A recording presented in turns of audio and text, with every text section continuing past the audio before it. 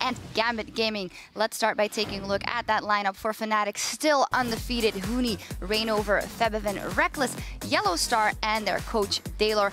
En route to 18 and 0, possibly, but this team could, uh, well, play the spoiler, and they've done that before. Gambit Gaming within the top lane, Cabochard jungling Diamond Proc, Betsy, Forgiven, Gosu Pepper, and their coach, Sean. Well, as said, the difference between these two teams couldn't be bigger at the moment because Fnatic is on an absolute tear. So the question is for me, what can Gambit do to neutralize most of the threats coming out of Gambit? I think it's very difficult to look for a single area for uh, Gambit to focus on on Fnatic because Fnatic are just such a well-rounded team. The, the converse to that point, though, is that Fnatic are very good at finding a single weakness in the enemy team and exploiting it. We saw it yesterday against odoamne and H2K, uh, completely freezing him out of the game in today's game, I expect them to put a lot of pressure onto Diamondprox. Uh, the junglers, Reignover and Diamondprox, are so different when it comes to where they're needed on the map, and you can really see that when it comes to their playstyle and their kill participation. Uh, Reignover is free to go to any lane ever and just kind of do what he wants, counter jungle at the same time, whereas Diamond Procs, he's needed in so many of his lanes in different situations that he's actually only able to get into a, a few small skirmish situations, and it means he has a lower kill participation kill participation overall. We're all we're all a little tongue-tied today. We still got to warm up. Yeah, we still got to get into the thing of things. But honestly, in my opinion, Reignover is just a better version of Diamondprox right now. In every area, he excels. And while that matchup might be interesting to watch, what worries me the most is the draft, especially for Gambit here. Yesterday, they picked the Corki, leaving the Kalista open. They went for the blind pick Nidalee while both tier 1 jungles were open. I'm okay if you want to play Nidalee, but you know, you don't have to rush. You know your opponents are going to pick a tier 1 jungle anyways. Why pick it blind? And it just... They pick those champions, and that's okay. You can go off meta, in my opinion, but then at least play to your strengths. Play to your power spikes and make something happen. Gambit ended that game with only three kills, I believe.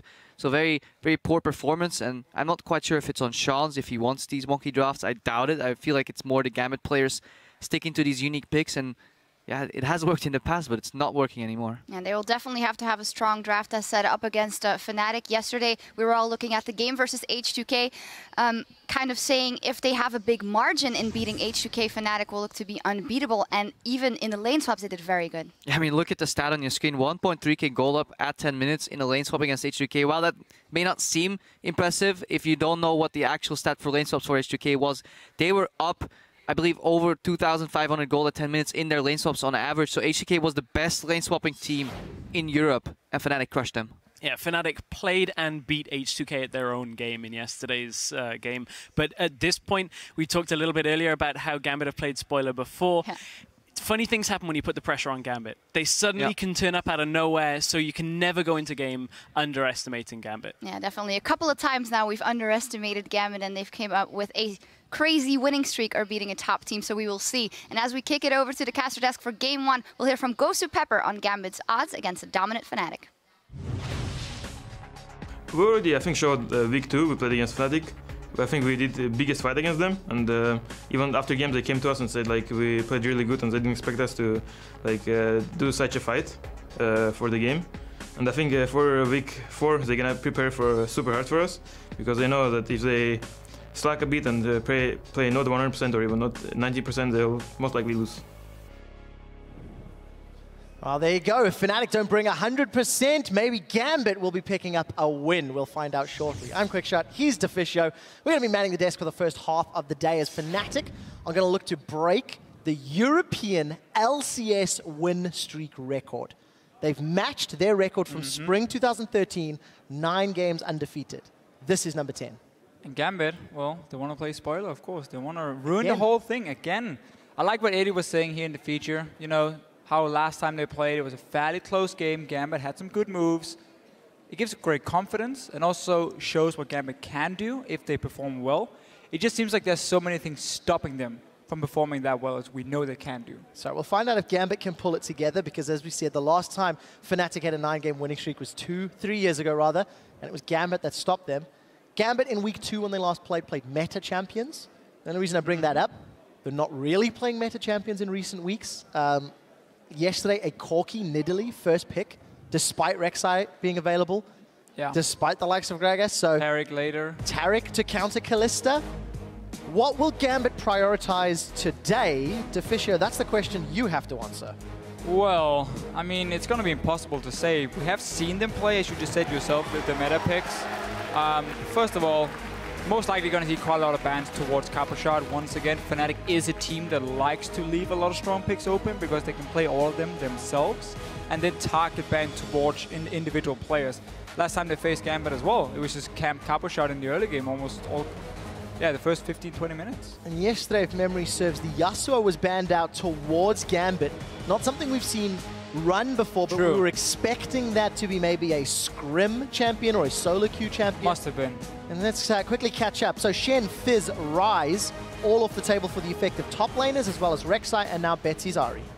Okay, Betsy had Ahri last time, and it's been one of the few champions where he's been able to, to win his lane. Same goes for yesterday. And it is one of those where he can snowball. And therefore, Fnatic just plays it super safe, bans it away again. There's a lot of strong picks open. Olaf being banned away. It's been... Uh, the funny thing for Reignover, he has three tier 1 junglers as the only guy in Europe. Because he has that Olaf up there with the Rek'Sai and Gragas, at least for him. Gragas is open. Will Fnatic first pick it? Ekko's open, Kalista's open, Sivir's open. Just remember, you don't necessarily have to take that Kalista early on. Even Sivir could go through. I want to see Forgiven play it, because he did last time. We know he can take Sivir. It could fit really well with what Gambit wants to do. Push up the lanes, then group up, group up to 5 on 5 team fights. I mean, that would fit in perfectly for, for Gambit. It was an uninspiring performance at 1, 2, and 1 the last time Forgiven ran it. However, if you're not grouping with your team and the team is falling behind, it's difficult to get the utmost. Fnatic using a lot of time to decide what their first pick will be, considering how many champions are available. Right. Their final lock-in, it is going to be the Gragas considering the jungle ban. And again, you also have to consider, if you're a Fnatic, okay, do we want to risk uh, Gambit taking the likes of Kalista? Do we just expect him to not play it? It was the same yesterday for Origen. Turned out they got everything. Alistar first pick, Kalista later. Gragas is very, very standard. When two junglers has been banned away, he's obviously left as the tier 1 jungler. We know Diamond likes to play Nidalee, but it's not always we like to see him play Nidalee. I particularly don't like to see it. Yesterday had a Yeah, pretty unimpressive performance. Not really in the right place at the right time. What will they prioritize it. today? So it was the Sivir, is locked in, and Betsy will get his hands on Azir. Also denying that from Febiven. Yeah, I really like this from Gambit. We go back to more standard. Sivir can be such a good pick for them, even though they know it's going to be into a Kalista. That's what they're expecting at least. Just for the team fights in the mid game, because what Gambit does really well is getting down these early towers, strong laning phase all around, but then once these outer turrets are gone, it's like Gambit just stops. Like they don't know how to advance to the tier 2 towers, they don't really know how to get to that Baron. And that's where they tend to, to struggle quite a lot against the better teams. Sivir can help Azir take away from Febiven, also champion Betsy, can perform with more team fight presence on. He's not relying on having to snowball the laning phase, as we often see when he plays Ahri. And of course, for Fnatic, as we've mentioned, that Ekko was up, as is Rumble, as is Hecarim. Huni's going to have a lot of options for whatever he wants to run in that top lane. Febiven, what is he going to play into this Azir? We've sort of seen the Vladimir into Azir as the... I don't want to use the word counter, because it's not really counter, but as, as a reply pick. Yeah, you, But do Fnatic want to run a Vladimir, or does Febiven want to play something safer? Jayce, we saw the hover, and we saw it played yesterday as well. yeah, and it was a fantastic performance. He's the first guy who really showed how strong Jayce can be here in 5-11. So I love his performance on that one. Ekko obviously can go to the mid lane. It is a flex pick, even though Huni has the guy who's been playing it from uh, a 4 Fnatic here. But yeah, I mean, when you have a team that plays every single meta champion, every single champion that's considered tier 1 in the current meta, against Gambit, who's, you know, been a bit hit and miss in that department, you see Fnatic just say, you know, we're just going to leave almost everything open because we know we can get close to every single one of the picks, at least in the first three picks for themselves, and that's what they have here, Ekko, Gragas, Kalista. I mean, it's insane for Fnatic. So we do see Diamond has locked in that Lee Sin. Going back to a champion again, he's not played this summer. But Diamond made quite a name for himself on Lee Sin many, many moons ago. That was a different version of Diamondprox. Diamond in summer this year, a shadow of his former presence. Cabochard on Hecarim yesterday didn't find the opportunities. His team didn't really didn't actually all of Gambit didn't find an opportunity for Cabochard's Hecarim to get those teleport engages yesterday. Let's see if they can do it a little bit better with the Sivir, with the Azir. They've got more tools to play with. I want to talk about their potential support option coming in for Fnatic. If they don't go for the Alistar, even though they can go Alistar Kalista, to me, it really tells me they want to have a strong 2v2 lane so they can put Huni one-on-one against Cabochard, potentially with this Ekko here, because that matchup is it can be fairly tricky in the start for, for the Ekko, but once you start getting some items, that's where you start outscaling the Hecarim in the one-on-one, -on -one, and you can become a really strong split pusher. So Fnatic not going for Alistar despite it being open, simply because they want to have the possibility to take the 2v2 lane against Forgiven. It was a lane they lost last time they faced each other, but Rekkles also played Ezreal, and he was playing extremely passive. The plan was basically sit and farm, while we camp Cabochard over and over. He's now playing a, a, champion with no flash. So that might be the strategy once again for Fnatic. Yeah, and for Fnatic, they have rounded out their team composition. A lot of peel and kiting. A little bit of poke there from, well, a lot of poke from Jayce, actually. As well as that Time Winder from Ekko in Huni's hands. The amount of zone control that Fnatic will have with that Ekko parallel convergence, with Janna, even with Gragas barrels, we'll see if Gambit's engage with Sivir and Hecarim right. can get ahead. Because if Fnatic fall behind, Gambit have the tools to keep punishing. Yeah, that's the thing when you have that Sivir. You can always control the tempo of the game because you have that ability to really force team fights or, or quick rotations.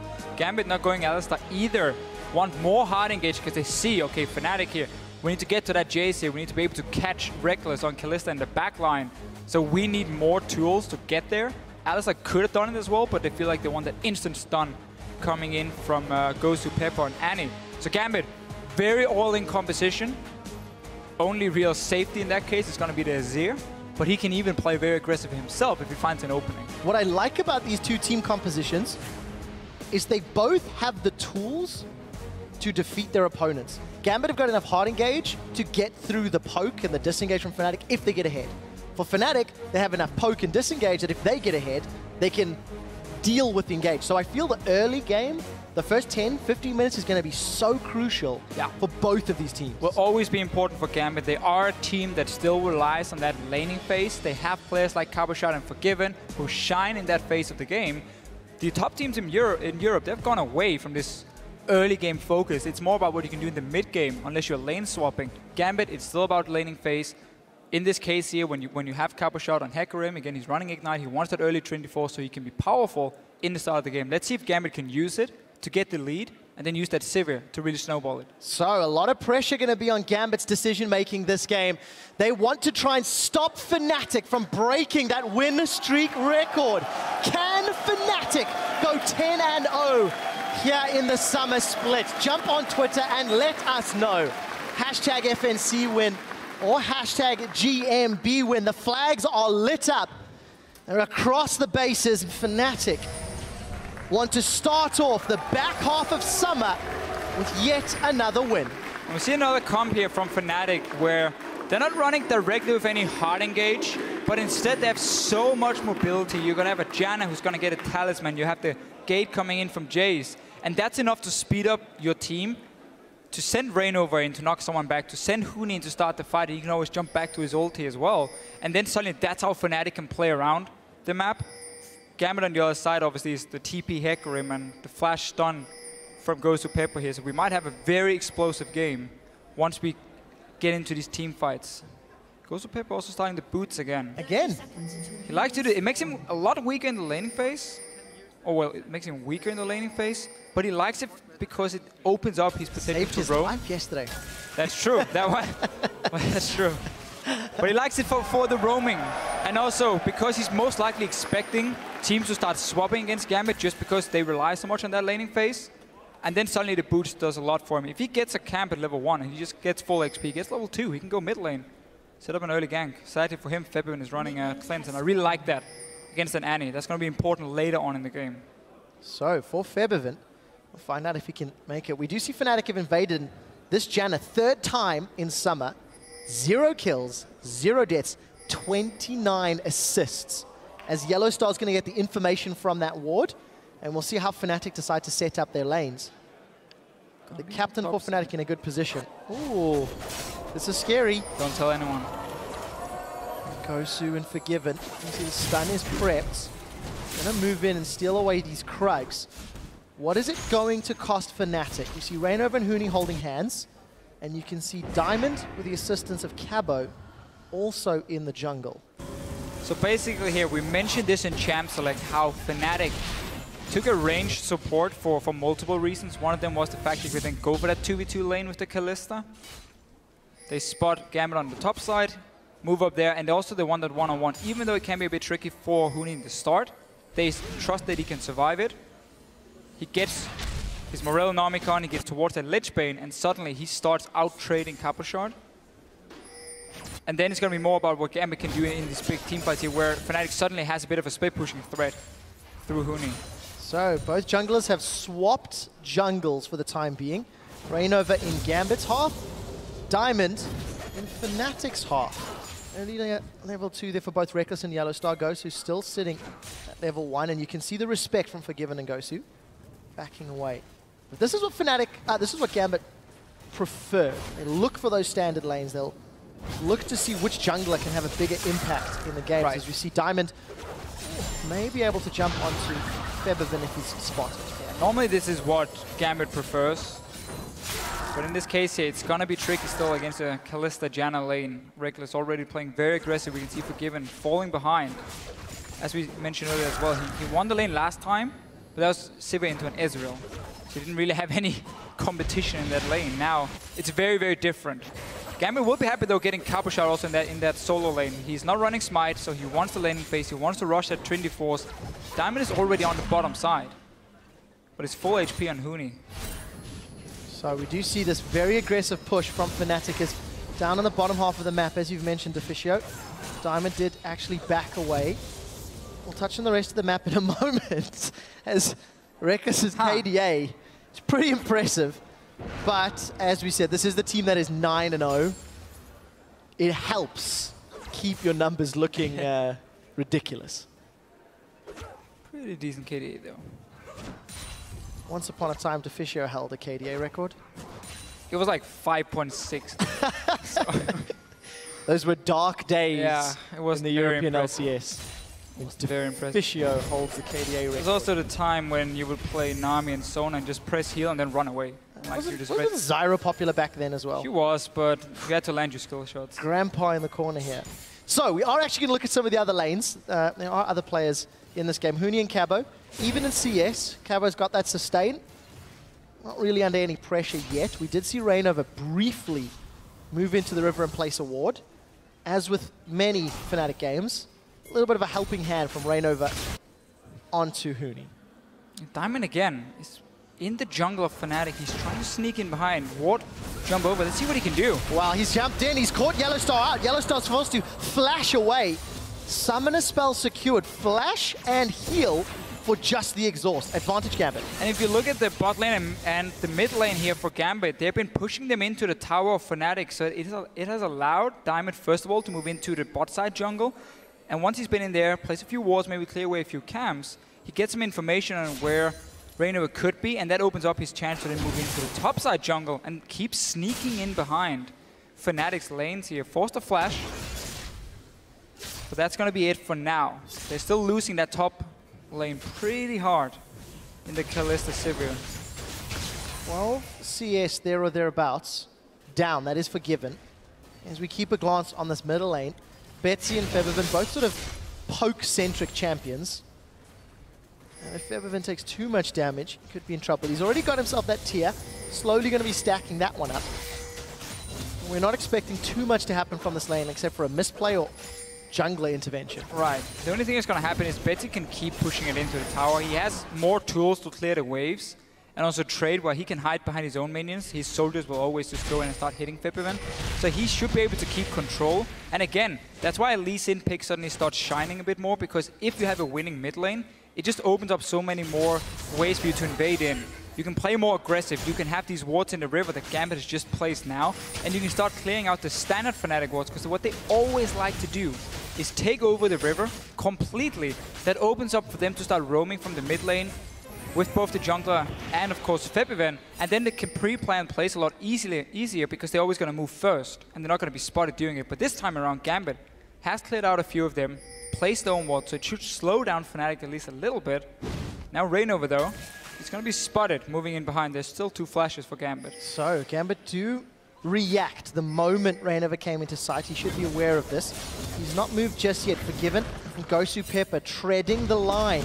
They might be in trouble. Forgiven is going to get caught out. Spell shields at least one of the spells, and no summon is blown. Just want to highlight the position Gambit had here when the gang came in. Notice how he was Forgiven, who ran close to where Reignover was coming from because he had that spell shield. Gosu Pepper just walked a bit closer to the wall up on the top side, so he didn't have to burn a flash. Spell shield just took care of it. Nice little move from Gambit, reading the situation and making uh, Reignover waste a little bit of time. And of course, we have to highlight that Gambit are holding themselves even for the time being, despite all the challenges mentioned regarding the draft and the lane matchups. But Fnatic have actually secured first blood. Oh, that was a little close. Fnatic have secured first blood in seven of their nine games. And it's going to be interesting to see where Reignover can impact. Not playing Olaf this time around, it was banned. Cabo's got the first row. Yeah, another room once again. Bot lane has been pushing from Cabochard. He's looking for Febiven here. Well, he's going to be able to at least get a knock on before a knock back. Febiven uses that Mercury Hammer to boot Cabo away, and Cabo's just going to go back to lane. So, small advantages here for Gambit. Got a CS advantage in the top lane, a little bit down for Forgiven Sivir. He's picked up that pickaxe and Avarice Blade. So going to have that power trough until he gets the BF sword. Look what Huni's doing though for himself. He knows he's having a hard time in the lane. So he gets very early home guards, which might set up a great play from with teleports. And if he can then try and snowball someone else on his team, or maybe pick up a kill from that, it could really benefit him. Or if he's forced back to base multiple times because he's already been pushed down in his lane, home guard as well can do some work. But it's something he likes to do, and something we quite often see from him.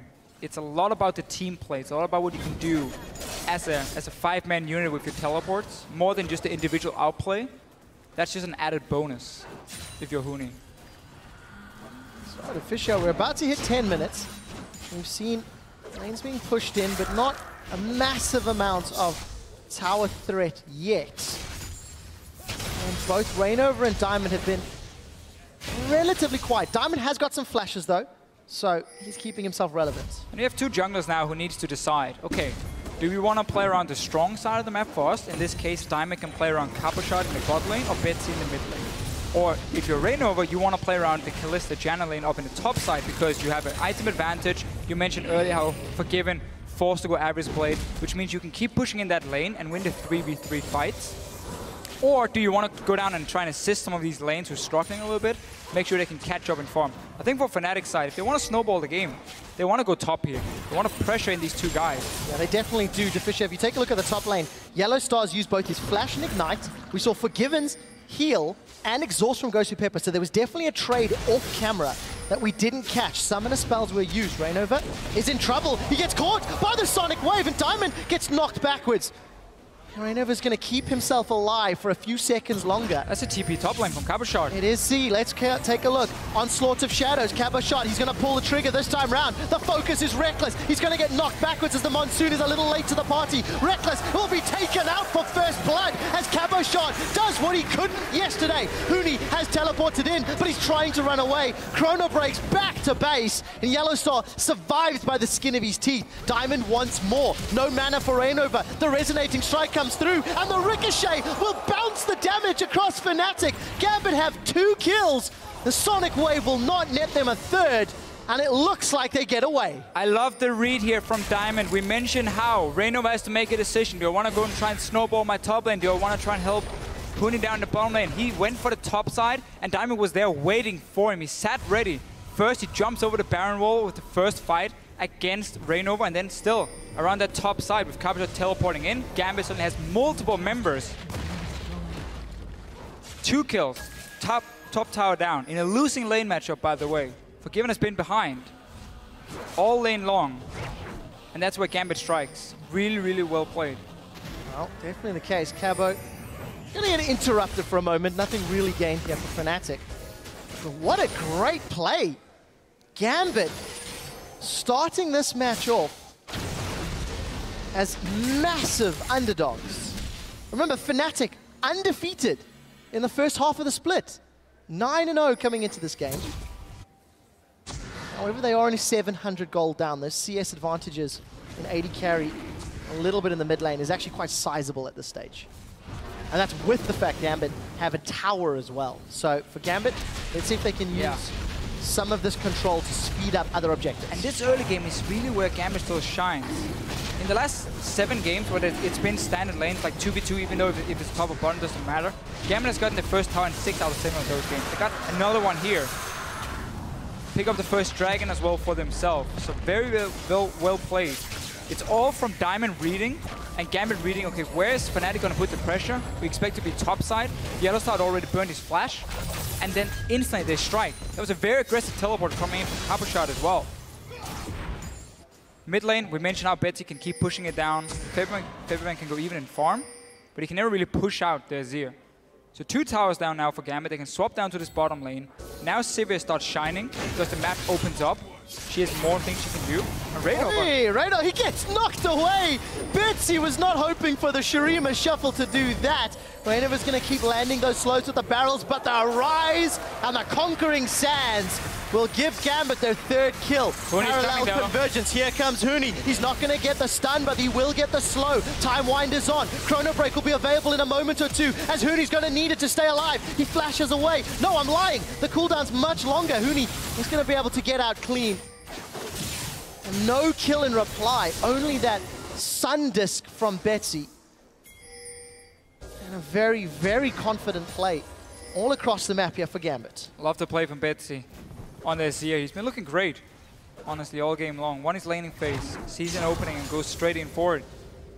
Gambit, they want to get that BF Soul Unforgiven, then they can really start turning on the power, but about 500 gold for that to be available. So he's gonna have to play a little bit passive up until that point, but it's more about what the rest of Gambit can do. Couple shots, has a kill now, had that free farm in lane, kept mentioning how Hecarim will win in the start, but then later on, once Ekko starts getting more and more items and Hecarim starts going in towards the tanky route, that's where he suddenly can really trade that effective. But the fact he's going Trinity Force on a full line Ignite is a big bonus for Cabochard in their one-on-one. So let's see if that Ignite comes to help. Huni's got Chrono Break available this time round. He's going to try get away. Onslaught of Shadows to chase, and Huni's down. Cabochard and Diamond easily winning that fight. Great Tibbers from Gosu. He's going to save his life against Reignover. And Gambit here, they go from defending the weak lane, Forgiven and Gosu Pepper in the top side, and then punish Fnatic when they made a play, to now switching it over and saying, okay, Cabochard, you're destroying your lane, you're pushing it all the way down. Diamond has been taken over that side of the jungle, he's warded it up, instantly goes in as soon as Huni shows himself. They might be able to get a top tower as well for the tier 2 over there. Fnatic, definitely being pressured a lot by Gambit. I want to go back to what we mentioned in Picks and Bans. The aggressive plays that Gambit can put on the map may be enough to keep Fnatic down. We'll talk about that in a moment. Huni's come in with the phase dive. He's got the time winder out as the parallel convergence should be enough to stun Diamond as well as Cabo Shot. Huni is going to get a time winder for one bold. and a phase dive for two. Okay. You can play strategically all you want. You can play intelligently all you want, but then the Huni factor happens. And Holo is incredible. Gambit wanted that tower, took some damage, and instantly Huni can punish them, and that's what this player can do. I don't even care what champion he's playing, he's always performing well. Reignover though, down towards the bottom lane. Gonna get some revenge and go Gosu, or try to. Spell shield from Forgiven, and Explosive Cask fizzles. That was uh, one of the less impressive ganks we've seen out of Reignover's Gragas. Yeah, not a whole lot of follow-up for Rekkles and Yellowstar here. Weren't in a position to throw in the Janna, provide any sort of CC. So once again, Gambit, off to a great start. Trinity Force completed for Cabochard. Now he can keep pushing down that lane. Huni with this home guard buy, we talked about how it could work for him if he gets a good teleport off, but obviously it delays his core build otherwise, sitting in that one-on-one lane. Going for the standard full cooldown reduction though on, on Ekko. And then it's either do you want a team In fight? trouble again. Take a look. Huni, he's used phase dive already. Oh.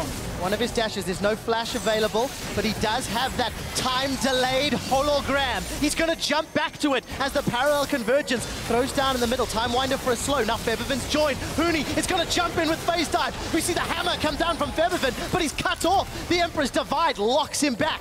going to be looking for those accelerated shock blasts, and it looks like Gambit will get themselves another taste of Huni before getting themselves to safety. Yeah, once again, they look for him, but he's also playing super aggressive. He invaded into the jungle of Gambit here. Got caught out, tried to turn around with Febiven, but they couldn't get the kill instead. Another one for Gambit. A lot of damage on this mid tower though, because nobody's here to defend. Betsy went back to base, and Forgiven was sitting in the bottom lane, so Fnatic will be able to take a tower uh, for it. Oh, Gambit, Gambit want to be the gatekeepers. Gambit want to stop Fnatic from going 10-0 once more. But in order to do that, they need to maintain control of this game. They're even in towers, got an extra dragon in kills, but it's not a lot of gold. The farm advantages for both Febiven and Rekkles, keeping them relevant as far as that uh, itemization in gold is concerned. Also just the sheer amount of damage we can get from this Fnatic comp here. Huni going towards the Sheen now. Febiven, we have seen this Jayce, what it can do. The new and updated version of him will be even stronger in the late game. Got a bit of extra damage on his Shock Blast once he hit that rank 6 at level 11. But bot lane here is open. Fnatic, because they just invested everything into the mid lane, and because they lost the pressure in their own jungle due to Gambit doing a very good job setting up the wards, bot goes down. Cabochard though, should have recalled way earlier to be up around this top side. So Rekkles and Yellowstar, they're coming. Rekkles is alone, and he's down! Betsy just 1v1s him, and now he's turned his attention onto Febiven. Febiven, however, will be able to use that shape-shifting weapon and even Look it at the bot lane though, Trevor here. Gambit is still pushing in. They had the wave from before. They still have teleport and Cabochard as well. Fnatic, they're very far away, so one for one in kills. That's another tower now for Gambit in the bot lane. Gambit want to play gatekeepers and they want to maintain control. Gosu Pepper, Flash, Exhaust, Tibbers is all available. He's going to throw it onto Reignover. Here comes the rest of Fnatic. Parallel Convergence should be able to stun up too, and it Nice does. Febiven and Huni are onto Gosu as well as Forgiven. He's been dropped. This Cabochard is trying to rampage across the fight. We see the onslaught of Shadows going forward. Huni is picking this fight. He does have that hologram to jump back to. He gets damage onto Cabo as he flashes away. Shield comes up for that parallel convergence and no Sonic Wave as he makes it out. Two for two trade. But once again, it's Gambit that just keep playing with Fnatic on the map. I just love the fact that Gambit keep playing so aggressive here. Every single lane gets pushed in. They keep putting deep walls into the jungle. This is something we've talked about a few weeks now for Gambit, how they place a lot of wards, but it tends to be kind of random all, all over the map. Don't really have a, an objective in mind. Now you can see wh whatever lane they're pressuring, there's multiple wards around it. In this jungle here, Fnatic, they saw everything coming. TP comes in from Cabochard. Gambit, they take the fight. They're fine taking because they already got the bot lane tower, and they believe they can even win this fight here. End up trading even Febiven and his damage, and then also Huni just dancing around his Ekko with full cooldown reduction is kind of annoying to deal with. But Gambit doing a great job so far. For Gambit at 20 minutes, we got around 2,700 gold in the lead. Deficio, that is the largest amount of gold that Fnatic has been down all split long. We heard from Gosu in the pregame video, if Fnatic do not bring their 100%, he thought they had a chance to win. And Gosu's right so far. Two dragons up, a tower up, kills up. So the game is in Gambit's, uh, let's say, I don't use the word control, but it's at their tempo. However, Fnatic special though. Early Baron, they place a ping ward and if they don't expect you to have any wards nearby, they just start it straight away. Cabochard, he's spawning it. Forgiven is down the bottom lane though, so he's not going to be able to join. Onslaught of Shadows will be up in just a moment or two. Cabo should be able to get in. to Baron's get going down. Who gets the kill? It's secured by the Rend. Reckless and Fnatic get Baron at 21 minutes, 10 seconds. What can Forgiven get? He's pushing in the bottom lane, but those empowered recalls will allow Fnatic to get back and defend. And all of a sudden, Fnatic are now back in control. They do this so often. Play around the top side. They place a ping ward near the Baron and just instantly start it. If you move in to stop them way too early, they know, okay, this is too risky, they just back away. Otherwise, they will secure it here. For Forgiven was pushing that bot lane. He didn't expect it. 15 Barons now for Fnatic. And this one was the fastest Baron in the entire EULCS this split. I think a It literally very, just spawned. He was like, hello, I'm Baron, now I'm dead. a very serious argument could be made that Fnatic have the best Baron calls in the LCS. I see very few teams that use that objective as efficiently or as effectively. And the worst thing for Gambit, you can see how they were like, oh, Baron is spawned, we have no vision on it, and everyone from Fnatic is gone. We need to rush it right now. But it was already too late because Given was already sitting in a bot lane. And that's the whole thing about, you know, planning ahead. Always looking one or so two minutes in the future. Deficio, Fnatic are now on the siege with that Baron buff. They've got all the poke from Febiven's Jayce, the wave clear from Gambit.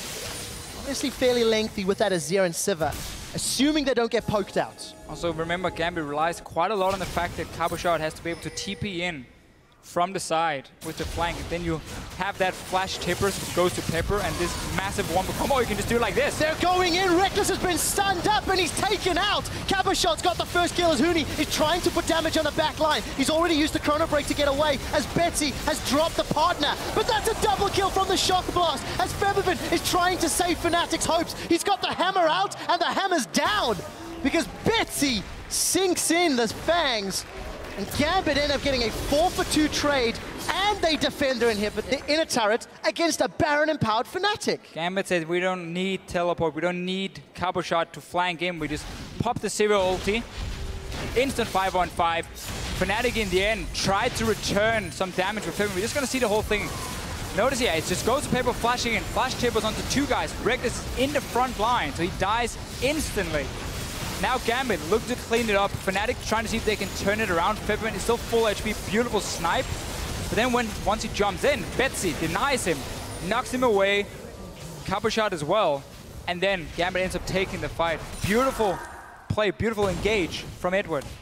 Rekkles and Huni got locked down. Rekkles did no damage that fight. Instantly died. Sorry, excellent start again Gambit all of a sudden regained control. It was Fnatic with Baron. It was Fnatic with the advantage. You know, you touched on how many Barons they secured. 16 out of their nine games in total now, Deficio. They've only conceded two. For the 16 Barons they secured, their opposing teams have only got two. But Gambit don't care about your Baron. No, they definitely don't. They're just going to jump you and kill you. Change in, in the pick and ban for Gambit compared to the last few weeks. See more of what is considered the very strong picks in the meta. Sivir fits so well with a team that likes to go for early towers and then transition that into team fights when you have a fed top laner and a fed AD carry. In this case, he obviously 0-2 for Forgiven. He's not exactly fed. He had a hard time in the laning phase. But that doesn't really matter because he's playing Sivir. He's more utility focused now. The fact that Cabochard has 4 kills the fact that Betsy has 6 kills is exactly what Gambit needs to make this comp work here and to keep taking fights, keep engaging onto Fnatic. And when you actually look at the gold, despite the fact that Forgiven was down that very large CS, he's got around a 1,000 gold advantage over Rekkles. 027. See, all of the work that Gambit had put in early in terms of getting Cabo ahead is paying off. And I think very importantly, in contrast to yesterday's game, Gambit are making decisions to go in. I think their team comp is allowing them to do that a little more. And also the Annie into Kalista already showing better than Taric into Kalista. I'm going to be a little more blunt. Especially once we get to the big team fights. Yes, those Tibber stuns, significantly more impressive. So a, nice adaptation. Dragon's up in 30 seconds. Gambit have got deep wards, and they're trying to set up yes. control. And this, again, is another improvement for Gambit. Let's see what happens, though. We can talk about it after Huni. Seeing if he can land a stun. Gosu Pepper, oh. pops, and talisman back to it. But this here from Gambit as well a lot more focus on what is our objective. Okay, that's where we invest all our wards. Oof. This time around, it's near the dragon. Fnatic, though, very quickly cleared it out because now Gambit went there to protect them, had to just run away. Oh! Wow. A bird, bird, bird. Bird is the word. As Febiven shocks Gambit, taking Betsy out. Just about to talk about the fact here that Gambit left the wards they just placed in the jungle because they weren't all there. They were like trying to push two lanes at once while placing the wards so they disengaged. Betsy took so much damage in the mid lane at first, and then Fnatic got a chance to get back in, and they just keep sniping Febiven is a monster on this. Remember Xerath in the spring split? The European sniper is what he was called at the beginning of spring. And Gosu is going to get chunked out. Phase dive from Huni gets the kill. Follow that hologram. Huni can re-engage if he wants to. Diamond is now being caught out. He's trying to put damage onto Yellowstar, but it will not be enough. Kill credit to Febiven and that hypercharge. as Fnatic get themselves two more and back away. Pepper couldn't even get Tibbers down. That's how quickly Fnatic reacted to him. It's going to be a 4v5 though. Gosu Pepper wanted to engage there. Super risky play from him. Dragon now for Fnatic, so they stopped the 3, 4, 5 Dragon strategy for, for Gambit. That's gone now. At least delayed for another six minutes, and also you get that 6% for yourself. And with those kills, Dragon and Tower, Fnatic with 10 kills on the board, looking closer to get their 10th win in summer. It's all on Febiven's poke so far. When he hits those blasts, Fnatic get objectives. And it's all on how can Gambit engage the fights. Back when Fnatic had the Baron here, we talked about, oh, they really want to have this TP home guard coming in from the flank, then time that with the flash ulti from, from Gosu Pepper, and you have a fantastic engage. Didn't need both. Just took Gosu Pepper flashing in. He got Rekkles, he killed him. Now he used flash beforehand. He ends up dying before he could even do anything. That means now it's about Cabochard, and then if Gosu Pepper can run in with the speed from Sivir. But that's going to be a lot harder to then lock down Rekkles, catch him out of position because there's also the Mikaels here from, from Yellowstar. Yeah, we saw Cabo in base, those home guards ticking away, looking for somewhere to go in, but Gosu, he's going to need armor soon. One shock blast is melting him, and you actually see Yellowstar as well picking up those captain boots. So even more, oh, look at that again, Betsy chunked out. Right, teleport. Cabo wants to find Rekkles. Rekkles is alone. Cabo's holding the trigger. That's going to be Febiven on the side. Cabo's actually focusing down Febiven. Febiven's been able to flash away, and we see that Gosu Pepper's been dropped. He did manage to get the Tibbers out. Diamond has got so many Rend stacks, and it's not going to pop him, though. We do see Forgiven is going to be on the back line. He's down. Febiven's dashed forward. Febiven found Betsy, and after a messy, messy fight, Gambit lose four members, almost all of them completely split up from one another. The small mistakes from Gambit and instantly Fnatic just punish him again and again and again the last few minutes. At first it looked good for Gambit, they won that fight. Then started playing around the Dragon, gave up all the vision on the wards because they weren't there to defend them. Febiven starts sniping them away here, he gets Betsy down. Febiven really is a big hero here for Fnatic. The poke he's landing before every fight is insane. We're about to hit 30 minutes, and Fnatic now in absolute control of the game. Baron's respawned, super minions down middle. We caught a glimpse there of Deilor, Fnatic's coach. Very serious faces. And here's some of the action that we didn't catch on camera. All right, let's see, yeah. So we got TP from Cabochard first, then Huni joins in after. But right here, for Gambit is not able to get onto any key targets. It's Yellowstar and Reno, but that's not who you want to engage on. So for Gambit, never really got to use the Annie.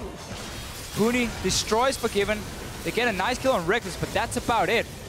Because now suddenly, Jayce and Kalista could stay safe in the backline. Gambit needs to have all these powers and combine them if they want to destroy that backline of Fnatic. Otherwise, they can always kite back, kite back. Simply out-damage or out-duel the Gambit members. And when Fnatic managed to find Gambit split up, Huni can just run down whoever he wants at this stage. Gosu, again, massive chunk. All of the armor that's built, there's not enough resistance to put up with the damage that Ekko can put out, or the poke Febiven's Jayce is putting down. The thing that happens when you run triple threat comms, and you start getting ahead again, these damage dealers, yeah, you might take out one, but there are two other guys who can still win the team fight for a team. I mean, Gambit is somewhat the same with Cabochard on, on Hecarim, but that's more early to mid-game where his damage is fantastic. Then, because he starts feeling more and more tanky, you know, obviously his damage is going to fall off at least a little bit.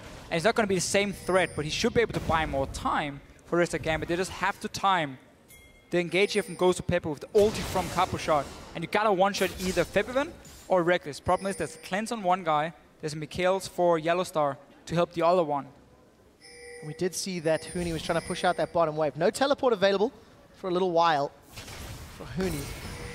And oh, the amount of poke that Febiven can put out means Gambit can't even play the Baron bait game because they'll simply lose with Baron on one side and Febiven on the other. Huni's used that phase dive looking for a target. Betsy forced to defend and Fnatic are just playing around this massive moving turret that is Febiven. Wait, well, Huni, wow. So that's the thing. When you see how that happened, but Huni got a kill. When you play poke, it's just about forcing them so low to have to go back and give up all the control. Diamond here, he's caught behind enemy line. Uh, Diamond's down. That was a rough place to be. Fnatic find themselves two kills with no smite threat. They're going to turn their sights to Baron. They've got all the poke from Febiven. They've also got the rend from Rekkles. Huni's running interference. So, another pick now. You have to respect against Fnatic. There's already 10, 12 other ones, but Jayce as well for Febiven. Yesterday, fantastic. Today, such a solid performance. He's landing every single shock blast over and over, and it's enough to force Gambit so low they have to be careful. Betsy trying to recall, Huni just instantly jumps in, pop his back, and then he gets wow. Q on the way out. And that was through exhaust as well. There are there are very few words that we can say that we haven't said about Huni when it comes to talking about his impact in the LCS. All right, Diamond, he's going to land the Sonic Wave, but does not want to click the Lee Syndrome that time around. This Dragon fight here might be, what could be the potential turning point for, for Gambit. TP is ready soon for Cabochard. Flash is ready. Look at the gold here all game long. Fnatic decent start. We had that winning top lane for them, or the 2v2 lane. And then Gambit started taking over. They had some great team fights in the mid game. They got to Rekkles, they got to Febiven, killed the back line. But then we just see it. One mistake, Fnatic instantly is going to punish you lead it into a Baron, and boom, suddenly they get ahead. And oh, fight is starting. Yeah, the last time Fnatic were here, the fight didn't end well. This time around, Gosu's down though, and that will end well for Fnatic. We see Huni's come back in. Yellowstar's channeling the Monsoon as Cabochard is being focused out by Rekkles. Febiven is on the front line, and Huni is going to use that Chrono Break all the way back. Reignover bonks the barrel on Betsy, taking him out, and Fnatic get three kills in a tower. They should be able to set themselves up for more as soon as those minions come conga lining in. Gambit engage. Has to work, otherwise you lose the fight. We've seen it time and time again. Gosu Pepper, didn't manage to connect. Cabochard could join in with a teleport.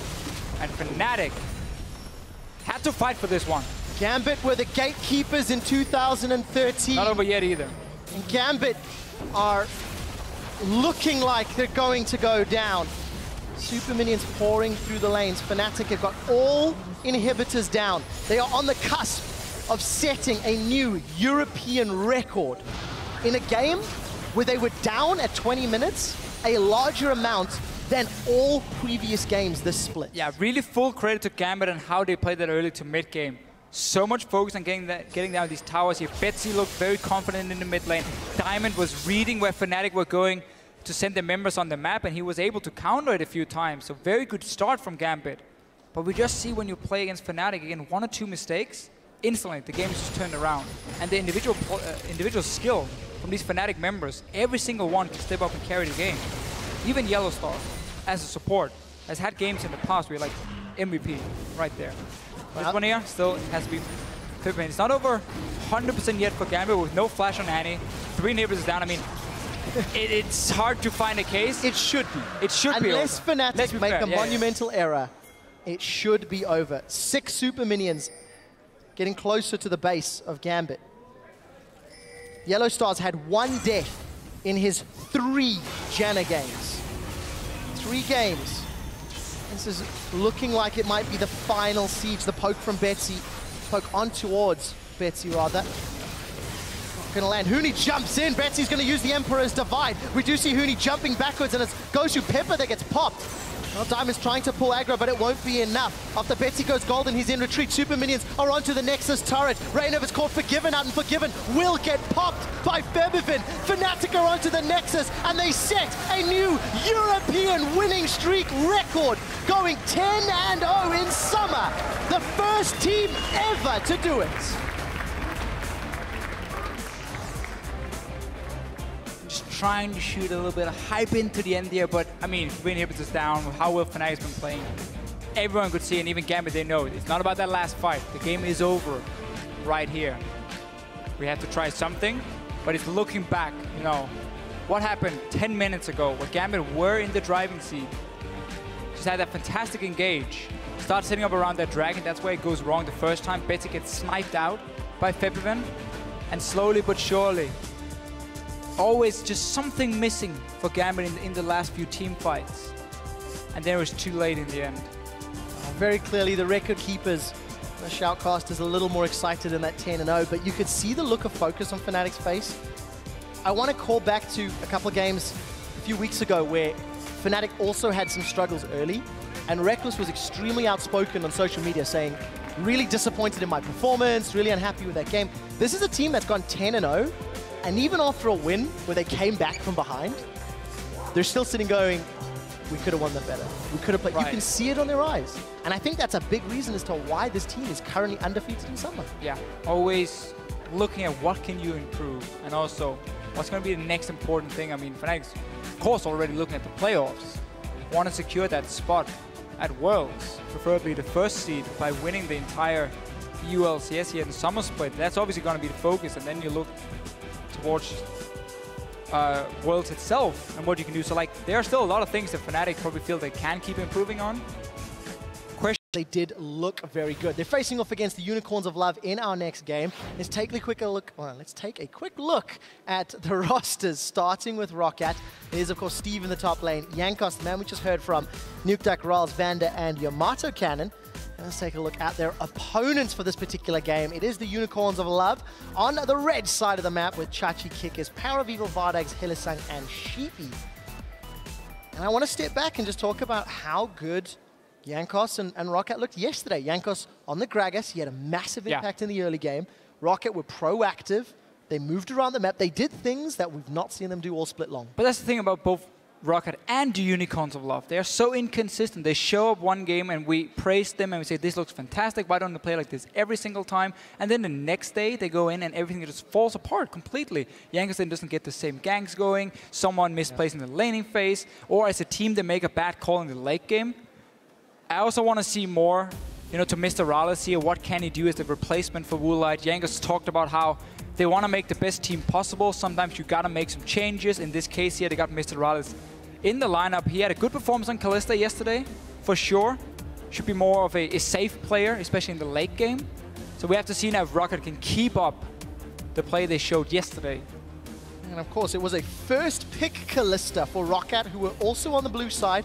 And they can do it again. against the Copenhagen Wolves. We'll see if they get the option. So Morgana Shen, Ryze taken off the table. Jayce, Fizz, one more ban for UOL to prioritize. I think Jayce has been banned every single game against Nukeduck ever since the changes to him. We just saw what Febiven can, uh, can do on Jayce. Now here for Unicorns of Love, they had to make a decision. Do we ban one of the tier 1 junglers and, and trade that for the Kalista first pick? In this case, they banned their way, so Sivir is open for Roccat. And uh, it's a little bit of a no-brainer, honestly. Normally, for the teams, when Kalista is banned away, and you can still get either Rek'Sai or Gragas, then it's fine. So now Rek'Sai is going to go over to Jankos if he wants it. Unicorn saying, you know what, we know you're going to take Sivir we get the Alistar at least. So they're both trying to trade some power picks to each other. I still think getting the Sivir has a lot higher value than getting the, the Alistar because there's so fantastic supports left in the pool where Sivir and Kalista kind of stand out as the two AD carries. So for Roccat, they've got one of those two standout AD carries. Yesterday they ran Ekko in the top lane with Steve when it was coupled with the Gragas from Jankos, and they got him ahead. And he stayed ahead. Steve had one of his best performances all split long. And, and interestingly, open, yeah. The Varus again, twice. Yesterday, Nukeduck was landing those piercing arrows one after the other, and it felt like Roccat were in control of the team composition. We're just see, seeing how strong Poke is from the mid lane, from Jayce, from Varus here, from Nukeduck. It's, it's somewhat the same. I mean, you almost built the same as well. You wanted more mana, you want cooldown reduction, you want armor penetration, and then you have this fantastic mid-game spike where you do so much damage from your from your piercing arrows. So it's going to be the same kind of play here from Nukeduck. And by taking away Sivir, you add in another mobility, or a, you add in some mobility for the Varus in case he wants to disengage. Ekko as well is one of these champions where it's super difficult for you to run at him because you always got to be afraid of where his uh, shadow is. Also, the fact he has so many slows built in, he can kite pretty effectively. And then if you overextend, he just jumps back into you.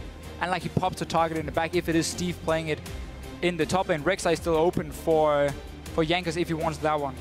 Well, Deficio, Unicorns of Love went with a two carry composition yesterday. Syndra mid and Jinx 80 carry. They were relying on keeping Vardags up and alive against the Giants. And unfortunately, it was Power of Evil that got caught out several times against Giants and was unable to do that. They're doing the same again. There's a lot of damage and mobility from Roccat already, Roccat can go Janna though, and that's gonna very, very heavily disengage against what Unicorns has put together here. Bard could even work for, for Vander, even though he had a poor performance on it in the last week. I really like the Janna to lock it in though, because it's full focus on kite back and poke from Nukeduck. And Unicorns a lot, but they're built together here, is going to rely a lot on either having a flash ready for like the body slam flash or the, the flash engage from a Maokai or of course Righteous Glory, but that's where Janna can really disengage the whole thing. And that should buy enough time to Roccat then to pop that Sivir ulti and kite back.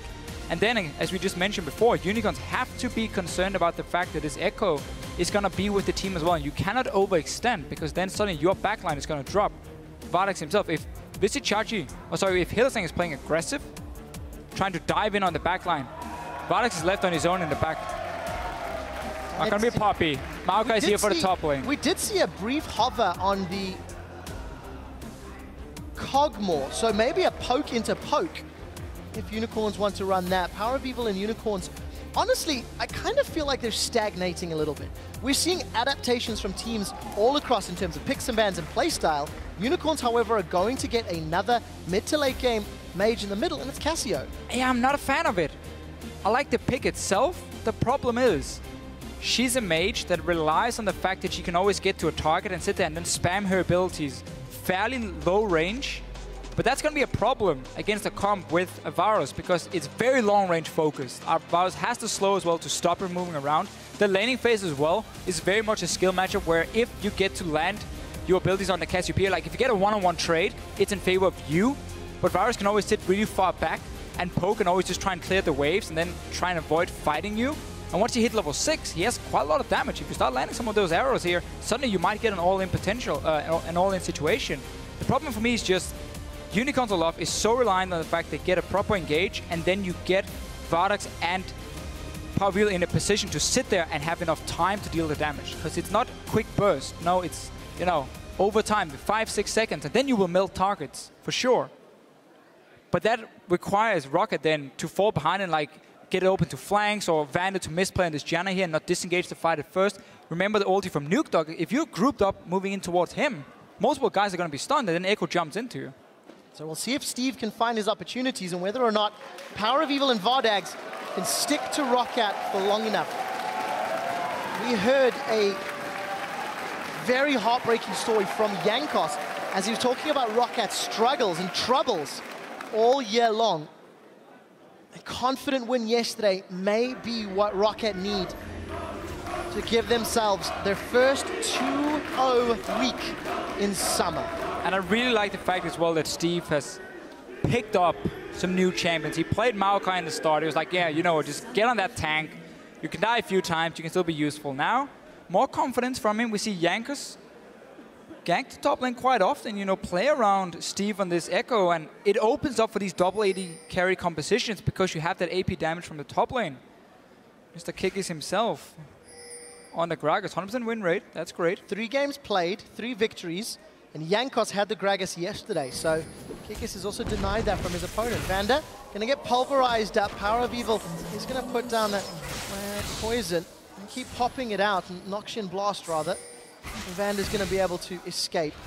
Nothing really gained or lost here from either team. And let's look a little bit more at Unicorns of Love and the comp here. It's it's not as bad as I made it sound in Champ Select. it's by no means bad in that sense. I mean, they have fantastic damage output from the two carries Power View and Vardags. Double tank setup. It's a little bit what we saw a lot of in Spring Split. Even the Alistar providing a massive front line here. It's just become so much harder to play with all this poke coming into play. Uh, with the likes of Ekko, who can dive that backline very effectively and still jump back to his own ulti. So even if you do focus him down, you need to like stun lock him and kill him in, in run rotation. Unicorns, though, if they do get a strong laning phase, which you can do with the likes of Cassiopeia in the mid lane, that's what you can use to snowball, because what we have seen from them is if Power Weevil is winning that mid lane, Kikis suddenly plays very aggressive. He finds the enemy jungler, he looks for the one-on-one, the 2v2 fights, where he knows Power of Evil can back him up, and that's a big advantage for Unicorns of Love in the early game. But it requires them to use it, and if Nuke just gets a farm lane for himself, that's going to neutralize, and then you wait for the mid game if you're Roccat instead. Well, for both Nuke and Power of Evil, it's going to be seeing who can handle their lanes who can get ahead, because both mid laners have struggled a little this summer. Nukeduck found a fantastic Varustain yesterday and taking a look at Power of Evil, already 35 stacks on that uh, Cassiopeia passive. The observers buzzed me and said all the damage onto Vander earlier, got 23 stacks. What a beast, man. What a game changer. Closer to max. So we do take a look at the sort of farm lane. If Power of Evil can get close to Nukeduck with Twin Fang, as has been ranked up, will put a lot of hurt on. And for Steve up top, into Chachi's Maokai, there's a lot of aggressive trading in favor of Steve, and we'll see whether or not Chachi can sustain through that passive. Chachi can definitely set up ganks very effectively on this Ekko here, but just to talk a bit more about the mid lane matchup, I mentioned before here how Cassiopeia should have the pressure at least in the lane when it comes to early trading. If you do manage to connect the poison and you get that one-on-one -on -one fight, it is in favor of Power of Evil. But the long range here for Nukeduck and the fact he can use his E, the slow, to stop it from going aggressive. Let's see Kikis. He's going to find Jankos here. Oh, Kikis is going to be in so much trouble. Down to 200 hit points. Jankos, he's going to go over with the Tunnel Prey Seeker, not even needed. First blood from the man with the feels video, and that's going to be a great start. And Jankos simply skipping his own blue buff. Then he invades in and he finds Kikis on the second buff. Nukeduck had done a very good job at pushing his own lane here in the mid lane. So if Power of Evil left the lane to go help Kikis, he would have lost a lot of farm in case Nukeduck got to push it back into the tower and even move with him over there. So nice early start from Roccat, very clearly planned with the fact that Nukeduck is pushing his lane and Jankos skipping his own blue buff to then get faster into that red buff and finding Kikis. So great start here from Roccat. Definitely is. Roccat in their standard lanes uh, as well as Unicorns of Love, tend to go even at 10 minutes. in terms of gold value. However, Roccat tend to fall behind as they get closer to 20 minutes. We'll see whether or not Jankos' early first blood will be able to help out. And that's an early blue buff onto like Nukeduck. It's going to help, help him out. Yeah, it's going to help Nukeduck a lot keep the distance here to Power of Evil and just keep clearing the waves. And as I said before, the Hail of Arrows here to stop Evil from going aggressive. Just slow, slow him down. He won't get in range then and you can just keep the lane fairly safe then for Nukeduck. Obviously wants to get towards the Tear as early as possible. Potentially even upgrading it straight away. But requires quite a lot of gold on your first back. 30 CS at the moment. We did see the back from Power of Evil. He's already got that Tear. Luckily, for Roccat, both mid laners are Tear focused, so need some time to scale. We see Nukeduck backing away as he shoved that lane in. So he's got the blue buff to tick away. We also see he's opted for flash You can just go Tear double longsword and then you go brutalizer early with the Tear before you upgrade it. Perfectly fine. That is the normal route because you don't tend to have enough gold to straight away upgrade your Tear in the first back unless you've been farming for a long, long time. This will give him a little bit more lane pressure as well. Tear very important for both of them, obviously, as you just highlighted yourself, Trevor, before. But important with that good start for Jankos. It means suddenly he can play a little bit more aggressive in terms of his warding. And you can see how Roccat has already taken over the river on the spot lane side. So four members on the bottom side. And now they have quite a lot of security. We'll As you mentioned. Sorry. No, as I said, was Go that ahead. security actually adds to anything. Because for Roccat at least, they got the early advantage. They seem to be doing well. Every time we look at the mini-map, you can see Steve sort of trading with Chachi. Neither of those top laners have backed yet. Chuck is going to be the first one to get to six. So slow and steady laning phase as far as the lanes are concerned. It's only the jungle with the action. Look at the setup of the lane though here. The waves are pushing down towards Vizicsacsi. So Steve is now in this very annoying situation where you have to overextend to play it out. And that's why Unicorns can gank him. So Kikis is coming in, but Steve is going to chrono break the body slam. and the crowd definitely in support. Cannon Minion, I think, was secured there by Steve as Jankos is now coming for a reply gank. Steve, no ulti, and Kikis is a mile and a half away. I don't know if anything's going to come of this one. Flash is still up for Chachi if it's needed. Yeah, might just try and burn the flash away from Chachi and nothing else. Sneaky, so little mana honestly. But if Chachi goes aggressive here, it can go very wrong for him. Tension is palpable. I think the lane's going to push down. They're going in now. Wow, there's the chilling smite. Insta flash from Vizicsacsi successful gank from Jankos. So first blood secured and a flash. And all Steve needed to do to keep alive was use his ultimate. Really like the start for Jankos. First invade in, timed it well with Nuke Nukeduck. He knows his bottom lane is to win on his own and keep pushing into the tower. or at least have the pressure in the lane with the Sivir Janna. So he doesn't have to gank for them. Not a whole lot of value in ganking for that Janna lane anyway. Very utility focused. So instead, early vision, find the enemy jungle, and then try and get this Ekko ahead It's very, very good start from Jankos in, in the lanes he's deciding to go to. Force that flash. Let's see if they can use it. This one is good for Unicorns, though. Clear out these pink wards. So fairly early taken out, to be honest. Hylissang grabbed those Moby boots. We see Vardags finally backing after he's pushed the wave out. BF sword for Rallis. Should be BF sword for Vardags and some pots. Unless he wants to grab a ward or long sword.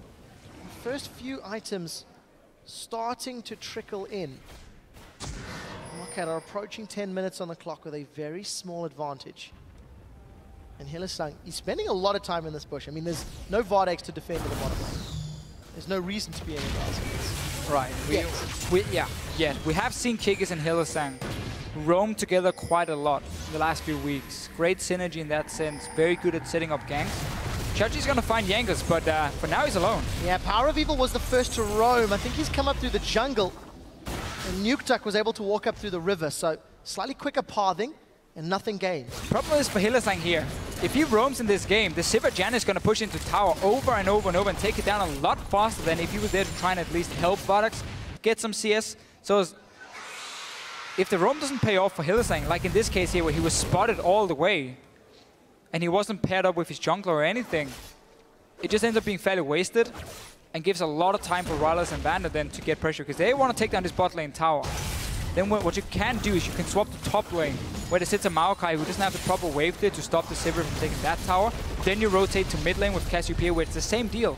There's no like instant wave clear from Unicorns of Love. So by having poke from Nukeduck, he's fantastic wave clear it- itself. Same goes for Ekko, same goes for Sivir. Roccat can really control the lanes very, very effectively. And Unicorn's only way to respond is by fighting. Because they can't sit there and try and like poke them out or, or, or clear the waves in time. Because then Roccat will always get damage on the towers and always land poke from Nukeduck. So Unicorns have to be able to fight to win this game. Well, Power of Evil wants to keep himself healthy enough to fight. Picked up that Hextech Revolver as well as the Tear. Now, Steve does have Flash and Chrono Break. He's going to phase dive out, jump back in. Here comes the Parallel Convergence. Going to get the stun and a shield. Kikis is going to knock Steve away. Steve's holding on to that Flash, knows he's going to get taken out. Yeah, relatively easy gank. That was the easy gank setup you were talking about earlier. Yeah, that's what you can do with this Maokai so effectively against melee champions. If they just move close, obviously you just snare them. Jankos has to make a play on the opposite side of the map, especially because Steve bought so much time by like dancing around and also Unicorn's going for that blue buff. We need to see either Dragon being taken by Jankos Oh, or you just go straight down to this bottom lane and pressure that tower with the rest of the team. Going for the Dragon. So, Dragon instead. Jankos got first blood. Jankos gets first Dragon. And we are now 11 minutes into the game. And this thing actually starts this trade out. We see a two-man knockup from the Howling Gale. So that was Dragon secured as we blink back bottom. Vardags and Hylissang did get away. I don't know if those Flame Chompers connected. I expect a full Roccat doing a very good job forcing Hylissang to stay in this bottom lane. Don't allow him to roam anywhere. You mentioned how Power wants to keep himself healthy. Got that early sustain. It's going to delay his core build quite a lot. And it's once again relying on him being able to get off these twin fangs here, to keep landing his spells to get enough healing from it. He's obviously doing it because he's against a poke. But it's about if Roccat can keep the distance, then Power Evil will never really get to do a whole lot. If Unicorns get the chance, though, to start the fight, TP in from the Maokai, Alistar flank potentially, flash in, get the talisman as we see from Hylissang. That's where we might see Power Evil do a lot of damage, and that's how Unicorns can still win the fights, of course. Yeah, talking about unicorns, you know, this team composition, it sort of harkens back to the spring split, where it's an older style of team comp. Yesterday, that Syndra mid with Jinx. Again, sort of an old school style of team comp with only two damage threats. We'll see whether or not it can work out today. It didn't yesterday. That vintage team composition, not really Fancy. executed well enough. And I don't know, I just kind of I just kind of feel like it's it's not a good sign because you feel like every other team's growing, right? You feel like Fnatic are playing different styles. Roccat completely adjusted their picks and bans. Gambit as well, you know, mixing things up. It kind of feels like the experimental teams that are broadening their playstyle in champion pool are more successful in summer. Yeah. I agree on that 100%. It's really about the fact that can you keep adapting to all these changes here. Small buffs comes left and right. Jayce got a massive buff, and then so you have to adapt to that one. Jankos is in the top lane. There's a new flash though for Chachi. Chachi's going to get knocked up. Can he get away? Vengeful Maelstrom is preventing a lot of that damage. Chrono Break gets close. They're not close enough to get the damage down, and Hylissang his football boots is going to make his way all the way up top and no kill yet. I don't really understand that gank too much from Jankos. Chachi had the flash, flash ready. He was in a fairly safe position as well. Instead, if you are Jankos now, I mean, put your focus around this mid lane instead where Nukeduck is a bit of in trouble. You can go in and gank Hylissang or, or Power not gank Hylissang. He's ganking uh, Nukeduck instead. So Nukeduck out of mana on level 10. That's an exhaust onto Power of Evil. Nukeduck already flashed away. Teleports come out from Steve, but he's on low hit points. Timewinder's not going to connect, and that may be a small misuse of resources. Yeah, a few misplays from Roccat here. The last minute TP used from Steve, obviously to try and make Unicorns back away, but Vander was already there, he might die now. Well, Hylissang's looking to score. He has caught Vander out. Vander with a quick channel and cancel on Monsoon. Flashes away from the belly, and he's going to stay alive. The Mega Death Rocket is not a Death Rocket at all. And the knockup from Jankos saves Vander a second time. Look at the mid lane. Don't get that many chances. So, Roccat got a tower down bottom. They use teleport middle, and Power of Evil will even the tower in middle. And this is the thing, the only lane that was directly losing for Roccat was that mid lane. Wasn't in terms of farm, but more the fact that Power of Evil could keep pushing it down, and then we saw Kikis come in there. We saw Hylissang try and roam into that mid lane as well. Jankos wasn't there to help. Vander tried, but it wasn't enough. Steve even teleported in. A bit, a bit misused, honestly, for him. But they got the bot lane tower. Push out this wave now with Mr. Rallis, then swap him over to the top side or the mid. And either group up with Nukeduck for that mid tower or just push in the top lane with your Janus Sivir. And try and snowball the game a little bit. You don't want this Cassiopeia to sit and scale. You don't want the Jinx to scale up. You want to punish Unicorns of Love for having no instant hard wave clear and put them in a situation where if they don't engage onto you, they will lose the tower. They will be forced back in base. And they might have to take some fights they didn't want to in the first place. And you can then control the pace. You have to walk on the flanks. Yeah, there's two so things on. two things to talk about those flanks and, and the lack of wave clear. Um, when Roccat played Ekko yesterday, Steve was split pushing. Now we'll get to that the in a second. setup. He's gone in. We do see Mr. Rallis is caught out. Those chompers are now down. Spell shields up, and Rallis is going to flash away from the zap. Mega Death Rocket is available, but on the hunt, and Flash is going to be used. Now Chachi points, he clicks. Vander's got caught out. We see the slow onto Mr. Rallis. They're going for the dive. Oh, the Death Rocket gets knocked away, but Vardags still secures the kill. Kikis was helping. It almost didn't work out. Kill number two to UOL. That's a very nice start, though, from Hylissang and the bot lane here for Unicorns. Rallis just wanted to push up this wave here and then probably leave it. Unicorns got the fight. They will lose the top tower forward. If Roccat can defend the bot lane, it's okay. And they got two towers down now. We can start seeing the grouping happen, happening. Cooldown reduction coming for Nukeduck. Unicorns are love, though. Can they get the fight? No TP for Vizicsacsi. That's going to be huge. No talisman yet for Hylissang either. So yesterday, the Unicorns could not get the fights. Krug secured for Steve, Steve. And Giants AP Kog'Maw was given time to scale. Right. Nukeduck's AD Varus is 16 minutes in. He's even on farm despite being down a tower. And he's in a pretty good position. So Nukeduck is going to connect to the Chains of Corruption. Piercing Arrow comes out. Here comes Jankos. They decide to back away. And that may allow some damage onto the mid tower from UOL. Yeah, and that's the poke that's going to happen all game long here. He doesn't even have the last Whisper yet. And once you get more cooldown reduction, it's going to be even more annoying for Power to deal with when he wants to sit there and try and sustain back on these minions or clear the waves. Another problem for Unicorns yesterday was the fact they couldn't split push. Had a Shen.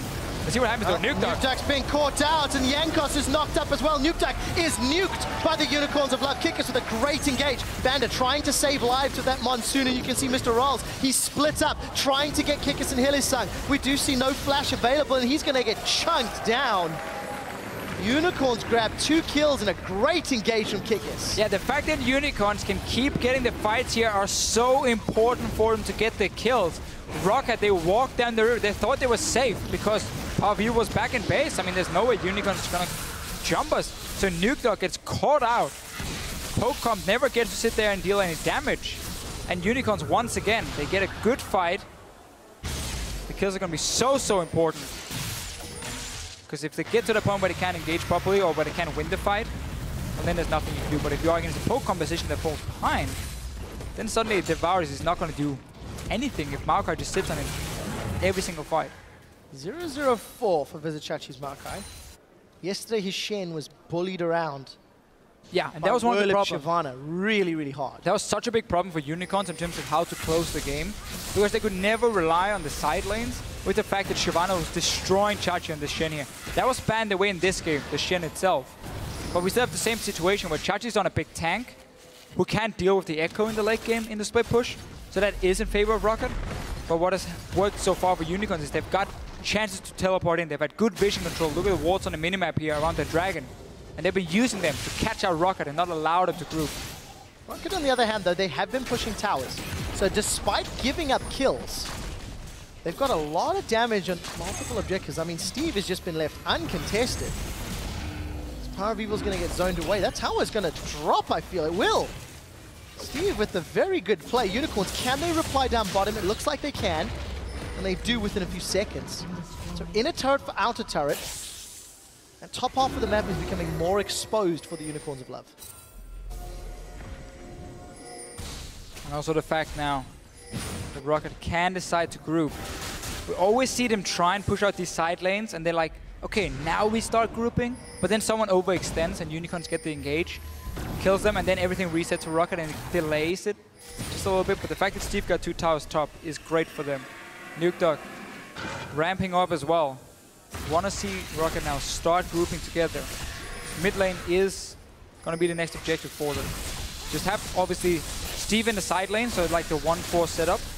You can even put Jankos in the other one if you want, just to have a bit more global pressure, but you can also just slow push that lane, which I prefer normally. Teleport advantage is about to run out. Uh, Chachi not... Chachi's going to have his cooldown available in a minute or two. And with the amount of pressure on the side lanes, we've seen teams like Fnatic go for cheeky Barons. With the Cassiopeia Jinx, Unicorns could set that one up. Let's see how they put pressure on this top tower, though. Roccat a little late to defend. Yeah, we can really see how much time this is buying Unicorns a lot. The fact they got these Pixie on Roccat, the Roccat misplayed that mid game, has given Unicorns a lot so much time to push in towers themselves and even it out. Chachi just needs to stand and play very defensive down this bottom lane here. Don't try and go for any trades with the Ekko. And instead, Vardags has been able to move around the map, get towers, Kikis though, he might be caught out. So Nukeduck's going to fire that piercing arrow. Chain of Corruption should interrupt that body slam. Kikis fail flashes! He finds the wall. Teleport's coming out from Steve. Steve wants to find Power of Evil, and he does. Oh, wow, wow, wow. Phase Dive and Time Winder, and there's two kills on the board. Roccat, how ballsy are you? Baron is available. It spawned 30 seconds ago. Steve is about to find Vardags. He gets knocked up by the Howling Gale as Hylissang is Baron? dropped on the back line. We looked at the Baron stats. Roccat find four kills. Chachi's alone in the bottom lane, and Roccat say, yes, please. We'll take a faster Baron than Fnatic. And a very, very strange call for Unicorns. Didn't seem to be on the same page. Half the members were about to back away after they got that tower. Kikis then stayed in near the blue buff. Great play from Roccat to catch him out. TP in from Steve instantly. Almost one-shots Power of Evil. Mid tower goes down. What a great play from Roccat here. Completely punishing Unicorns a lot for being out of position. And it's so funny because a few seconds ago you were just saying how Yeah. Roccat were punished for being out of position. But look at this here. Kikis is staying here on his own. Vardags had already backed away from his tower. Power was about to move away himself. And then suddenly, Kikis caught behind. He tried to flash behind Jankos, then body slam over. But Jankos just stayed so close to the wall. Passive from Steve destroys Power of Evil here. Fight gets cleaned up. Four guys dies. Baron goes over to Roccat. You have a siege comp with the Baron at 21 minutes. That might just be it. If Roccat can use that to snowball into a few more towers, they're going to get such a massive goal lead that Unicorns might never find a chance to then engage and win a fight. Now that is the key. If Roccat can use Baron, Fnatic got an early Baron in the previous match, and they got initiated on and lost all of that pushing power. I don't quite see the same happening again. That AoE Tibbers isn't there. However, Hylissang does have Flash, does have Pulverize. So let's see. Roccat, 4,000 gold, roughly ahead. They've got all that wave clear. There you go. Earliest Baron in Just summer. had the one before, The record is just broken. Today is a record-breaking day, Deficio. Longest win streak, earliest Baron. Prettiest casters. I mean, there's so many good records. I know, it's so good to have Stress and uh, Krepo sitting on the analyst desk. so back into this game, though. Nukeduck with that BF sword, last Whisper, man immune. He's already poking a lot. Mr. Rallis knows he doesn't have to build wave clear, so going for the maximum damage output. And there's that side lane pressure you were talking about. Jankos down bottom, Steve up top, and plenty of Baron minions to play with. Now when you have that Baron, of course you put Jankos down in the side lane. So three waves being buffed up. Fantastic poke in the mid lane. Let's see if Unicorns have any chance of starting a fight. We need to get home guards on Vizicsacsi very, very fast. So have another wave for Unicorns starting there. Just teleporting in straight away though. Sang has already thrown down Unbreakable Will. We see that Super Mega Death Rocket go wide. Another missed Chains of Corruption. No one's surprised by that. Steve is going to phase dive onto Power of Evil. One of the damage threats is down, and now Vardags is left without any peel or protection. Vardags gets dropped as a third member of UOL drops. Chachi forced to run away with the roots between his legs, and Rocket now set their sights on an inhibitor. They've used Baron super effectively. And we really just get to see how hard it is for Unicorns to take the fights here. As soon as you just fall a little bit behind, you try and engage him with teleports, maybe a guy flashing in on this Alistar here. Hylissang instantly popped his ulti, but the disengage Roccat can do, this time wasn't even the ulti from Vander, just flashing out, then Saber ulti. That's enough then to disengage it first, and then Jinx and the Cassiopeia never gets in range to really deal proper damage. And Roccat just takes down the tanks here. Well, maybe I'm reading a little bit too much into this, but that instant recall after the inhibitor falls, I think it shows very clear decision-making and, and shot calling from Roccat's side. Inhibitor, instant back. It is one of the easier calls to make. Of course, of course. But it's something they've not done for the rest of their games. Roccat yesterday were decisive, and I felt like they were making clearer calls. Today, similar vein. They saw Unicorns in a, in a poor position, and they punish it. There was little hesitation. Baron instantly, within half of Baron's cooldown, they'd already secured inhibitors. So Yeah. I just think very, very good improvement. The last five last minutes have, have been great for Roccat. Steve as well, clearly getting more and more confident on stage, playing the carries. He's teleport before when he got that Baron instantly in there. Instantly just goes straight for Power of Evil and kills him. So great plays all around. Well, a few misplays in the mid game for Roccat that cost him quite a few kills, gave Unicorns on Love a chance. Not a chance, but put Unicorns on Love in the lead. But then we saw that play around the Baron itself, and that's really just snowball Roccat from there. The last five minutes have been near perfect for them. So Roccat gonna now siege down this bottom lane. Baron has worn off, but they don't need it. Seven, 8,000 gold lead, and we did actually just catch a glimpse of Nukeduck. He stole that blue buff a mo moment ago. All that dragon was just secured. Nukeduck, 1, 1, and 6. So much damage to play with. And all of that advantage that Chachi had sort of built up and earned on that 0-0-4 has now been nullified. Completely, yeah. And now he can't he can't stand toe to toe with Steve anymore, so there's gonna be that split pushing threat all the time. Unicorns have to work five together. And then they need the correct tools. Again, the flashes are so key for them to start the fights unless Roccat is mispositioning. Also that home guard potentially from Chachi later, but there's no No teleport. Yeah, nobody can because there's no teleport. If if they move away, well, what are they gonna do? Then the four guys down the bottom is just gonna get poked out and lose the tower. So like, right now, there's just no good play until the summoners are ready again for Unicorns. And that's where they can try and respond back. Obviously, they should have had someone up here to defend that inhibitor turret, but that's about it. They were lost this bot lane tower then as well. Two more towers. Unicorns of Love. This is a team that, yes, they went 9 and 9 in the spring split, but they were a rookie team. You were expecting them to really test the limits of their play. And after placing second in the playoffs, there was a lot of expectation on UOL coming into summer. Could they grow? Could they get better? Could they prove themselves to be a more stable team? You can be the best BO5 team in the world, but if you can't make it to the BI, BO5 stage of the tournament, you never get a chance to shine. That's true, but we have to remember Unicorns are still in a playoff position. They have got enough wins to sit in the top six, and that is gonna be the key thing for them. Just make top six for now. You have a lot of points towards Worlds because you got second place, 70 points, I believe it is. You just need to secure enough to at least make the gauntlet, and that should be secured by the fact you make top six and get to the playoffs in the first place. So that's what they're gonna play for again. You said it yourself, they were nine and nine before. So yeah, best out of one has never really been the thing for Unicorns a lot. Definitely not. And of course, you know, talking about Worlds, three, three ways to qualify. Win Summer Split, have the most championship points, or win the regional qualifier.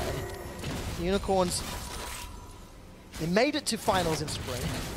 They do have themselves a healthy amount of championship points, but they've, they've got to contest with H2K and Origen this time around. In spring, it was SK Gaming, but SK faltered towards the latter stages of the spring Yeah. split. And And that's interesting how some of the teams Unicorns are fighting against now are teams who didn't get any points. Giants, zero points. Origen just got into the LCS, zero points. They're currently above Unicorns of Love in the standings. When it comes to championship points, they're very far behind. Gives a bit more drama drama for sure. to the rest of the league, and we'll see who's qualifying. Vardags gets just chunked. His HP bar pierced by the arrow of Nukeduck's Varus. So all flashes ready. All right, let's see if it's going to help Unicorns because they're still 10,000 gold down. Got super minions to contest with, but I think that inhibitor will be respawning very, very soon. As we do see Baron has been started. Teleport available for Chachi. Power of Evil's nowhere near, so this will be a 3v4, 4v5 at best. Teleport available for Steve as well. Baron's going down. Can it get stolen away? Flash comes in. It's secured by an auto attack from Rallis.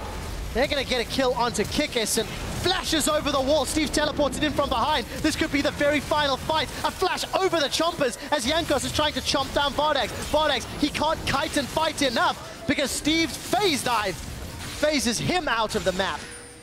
Roccat get two kills, another Baron. They've got two inhibitors to take down and only Power of Evil to get through between Roccat's first 2 and 0 week in summer.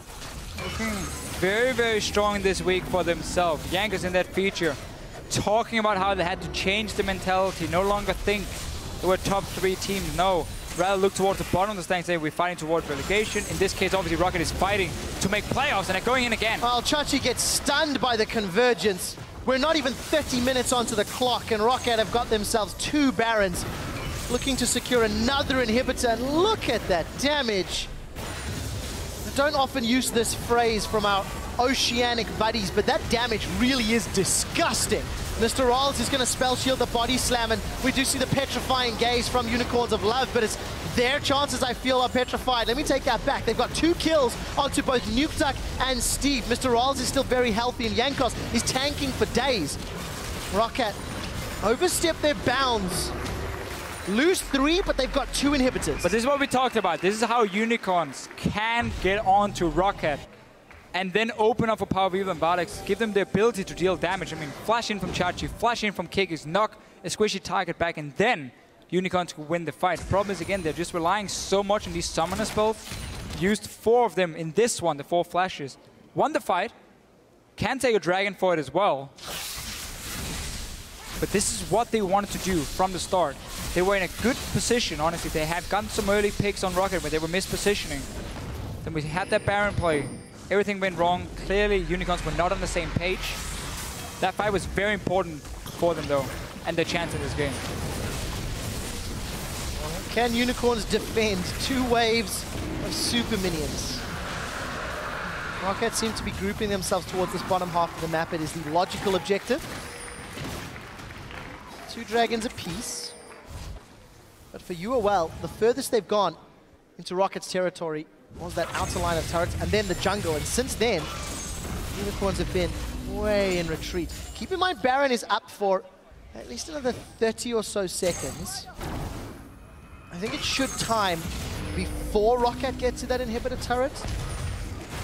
We'll see how effectively Unicorns can deal. Because they have to defend so many Yeah. super minions. Keep your eyes on that minimap every time. So tough for them to do anything. They got home guards now for Chachi. We talked about it quite a few times. Now it's ready there. A few wards behind Roccat. He might teleport to notice the one just down here the lane near the pink ward as well. Well, could be an option for Chachi because they might have to be in this, or Unicorns might find themselves in a situa situation where you just gotta go for the engage. I mean, you can't sit and defend three lanes. And you just saw how effective Power of Evil was able to sustain off those minions.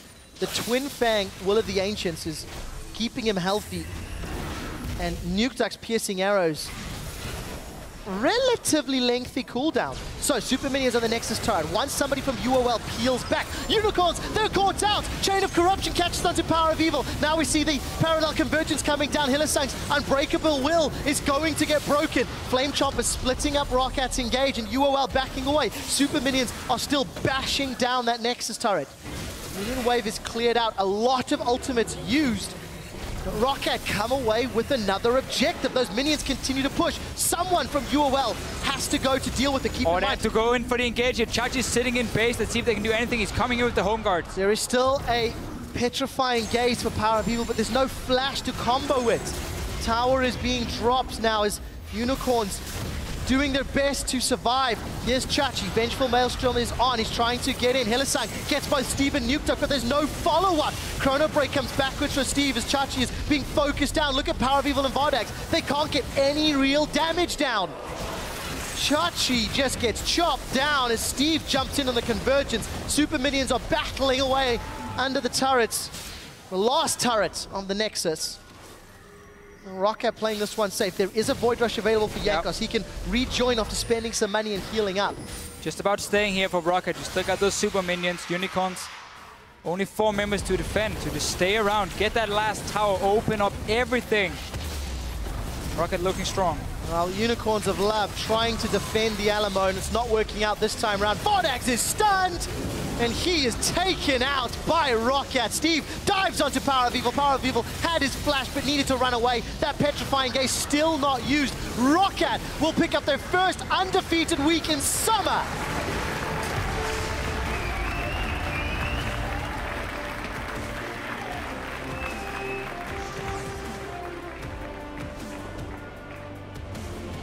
See just how happy Jankos is. Roccat earned both of their 100%, victories this week. 100%. Great play from Roccat here. Soon as they get the leads, they know what to do, how to push it out.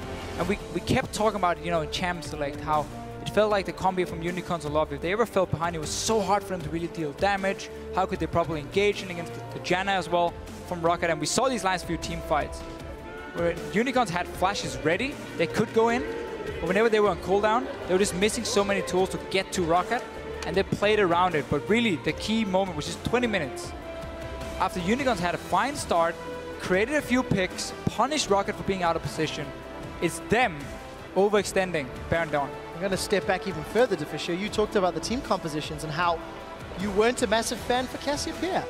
It was locked in as a last pick to highlight really how difficult it was for Power of Evil to, to position he dealt less damage than Kikis' Gragas that game.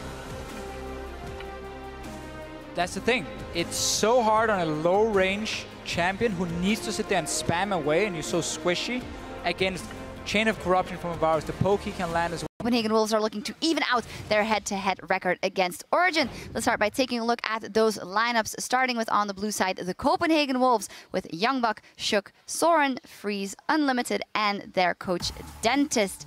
As said, well, a rough start, a rough split so far. They have their new jungler in there. Let's see what they can do today. A rough task up ahead as they are up against the 7 and 2 Origen with Soaz, Amazing, Xpeke, Niels, Mithy, and their coach Leduc.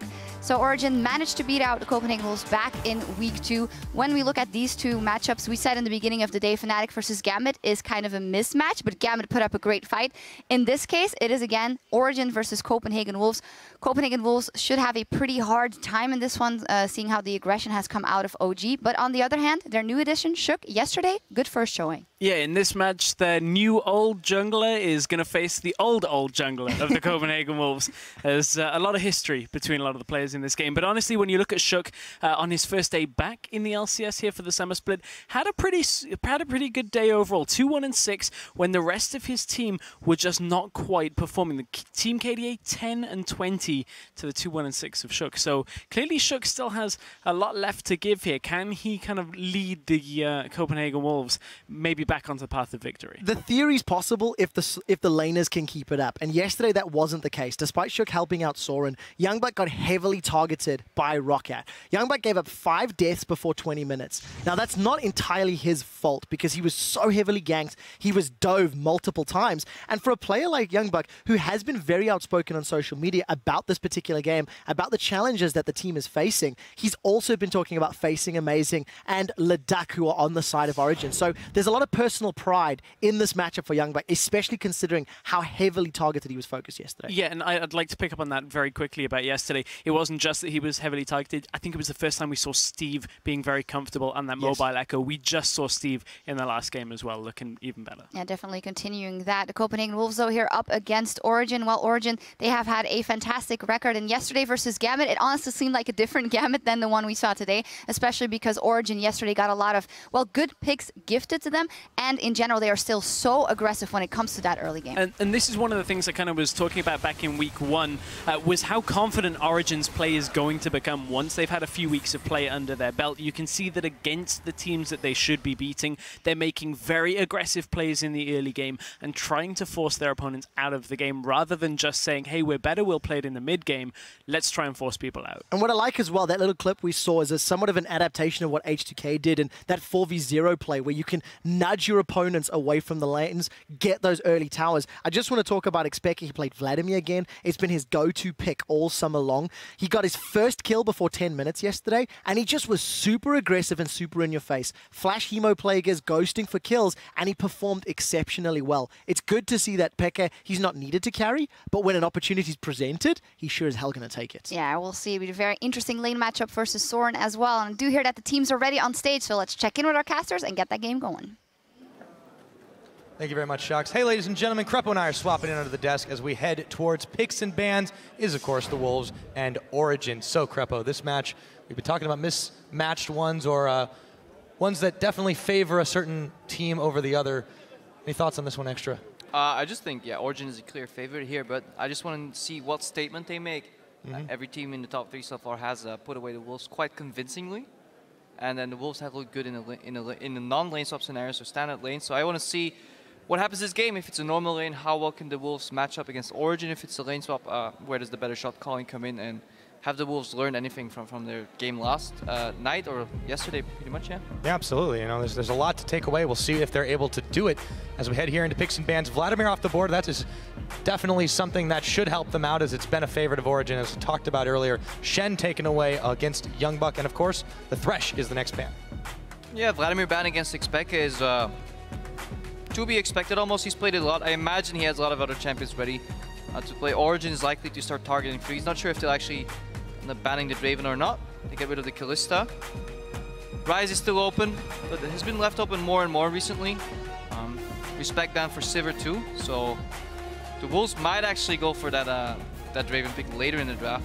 At this point, you know, I feel like the Wolves have got to start pulling out some things that people haven't seen for a little while because what they're doing currently is just not working. However, with the Alistar left open, that's locked in immediately by the Wolves. We'll go ahead and grab that one. Very, very powerful first pick. Let's see what Origen answers with. Yeah, Origen get their pick at a litter in terms of tier 1 junglers. If uh, Amazing wants, he can also secure Gragas or Rek'Sai. Uh, or if he's fine waiting to just get either of them, we can get uh, some power picks early here. See the early Corki pickup. Mm -hmm. It's interesting. And the Echo comes in, so still no junglers there. In my opinion, Corki is the third in rankings if you look at Kalista and Sivir because he still has a lot of utility, has an early power spike, and he has that wave clear with the rockets. However, he'll have a hard time laning against the Draven if he can connect a couple of axes in there. And it looks like, um, yeah, Lu in the solo lane. Mm -hmm. Not sure if that's going mid or top. Well, you did call it. The Wolves would attempt to pull out the Draven. They do Not go for that one. So still, the junglers have very, very have fallen very, very far down this in the rotations, and, and, it looks like Origen thinking about if they want to take it right now for Amazing the Gragas, that is. Rek'Sai, of course, also still available. I mean, there's no prio on, on taking a tier 1 jungle. They're roughly equal in, in terms of utility in game, and who knows, Shook might just say, hey, I just want to play Lee Sin again. On a decent performance. Origen, ah, Miffy with the respect hover. I usually don't touch on hovers too much, but... It's a bard, you have to. It is a bard, indeed. Ah. Not likely that it'll come out. So Janna, just to try and keep that Corki alive here, I don't like Janna Corki as much, though, as a, as a unit. In a lane, it's it's all right, but it just has weak offense, it has okay defense, but it just doesn't strike me as a power combo. Yeah, it's very, very safe, but you know, against a, against the Draven, arguably that's what you're trying to do, and, and also they're going to have to maybe deal with that Rengar as well. That's locked in, of course. We know Shook played that, of course, when you were on that team last split, and also the Orianna comes out. So now we know the, where the Lulu's going to go. So a very distinct goal of this Copenhagen Wolves composition. They want the ball delivery system with the Rengar invisibility. Put that Orianna ball on his back. He leaps in. Then Orianna ulti comes out. Then the Wild Growth comes out from the Lulu followed up by some peeling from Alistar. And in all, in that midst, you want Draven to be untouched and just dealing a whole lot of damage. And that's the that's the idea for the Copenhagen Wolves, but it is very hard uh, to execute that against a team that's ready for it. You know, one pink ward, one monsoon, one Explosive Cask from Origen side, and things can go awry really easy. Yeah, I remember this back in Season 4. They called that the submarine composition. Well, that was, was difficult to pull off. Uh, with with with the Rengar. Submarine is the Twitch with Shen. All right, all right. In my books, at least. But yeah, I still the, think it counts with the Rengar Krepo, but let's see how they do it. It is difficult to pull off. I absolutely agree on that. Origen with this timer ticking down, they look like they're going to go for the Varus. That means, of course, Soaz is going to be rocking this Echo. What is this team comp trying to do against the Wolves? Yeah, I think the Janna, tele the Janna pick kind of telegraphed what Origen has been running, and we've seen Fnatic do it. Whenever they lock Janna in, they're playing a triple threat composition, three carries coming out, no uh, real tank aside from the jungler, so they want to disengage on the support because there's already enough damage on all the other roles, and they want to keep that alive. They combine that Varus mid lane with the Corki bot lane, and what I, I, like it because it's AD poke in the mid lane, it's AP poke in the bot lane as an AD carry.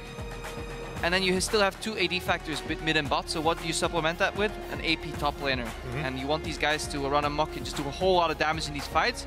If they get caught or engaged on, you want the Janna to reset the fight. So we see, we'll see a poke siege comp coming out from uh, Origen here, potentially with Soaz split pushing and looking for the flank on the Echo, and we see a hard engage composition with a good decent amount of zone control coming out of uh, the Copenhagen Wolves here. So definitely the man to watch here is Shook and Freeze.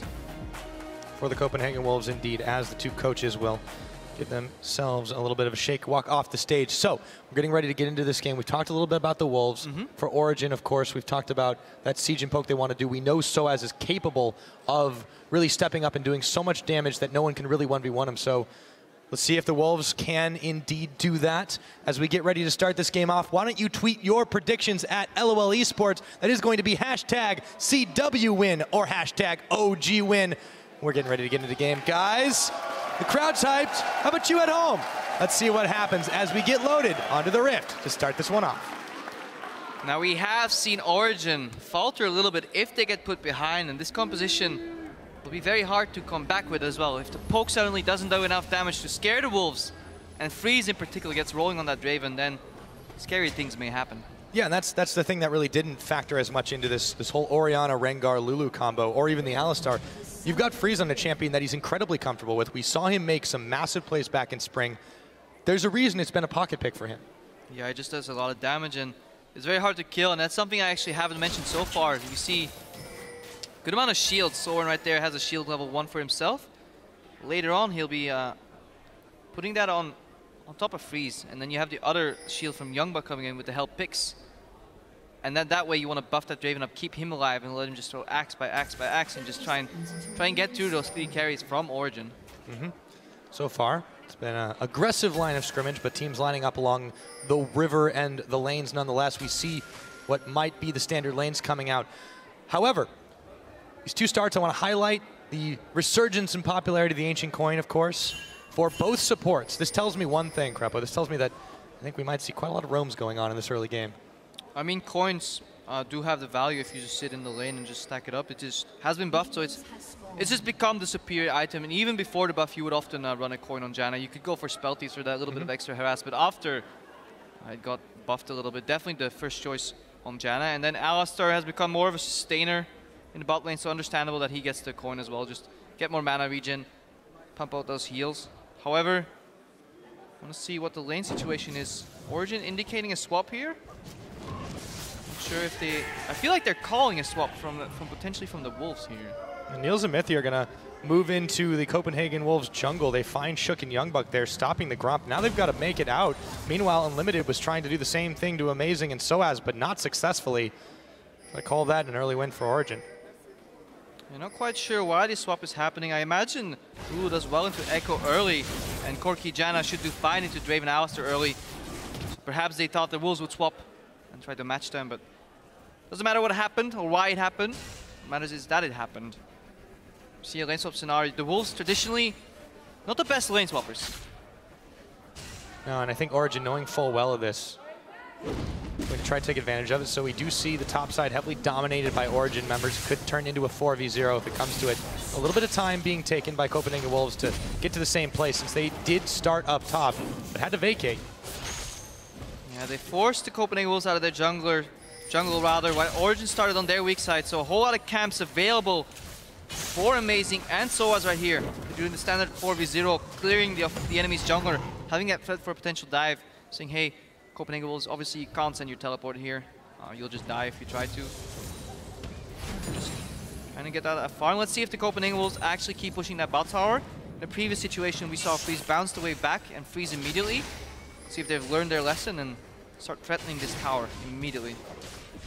Well, they will be moving forward, so no freezing for Freeze. Shook and Youngbuck are moving in as well.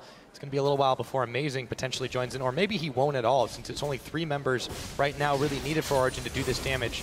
Let's see who finishes the tower off first. I like that Origen is rushing this tower down immediately to bounce that wave back. However, I would like to see just Soaz stay in the top lane and take that farm afterwards the same way Fnatic got Huni head in that pivotal matchup. He got that bounce farm. Soaz looks like he's basing, so not sure if I agree with that one. Maybe they just want Corki higher. They're playing a double pole composition, so Echo kind of falls down the priority list a little bit. They just say, hey, we want Niels to get a lot of farm, get a lot of levels. I would have still preferred to see Soaz in the top lane, Niels in the bot lane. Looks like Shinobi's going to be in the top lane. Niels is basing too. Or he's staying. He finally figured it out. And he's basing. I'm done. Pyro take over. I'm gonna let I'm gonna wait until the animation finishes before I actually say anything. So we'll do that.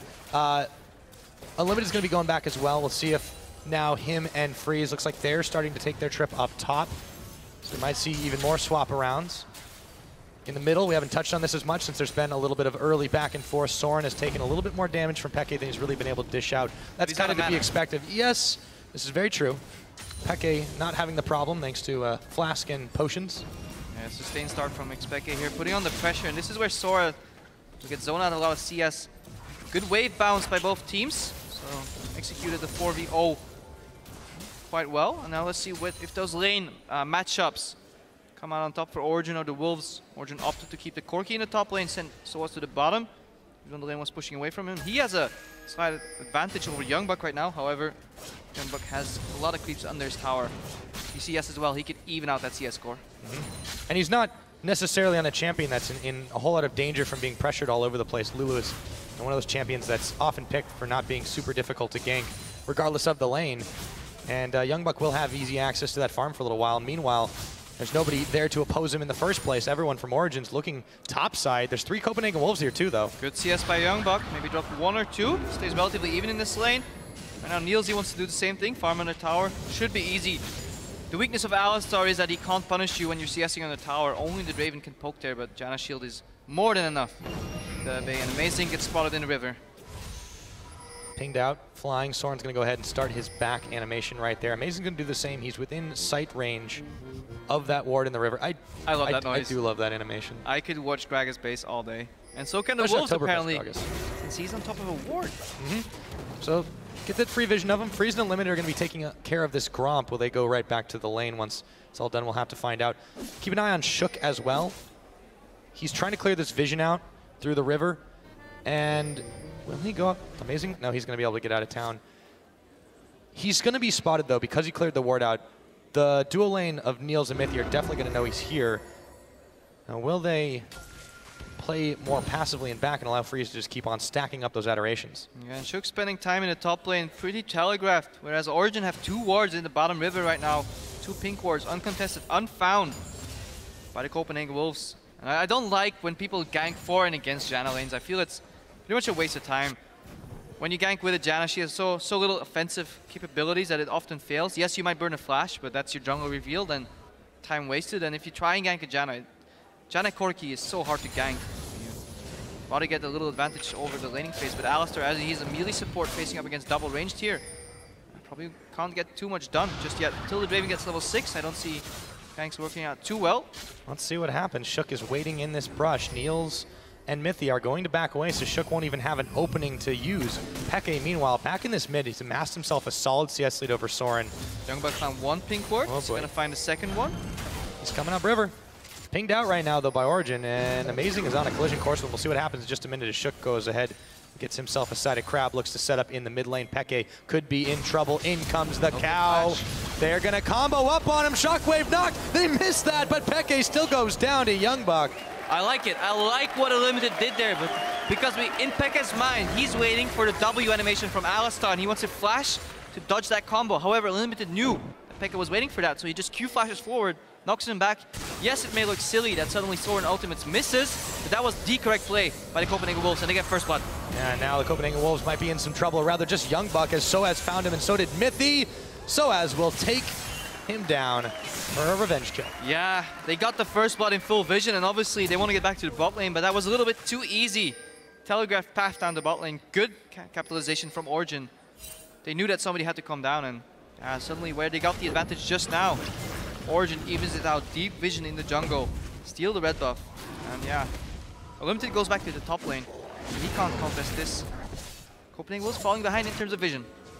It's not the only thing they're falling behind in. They have been a little bit down in gold. It hasn't been a massive differential so far in this game. We're not quite 10 minutes in anyways, but Origen are going to start off this dragon.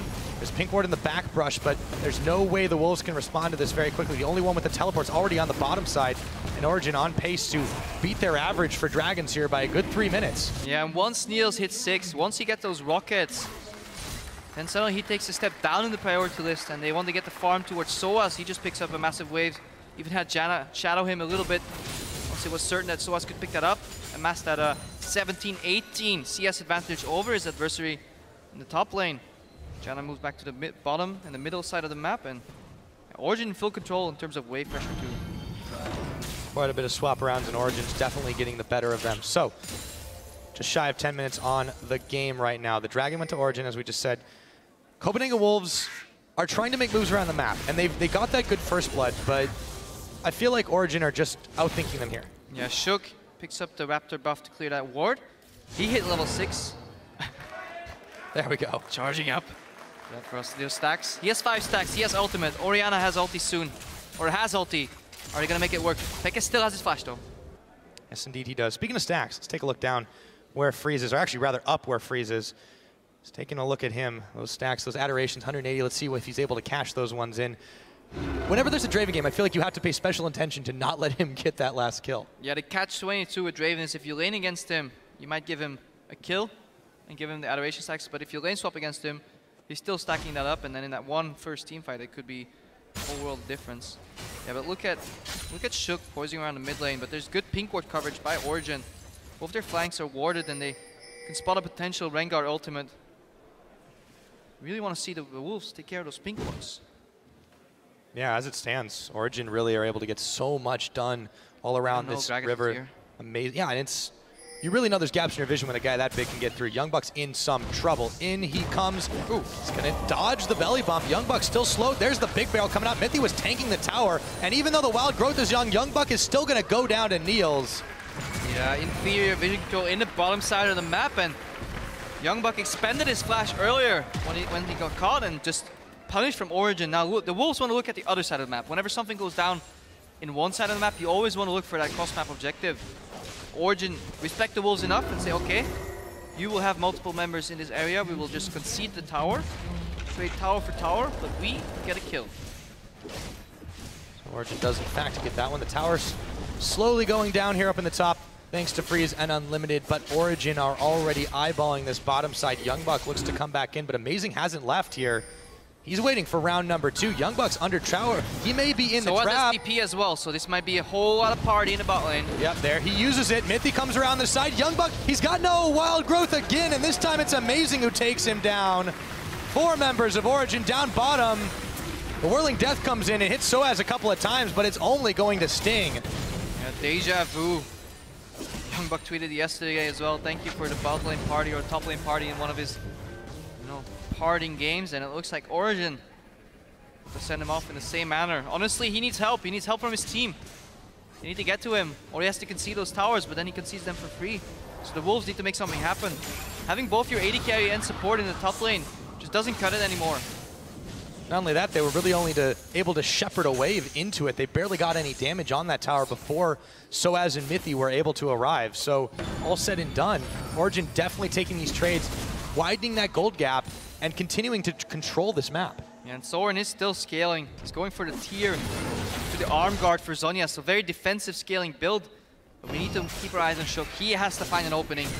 He has to get that kitty cat invisible. And I believe, as the crowd indicates, Xpeke stole away the Raptor. Those are some very long arrows.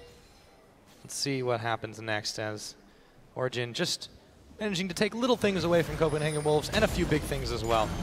Blue buff should go over as well. Peke's going to take another one of those. and There really hasn't been anything super standard about these games uh, other than the, the, the trade 4VOs. It, it's been kind of Origen thinking a couple steps ahead of the Wolves here since then. Yeah, and Origen is playing a composition reminiscent to what Giants has been playing. Double poke on AD and mid, and then a split push component in your top lane. While initially the prio was on Niels, Soaz got the, some help as well. So he's now at 83 CS. You know, the game started up in a bit of a lane swap. He is stronger than his adversary. Even Orianna can't really hold him, so he's putting in the pressure. And then Origen want to group the remaining four members just for poke siege, and Shook is still looking for that first opening. Absolutely, you said this back in Champ Select. They want to utilize Soaz to be able to push on the side. Youngbuck can't really compensate for that. Lulu can't inherently split push nearly as well, but he's also being held so far behind. He's still 24 CS differential down. Soaz has just had a much bigger impact on this game so far. Yeah, Lulu shines in these team fights where she can buff your carries, keep them alive, shield them, help picks wild growth. But if she's continuously locked down in the side lane, then obviously that utility goes to waste. Having to use wild growth on yourself, I mean, that's usually a sign that something is going wrong for the team. Origen now looking to clear some vision out, stay bottom bound for a little bit while Dragon is due to come up in just under a minute, starting to stagger their backs away while Peke holds the line in mid. The Wolves looking to try to make a power play the same place, but will they be able to get it off in time? Yeah, but still welcome to the League of Draven. It can all change in just one fight. A couple of kills start snowballing, but it has to happen soon. Origen take down another tower. Easy peasy, not contested. 15 seconds on the next Dragon. The gold lead still about 2,000 in favor of Origen. 15 minutes approaching. Oh, Young Bucks, you got to be careful. That hurts. Legolas never misses. Dragon is up. Immediately started by Origen. No response from these Wolves. This one should be absolutely free. And this is such a situation I see the Wolves find themselves in very often. More often than not, where they're just slowly pushed back into their lanes, behind their towers, on the defense. Very frustrating composition on Origen side to play into as well. What are you going to do when they outrange you by a screen and they just want to poke you down? As long as there's vision, it's so hard to contest those areas because if Origen see you coming and you take one step into the darkness, you're to eat a rocket. You're to eat an arrow. And this is the problem. You aren't safe to secure vision. You aren't safe without vision. Talk about a catch-22 there. We'll have to see what they can get back or if Origen just continue this pathway here. Copenhagen Wolves, you know, they're putting it on the backs of some scaling, but they're taking a while to get up to it. Freeze. Origen are not letting him get anywhere near a kill. Shook has attempted to be involved, attempted to apply pressure. Good lane ward. This is what you do when you have river vision. You want to supplement that with lane vision. It's very hard for Shook to find an opening because there's no pressure mm -hmm. from, from, the Wolves side. And when you put a team under pressure, they have very few openings in terms of the paths they can take to make those plays. And then we're just smart enough of a team. Focusing a lot on vision, focusing a lot, focusing a lot on mobility. Let's take a look at Miffy here. I believe those are the captain boots. If I remember my icons correctly. Yep, captain boots picked up on Miffy. He says, I need a Sightstone, I need Moby boots, and that's all I need. Roam around the map. Just keep putting those wards down. As long as the Wolves don't get in position for a group team fight, as we mm-hmm. said before, their composition relies around a five-man fight, initiated by Shook, with the ball on his back. Then Draven doing a lot of damage. Very old school composition and almost outdated in the current meta. certainly outdated as far as Origen's concerned. They're not keen on giving the Wolves any kind of opportunity like that. Just continuing to pressure those side waves, grab objectives where they can, avoid the fights, and as a result, we see this clean cut outthinking of the Wolves. So, with that, Origen, they'll be looking to stack a little bit closer to mid. Meanwhile, Freeze and Unlimited, are, Freeze rather, and Shook are down on the bottom. Three towers to two, and we've had no outer taken in the middle, but they got two in the bottom, and soon they will take this one as well. Unlimited actually damage. caught up. Oh, no! He's able to get out of the chains, though. And this this is why Alistar is such a frustrating support to play into Poke, because he can get very tanky. Oh, ulti! Shockwave on Peke. He's taking a lot of damage, but the rest of Origin are there, and there was no follow-up. So Soren in a good pick position. Couldn't get enough done. All right. Soren interrupting me there. The Orianna ultimate. Yeah, Alistar is so frustrating to play into Poke because in a burst teamfight scenario, he's very strong because Unbreakable will, will make you unkillable for 5, 6, 7 seconds, but you never want to use it against the Poke. But it's too much damage to take repetitively, and then you start the fight on half HP, and you actually run the risk of getting bursted. Very frustrating to play, and Copenhagen Wolves are just a very short-range team. Look at the maximum ranges, like Blue is, yeah, 500 range, and her spells are okay, but she's behind right now. Freeze puts himself in a whole lot of danger if he has to connect those autos, and Orianna has to put the ball forward, then move it a little bit forward, step by step by step. So very slow, low range composition on the Wolves, whereas OG, they can poke from so far with the Varus Q, with the Corki rockets. Amazing can body slam flash. Soaz can dash in and dash out immediately, so a lot more options on their side. Yeah, so they're not just having a lot of these options. They feel like they have the coordination to really use it. The Wolves, you know, they've they've shown in the last couple weeks that they really do have a number of problems. And, you know, they made a few changes to try and remedy that. Uh, you know, there's one pending right now, but for Origen, this is a team that just functions better as a team, and you can see demonstrated on this game right now. Definitely good team. Look at the damage every time. And we haven't even mentioned it. Janna's shield, the 80 steroid, buffs up Varus too. So Mithy just a support. On what a role here in Shook on the hunt. Finally, needs to find an opening He's not going to look for amazing, but now he is as he realizes he can't get to Mithy. Throws the Bola over the Dragon Pit, but that is going to be all the Wolves can get. So, Wave pushing in the mid. That game kneels Mithy. Start to try and provide some pressure here. A lot of Wolves sitting in this bottom side jungle, but Amazing is coming in as well. Soaz has himself a teleport. See if they can do something to the tower here. Origen playing with enough respect consistently checking brushes with poke and then putting a ward in it, moving up, trying to locate where the wolves are and then thinking, okay, if I was the wolves, what would I do? What is my play? What's my opening? Stay away from that ball, Origen. Oh, oh, might just oh, figure it. Oh, and he does. Mithy and Niels have to bail out immediately. Trap was snapped.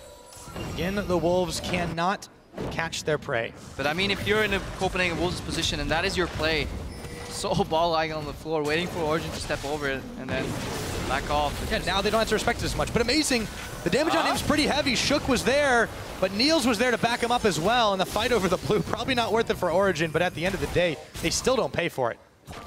Peke zoning Youngbuck out. This could be an opening for some damage on the tier 2 tower. Oh! That's a choke point. Too late for the shield. Peke continuing to punish these Wolves. Unlimited now takes the damage. Still no wave here for Origen, but they're building one in the bottom. Freeze and Unlimited have to work quick to clear this out. Yeah, and Freeze having to opt into the BT first to get a bit of that shield while he's wave clearing those single creeps one by one by one. So he has the risk, or he runs the risk of getting hit by poke. That's why he opted for the BT. Lower in damage. Copenhagen Wolves composition overall relatively low in damage. Plus Rengar can get a nice leap on a squishy target. And that's unlimited on half HP. He paid dearly for clearing that one out. Heck, he's still sending him yeah, lower. they just want to force his ultimate. They tell him, okay, how many poke arrows are you going to take before you press R? Just ulti, and he's out of the fight right now. He's out of the equation, and that's the engage gone. You can see that. Copenhagen Wolves are really forced, not just Unlimited, to, to spend those ultimates in defensive and utility ways. This is going to prompt Origen to be able to take a Dragon without too much recourse. The ball doesn't have quite enough range there. This will be number three for them. 21 and a half minutes into the game. It's a slow and steady move forward for Origen here. The respect that you were talking about that they're giving this comp, but also the lack of openings that Copenhagen Wolves just have because of it. Yeah, and Origen don't have to force anything. They they have time on their side. Poke scales pretty well throughout the entire game as long as you stay ahead and they take three dragons. That means 12 minutes from now. potentially have their fifth on the board. They're three minutes to the game. That's early.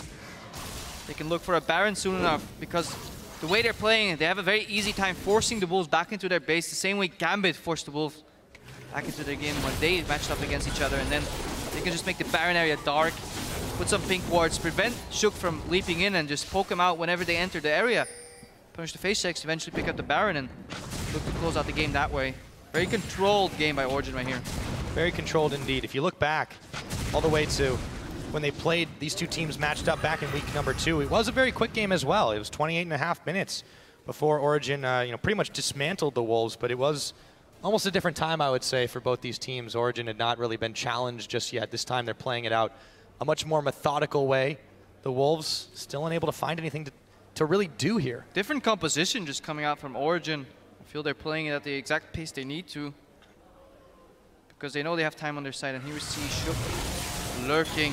Kitty Cat wants a kill. On the hunt, Soaz realizes something is up, throws down the convergence on himself, but he might be gone. There's gonna be the chrono break, and Shook is the one who's getting chunked. And Young Buck could not get much done. Wild Gross himself.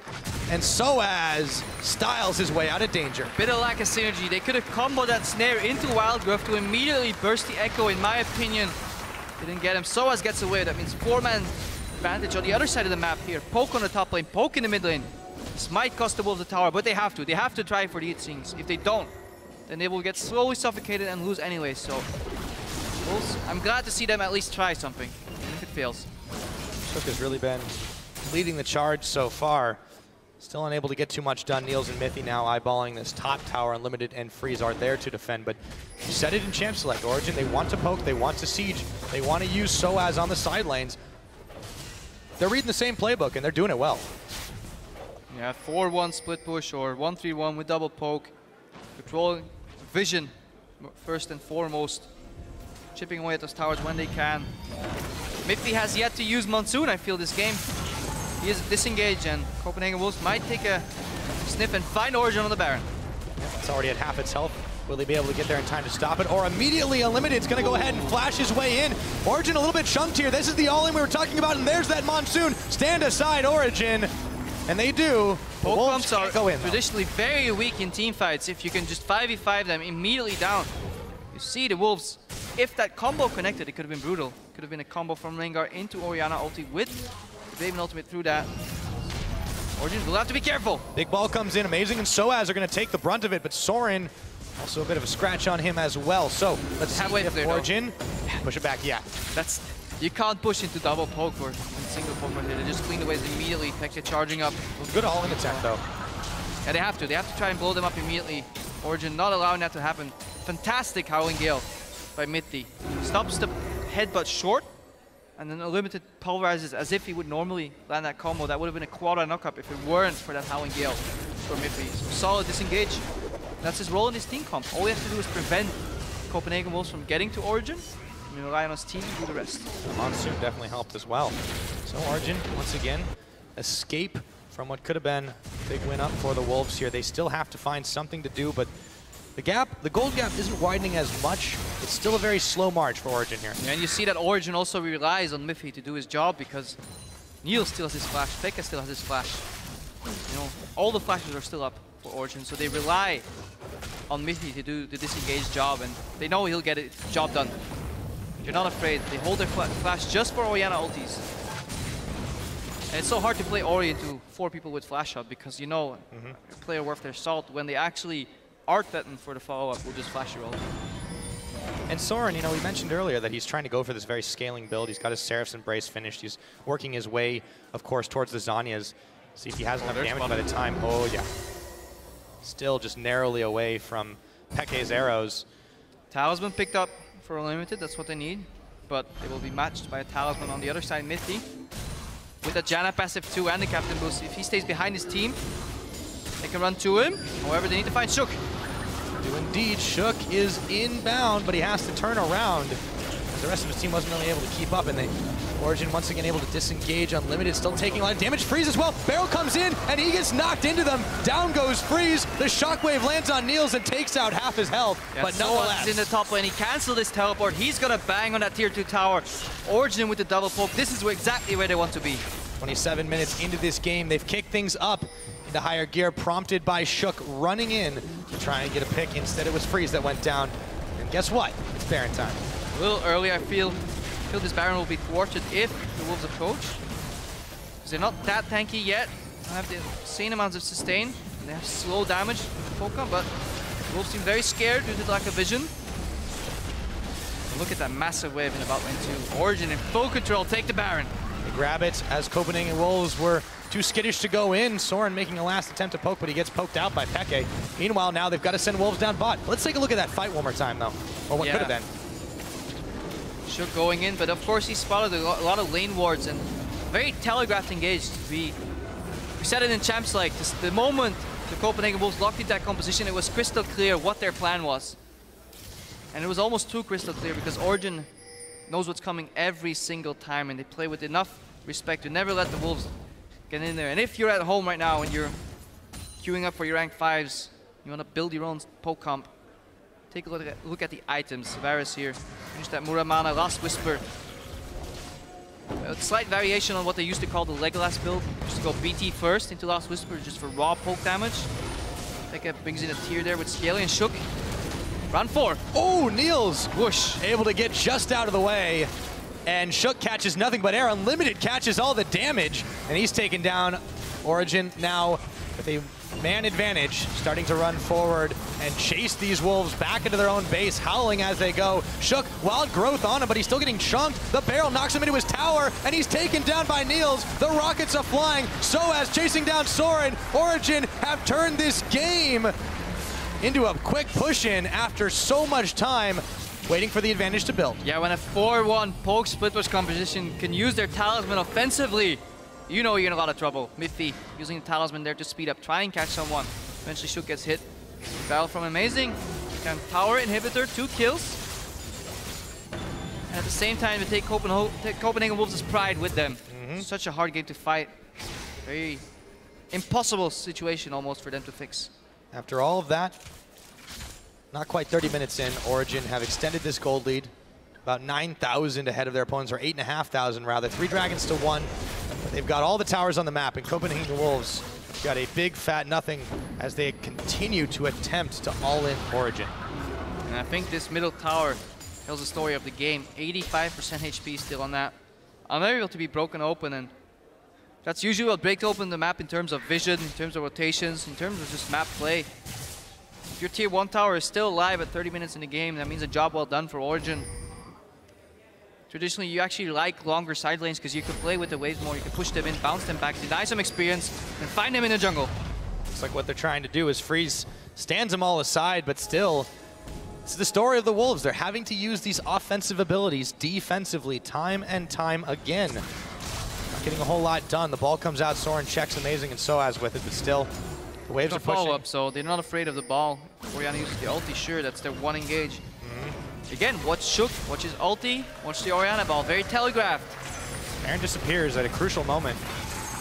Still, they're getting a lot of damage on this tower, and Origen are not letting the Wolves leave their base. On the hunt, poke, He's in, they're going for it. He's gonna get knocked out. Get the- Monster. There's the whirling death. The ball's gonna whiff. Unlimited, and the rest of the Wolves are getting knocked all over the place. The tower is lasering down Soaz, but he jumps back in, and it looks like it's gonna be Soren and Youngbuck already down. Origen can now peck away and finish off the turret and an inhibitor. Alfonso does it again. Mithy with the beautiful disengage, but he knows what's coming. Drops the pink ward. The second the Wolves keep moving forward, they know that there's a Rengar coming in invisible. Just pop the Howling Gale, interrupt his leap, monsoon him out, reset the fight, get away from that Orianna ball and clean up. keep cleaning up. Big explosions to take down the Alistar. This game One is kill on the board all going to be over. Wolves. They cannot get much done. Shook continuing to try and find an opening, but he's forced away. Now it's just the bare Nexus, and it looks like Origen in 31 and a half minutes. If they can finish this one off, they'll take another kill onto Shook, have finished the game against the Wolves.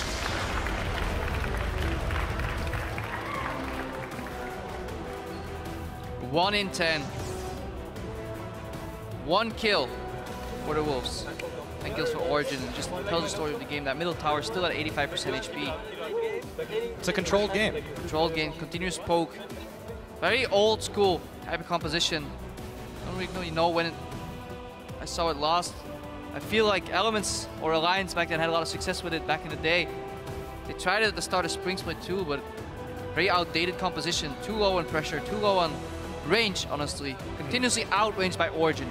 outpoked, then disengaged from Mithy. And the Janna pick on the second rotation on purple side kind of telegraphed what was going on. Mm -hmm. That's why they went for the Corki early. Smiles on the faces of Origen as they complete their 2-0 for this week. Put some pressure on H2K. Absolutely. You're not safe in second place. That's the statement they're sending there. As they, some big high fives given to all the fans around the board. For the Wolves, and will be Young Bucks' last game with them. That was Young Bucks' last game for the Copenhagen Wolves. Gets a lot of flack, but honestly, Played Copenhagen Wolves as a team, I feel that the, the, source of all their issues is just the teamwork. They're not they're not a well-oiled machine. Mm -hmm. And then it's easy to pick out the, the weaker parts and just keep keep yanking them, keep putting them behind. And they tried with the team composition, but they couldn't bring it to fruition. Countered stylistically by Origen. They tried to find the opening on the hunt every time. Orianna Ball on top of it. Shook tried, but just couldn't find the opening. And props to the Origen. Mm -hmm. We said usually they have a snowball team, you know. Yes, as we speak, Giants and Elements are setting up to meet for the second time this split. So let's get right into it and take a look at their lineup. Starting with Giants Gaming, it is of course Werlyb in the top lane, Frederick in the jungle, Pepinero in the mid, Adryh the AD carry, support, Godfred and their coach is Lothark. And this is a team that they have also leaned heavily on this double poke comp that we just saw last game. Yeah, they played a similar style uh, in their, some of their games that Origen just did in the last game. And they went one and one against Elements last split. Mm -hmm. um, they lost. They won the game. They eventually prompted their roster change, but then I believe they lost. You know, once uh, Krepo joined Elements. now he's gone. Statistically speaking, Giants are the favorites. We'll get, we'll to, get to them game. in a minute. Uh, but yeah, I feel like yeah. with Elements playing fairly passively, they, they this is something that they could definitely they could definitely do quite well in the early game to get ahead and snowball a victory. Yeah, I think you're right on the money there. Elements is still a very passive team right now, and Giants have shown that they can run these 4-1 compositions where they have this poke scaling double tier. I think Elements might actually allow them to do that, and then the man to watch is going to be Werlyb because he is the one split pushing, and his job right now is to keep JWoww down. JWoww getting a little better, but yeah, take a look like there at Werlyb yesterday uh, in his win versus UOL, 2-1 and 6, and the scoreline in CS is not the most impressive part for me. What is impressive is how he kept that pressure constantly forward, mm -hmm. give UOL something to deal with. And UOL, as we saw today as well, are very poor against split push recently. And yeah, Werlyb did a fantastic job uh, in that case. Absolutely, and they, they were able to combo up with the team quite well. So let's see if they're able to pull that off again. Their opponents are going to be on the other side of the rift. Let's go ahead and take a look at them. It is Elements. That, of course, means it's going to be JWoww up top, Dexter in the jungle, Froggen in the mid. The AD carry tabs, their support is Nyph once again, and now the coach is going to be Mark. So that's a big story, though. Nyph's return. He I would say the team looked a little bit better with him, a little bit more decisive, but there's still a lot of the same problems. I think Elements took a step in the right directions, but they're still very far from their goal. And yeah, if we see right here on stats on your screen, longest average game time in their wins at 43 minutes. So mm -hmm. they take the slow path when they do take it to victory. They do take their wins uh, slow, and it was a running joke with CLG and you in the past, but in the current metagame, it is simply too slow. And yeah, will Elements finally change that? I'm not quite sure. Against Giants, it's definitely hard to say. They, they stuck to that Kog'Maw-centric composition, but the thing is, it worked against SK because SK let them go to late game. And that was sort of the story of that well, one. did it did it really work? I mean, that game uh, was... Okay, well, it worked better than SK strategy. Let's go with that. I mean, I think SK should have just straight up won that game if they get split pushing with Shen. But that's a different match. We're back here. Mm -hmm. Elements, they got the motivation. They got the momentum from that one win. And they're looking to make it two, but it'll definitely be an interesting matchup uh, against the Giants. Absolutely. I'm really excited to see uh, if Giants continue that, that double poke, that double tier strategy. That's what you do to make your opponents cry twice as much. Elements, though, this is a team that's very resistant to change. They're hesitant to mix things up, and I, I feel like they've got to get pushed in the right direction. Let's see if they can do it here today as we load up into champion selection. Of course, it is going to be starting off right about now. So, um, oh, we got a bit of a delay, but anyways. We have a bit of a delay. We do have a bit of a delay, but let's let's go back to what we else we wanted to talk about because Elements, although they've had some problems, they uh, they do have a couple of wins on the board, and I feel like even if they haven't been pretty, a win's still a win. Leviathan used to tell that. Yeah, the delay was actually caused with the the lobby was made a, a blind pick instead of tournament draft. That would be. That would be nice. Oh We'd boy. see a whole lot of Anivias coming out. But yeah, let's go back to that point. Resistant to change. You said it right there, Pyra, before we were thrown off by the blind pick shenanigans. And honestly, Elements, it speaks for and against them. Yes, they're slow to change because they want to make it work. They really don't want to change their roster every time. They've come out and said that, and they've said in an interview as well. Like, we don't plan on playing with a different roster every four weeks, but somehow it doesn't stick, and it makes you wonder does the issue really lie with the players or does it go farther than that? Maybe it's the management, maybe it's the coaching, maybe it's the support staff, maybe it's a combination of all those things, but Origin have changed their roster pretty much on average every four weeks Mm-hmm. right now and um, just made that recent change with Nyph again. We're slowly trying to get back into game. We, we talked about this a little bit yesterday, though. So Nyph, like, he's coming out of a coaching position where theoretically he gets this kind of bird's eye view that Yeah. you don't have, you don't you can't talk to the players in game, but you know you were always talking about oh when he, when when it's out of the game, when it's over, when done Oh, with. I'm a fantastic captain hindsight. If I'm watching the game, I will tell you exactly what you're doing wrong. Yeah. But then I'm stuck in that game, and I will miss every single CS and get get annoyed. I'm sure there's many people like that out there, and it's the same thing here for Nyph. He had the bird's eye view. He had the outside view. He said, "Guys, you're doing this and this and this wrong every single game. This is our plan." Now, can he translate that coaching knowledge that he gained over these couple of months, bring it into the game, and make people listen to him in the game? Because being captain hindsight, going into analysis post game is a vastly different concept than shot calling in the middle of the game. Captain Hindsight, or let's see if he can get himself some foresight. As we are going into pick some mans out of that quick misfire, there will be a Vladimir band away immediately, followed by the Morgana. Tournament draft this time, Vladimir Ekko on the side of Giants Gaming. They want to get rid of uh, JWoww's Ekko. Apparently he plays it well.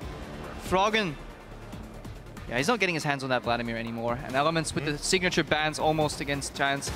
Giants picked up a lot of wins early in the split, sporting that Morgana that went 4 and 0 And for on Godfred. Jax. And on Jax too. Godfred got his first win. Was it yesterday? I believe it was yesterday. not Morgana. On not Morgana. So I asked, asked him about it. and He's like, yeah, I'm expanding my champion pool. So working in progress. The Kalista is also banned away. Elements will have that last one left, and they go ahead and get rid of the Kog'Maw. So they take it away from themselves. even. All right, Giants Gaming still have that Varus Ezreal up. They still have that Varus um, Corki up if they so wish. They also have the Donger up, we're not going to see it. Let's take stock. Both tier 1 junglers are open here. If I didn't miss it. Nope, Rek'Sai and Gragas both open. We have some off-meta picks in the jungle open too. But most importantly, Sivir is open. I want to see Sivir. have seen it first picked quite often, and the scaling has been an important thing for Elements, but I, I feel like they definitely have to understand how important it is to be able to run a composition like that. And if it's left open here by Giants, I would expect them to very quickly pick it up. But let's see if Giants do prioritize that. See, I don't They've think so. time. I think Giants should pick up Sivir, but I think they won't. And I think this will be a very interesting game because Elements historically has picked a lot of Sivir games, whereas hard engage on the hunt into uh, defensive double poke. Oh, I'm wrong. Thank you, Giants, for proving me wrong because I really feel stylistically it would have been a mismatch. If you end up playing that passive poke style into an on the hunt comp, you can get punished very hard. And I'll be whipping out the Sivir. Let's see if Elements have a reply. This is out, Sivir's out. Will they go for the traditional Corki that we've seen? Um, steadily move, moved his way up on the ranks as a top 3 AD carry. Well, Tabs has tried a lot of different stuff, but of course, you know, they've really only found a lot of success on the Sivir. Uh, one win on Kalista too, but of course that's banned away. So with AD carry pool hit a little bit, I feel like they're probably going to take their time about this and not take it on this rotation. As you mentioned before, both the top tier junglers are up. You've got Gragas, you've got Rek'Sai. Of course, Frederick has also been playing some slightly different things. See if Elements take that on their first part of the draft. There is the old uh, tier 1 support Alistar that we always talked about, but honestly he's been falling out of favor a little bit in Europe. Uh, had a relatively low win rate, but Elements still seem to favor it. And this is uh, a draft that we, we could have expected at the start of the season as well. Sivir opening for that utility with her counterpart, Kalista out. Urgot was part of the trifecta initially, but kind of fell out of favor, and then Elements replying pretty standard here. Gragas and Alistar. Gragas usually favored slightly over Rek'Sai by a few of these junglers like Dexter. Giants, they say, well, okay, you pick one tier one, I'm not going to give you much more information. I will just in-select my Rek'Sai, and then start thinking about what we want to do with this composition. You know, usually they have been wanting to uh, not just be able to utilize the Sivir, the group and one of you kind of thing. The Kog'Maw, of course, I mentioned it was a ban on Froggen as well, but especially against Pepinero, who've been using it kind of the same way Power of Evil did earlier. He's going to have to try something different. I don't think he's going to want to blind pick on this rotation. Instead, there we go. There's the Thresh locked in. Yeah, they want to match the support, so they're both teams trying to hide information. I really feel Giants are hoping that JWoww takes a pick here. Because I feel the crux matchup is not Pepinero Froggen, as many people suspect, but in my opinion, it could very well be JWoww against Adryh. And whoever wins that split push battle gets the initial pressure. See if Elements do decide to uh, take that Corki. You know, we don't normally talk about the hovers. I think it definitely makes a lot of sense. It's been strong for a lot of carries here in Europe. Let's see if they do they do go for it. I want to see if they pick AD and mid here or AD and top laner. Froggen is not usually one to take a blind mid lane, but he might be forced to, uh, or excuse me, he might uh, do it here, but if they really want to take the top instead, I don't blame them for that one. And the Gnar would work well, but again, there's still there's still a lot that Giants can do to pick against it. If Werlyb gets a lane that he wants, we know that he definitely can carry, and they're going to save their mid for last. Yeah, good range split push bully on the Gnar with the Black Cleaver can, I feel, win the split push against almost anything. I obviously have no idea about how the Shyvana Gnar matchup plays out. Pick is still available for uh, Werlyb. He's one of the only, if not the only player that actually sports that Shyvana split push pick. But Giants, they could also do something different. Say, we don't want to split push because we have a Sivir composition. We can just run at you, try and kill you. Elements, three very tanky members right now, and they're, yeah, Need some damage in the mid lane. If they do want to just go all out with the Sivir composition, what, what kind of top laner would they really be looking at? I'm thinking like a Maokai or something. Yeah, that is traditionally what teams used to run, but I feel you run a little low on damage, so you, if you run a Maokai, which you can, uh, you obviously put yourself in a very awkward matchup against a Gnar, so I feel will will have will like some more dueling potential. However, they they complement that Shyvana with an Orianna. Orianna's very low pressure in the mid lane, so Froggen should actually have the advantage early. However, when it comes to team fights, you can send in Shyvana from a flank or just straight up from the front with the uh, Orianna ball on top and you have the Dragon Ball delivery system coming out at tremendous speed. Not if not, you can go for the ball delivery light system on the right side. Mm -hmm. Elements will definitely have to watch out for that. So what's Froggen going to reply? You can play anything into Orianna. Power Eagle said it's a skill matchup in every lane. In my opinion, it's a gifted lane towards the mid pick you play, honestly, and I feel Orianna is very low on pressure early. Let's see if Elements are able to unwrap that one. As the timer ticks down, Froggen considers his own options for him this split. Maybe He's open. had mixed success on a number. Yes, the is definitely open. Actually, and, fun to uh, play into Orianna. But you know what? Happen. I would like to see it, but uh, yeah, I don't think so either. He he's definitely had mixed success on a number of champions. Vladimir's not available to him, obviously, this time, and neither is the Ekko. Those are two champions he's had the most on. I'd say his Viktor, uh, but he didn't play particularly well on it before. The Azir. Yeah, he needs mobility. He needs mobility, so he'll definitely lock in the Azir.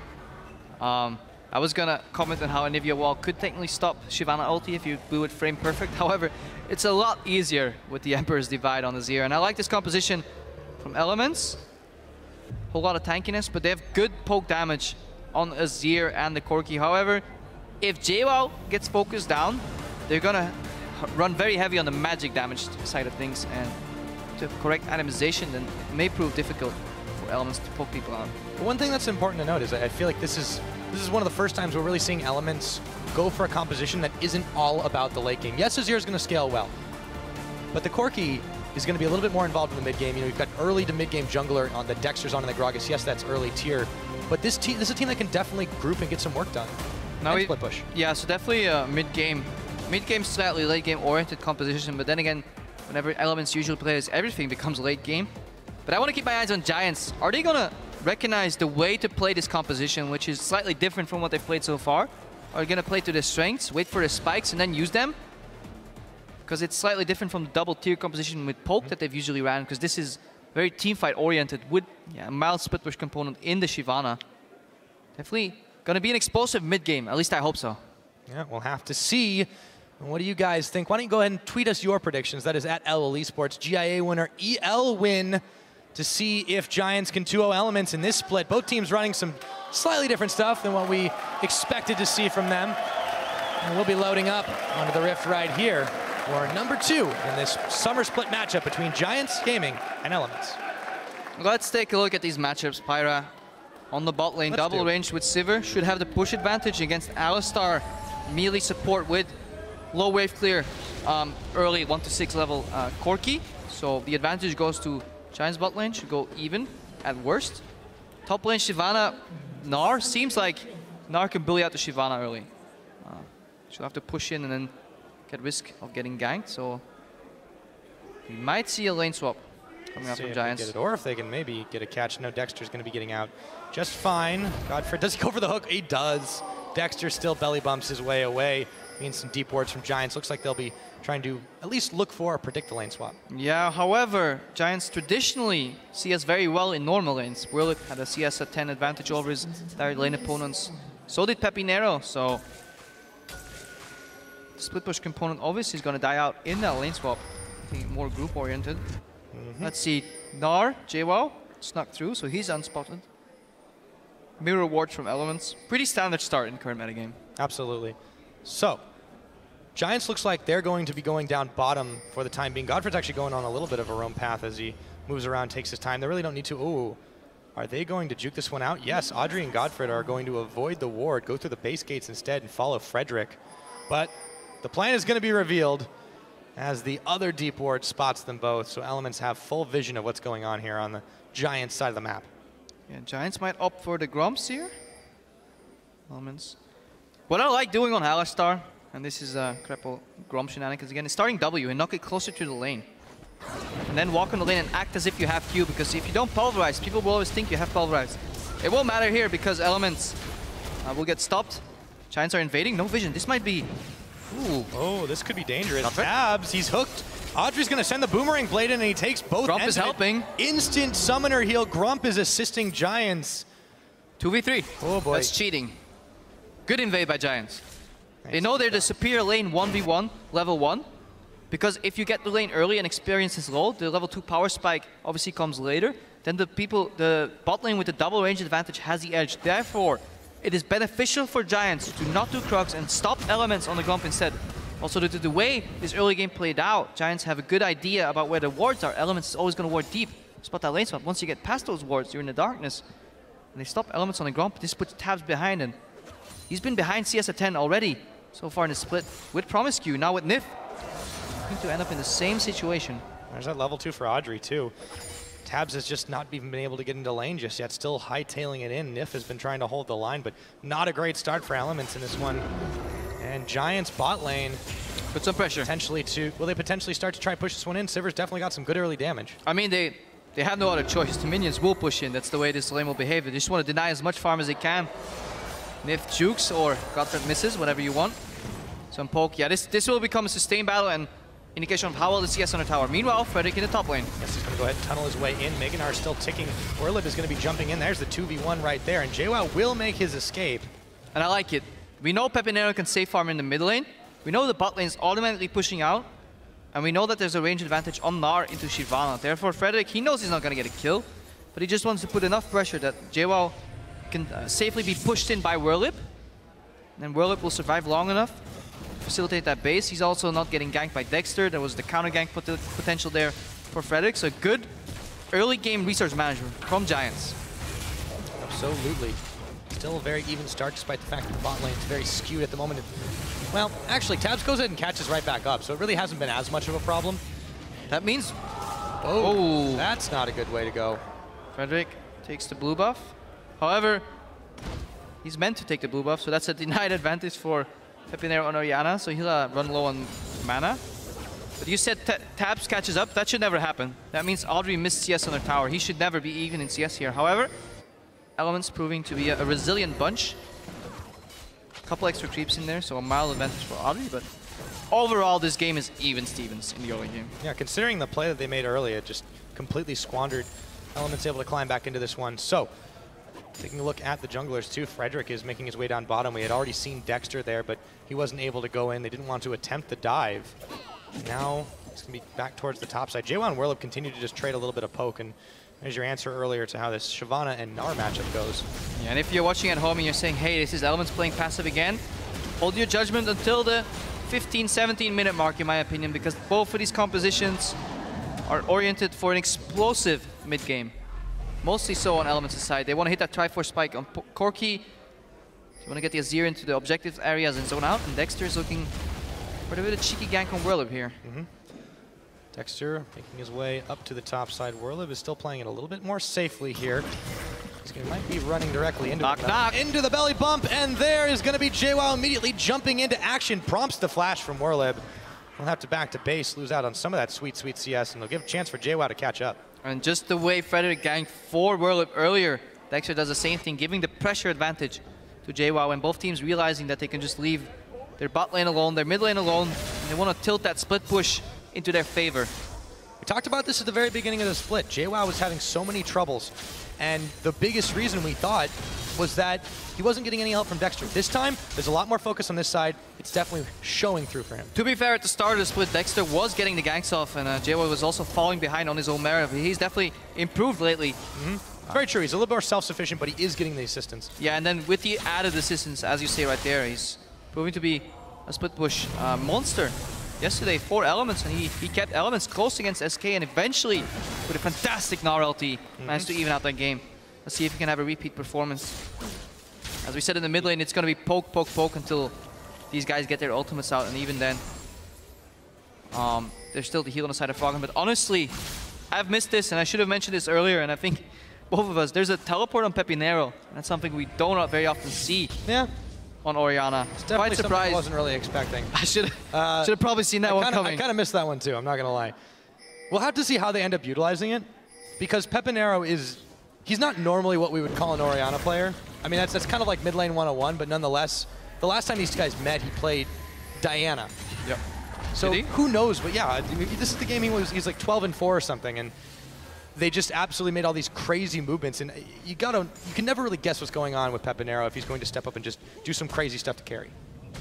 He definitely has the potential to do a lot of wonky stuff.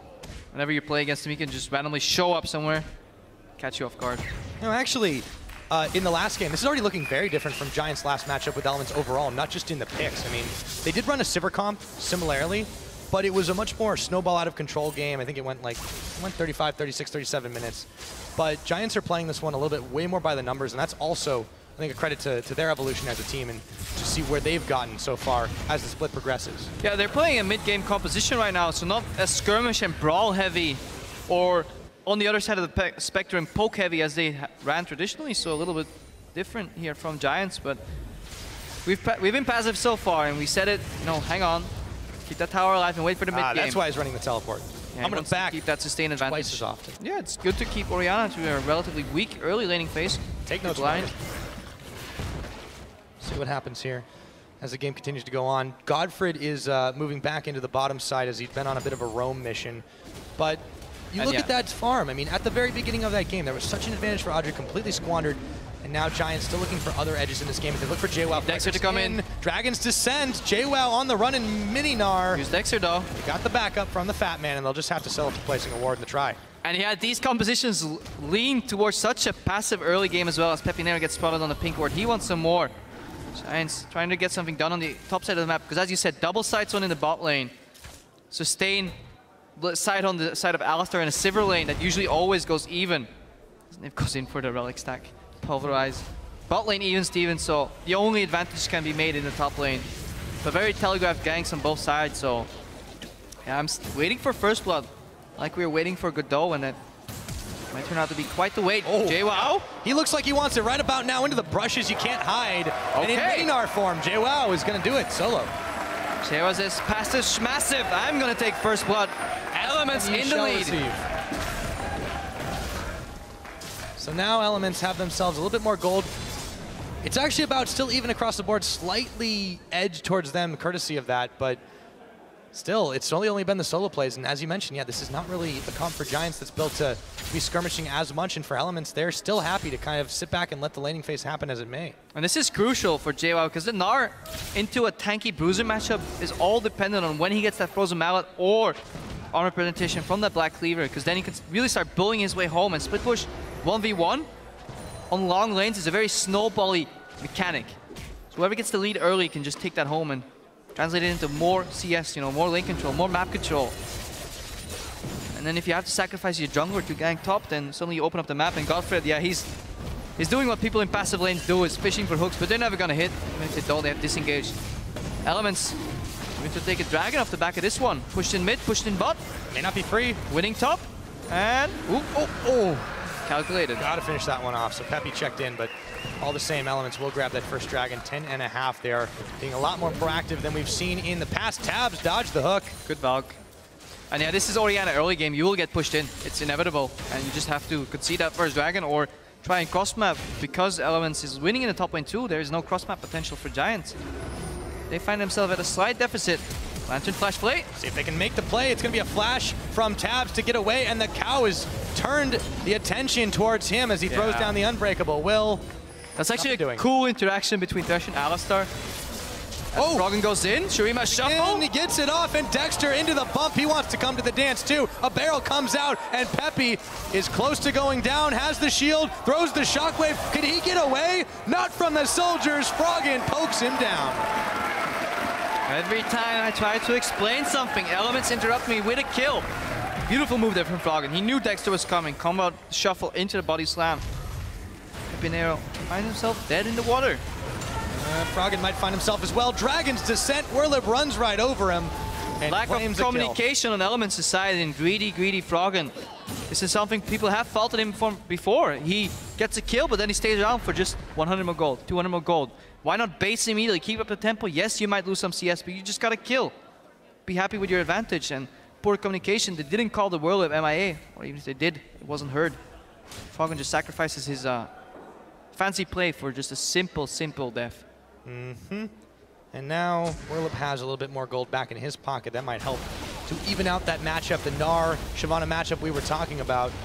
Werlip has got blue buff on him as well. I guess it'll help his cooldowns a little bit.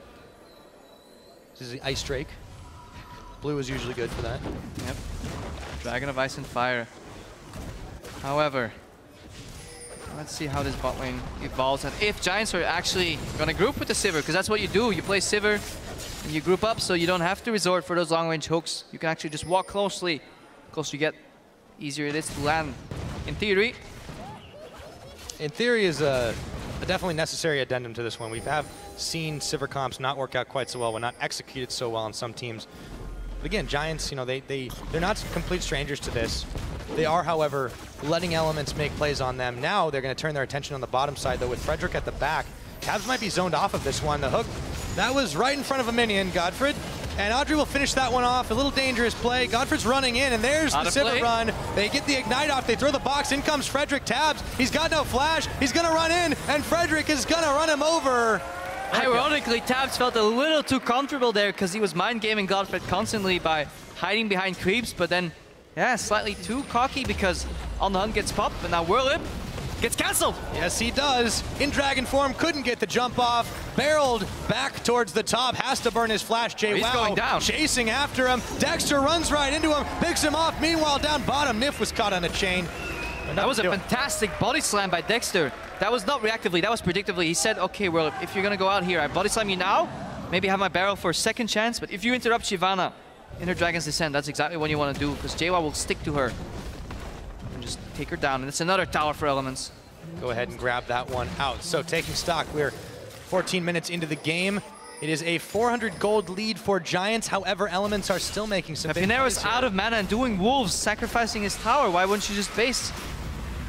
He's got the teleport too. It's Both not these like mid laners are playing low tempo. They, they're prioritizing farm over the tempo of the game, and I really don't like that in the current metagame. Very strange move there. Sand, Sun Disc is in as well. They're going to have to clear that one away, and the Sand Soldiers are doing work on Godfred. There's the hook. It's going to catch Nyph, but that's No ulti on him. not the target they want necessarily. They do take a chunk out of his health, but still, now they have to defend this mid. But yeah, they see Pepinero in the mid lane completely out of mana, so this prompts Elements to just take a stroll around, vision where they want. And we're approaching the mid game here. No, we're not doing that anymore. We are not cheering for wards. We're cheering for kills. Well, we've got five on the board. Let's see if that starts adding to it. Next Dragon is going to be a minute and a half away. Remember, Elements were able to take that last one, a very early one by their own standards. Poor. Dexter comes back to the lane. He's like, okay, let's go Gromp. No, Gromp is gone. Let's go to Wolves. Oh, it's gone. Let's take the Wraiths. No, they're gone. All right, I'll take middle. Oh no, Froggen's here. Never mind. So he's behind it. Poor Dexter. Poor little Dexter. Red buff's up though. It looks like JWoww wants that. So, if you don't have camps in your jungle, you walk to your enemy's jungle. See if you can find something there. They're going to get spotted while they do it, though, as some serious giant surveillance systems starting to get cleared away. A couple of wards from Elements as well to place down. But They they're won't be able to grouping up. camps. That's what you want to do in the mid game. You want to group up your support and your jungler together. Get that vision, control the areas, find out where the enemy is warding, find an opening, and then get a gank off. Corki can farm on his own perfectly fine. Very adept at that. That's why he's ranked third currently, in my opinion, as AD carries. Go. And that's, uh, you know, that, that goes back into our discussion about that jungle support synergy and how the top teams are able to execute that well. When you've got the tools like an Alistar and a Gragas, all the more important for these two. So we'll see if Elements continue that one up while they continue to have Tabzz pushing down on the bottom with the big wave that's going to be met by Werlip. Something you would see teams like H2K do right now is put their AD carry mid and put uh, their mid laner respectively on the bot lane to poke and siege a little better there. This facilitates the support hovering around the mid lane Must they both go for elements here. And max range hook, really hard to land those in full vision. One could almost argue impossible. You can also tell Godfred's not, you know, he's not quite as comfortable in this champ as he is on the Morgana, and it's it's definitely going to be. I mean, he's trying. He's trying to get those hooks off, and he knows if he misses, he doesn't get punished for it. That's true. So he may he might get zero out of ten, but if he gets one out of ten, like maybe here, nope, nope then he can punish. But yeah, it indicates that you're stuck in a very very uh, passive mid game on the side of Giants, and Elements they have controlled the map, and they'll take their second dragon. Should be able to do it. Giants. They have check in the Orianna though. Seeker came in a little too late. Tabzz manages to secure the dragon. That is number two for Elements. Now what I do like about this TP Orianna is that you can put her on a side lane. Traditionally you can't put Orianna on a side lane, but because she's too immobile to actually get back to the fight. But now you can put your Sivir in the center part of the map, and she can rotate quickly to one of the side lanes with On the Hunt. So split push Orianna coming out of Pepinero. Revolutionizing the metagame. Yeah, well, when you got teleport, there's uh, no limit to what you really can do all over the map, right? Let's see if uh, he's actually really able to get too much done with that. Meanwhile, Adryh's got to go down bot to defend this outer turret. Take a look at our completed items. Some spikes here for elements. You got that Trinity Force, of course, had been finished for Tabzz. We'd already seen the Black Cleaver on the Gnar. He said they were going to be looking to group up and try to make some plays in the mid game. Let's see if they actually follow it up. Right now they're on the bottom side. Could be seeing a bit of blood soon. Likely to see some teleports here. Both soul laners have it available. There's one spent. Boomerang Blade to push away. Werlip's already down. That's preemptively blown. So now Elements have still. the teleport advantage without having to do anything. Nicely done. All right, Siege didn't work. Tower didn't go down. Are they rotating mid? But that wave is cleared.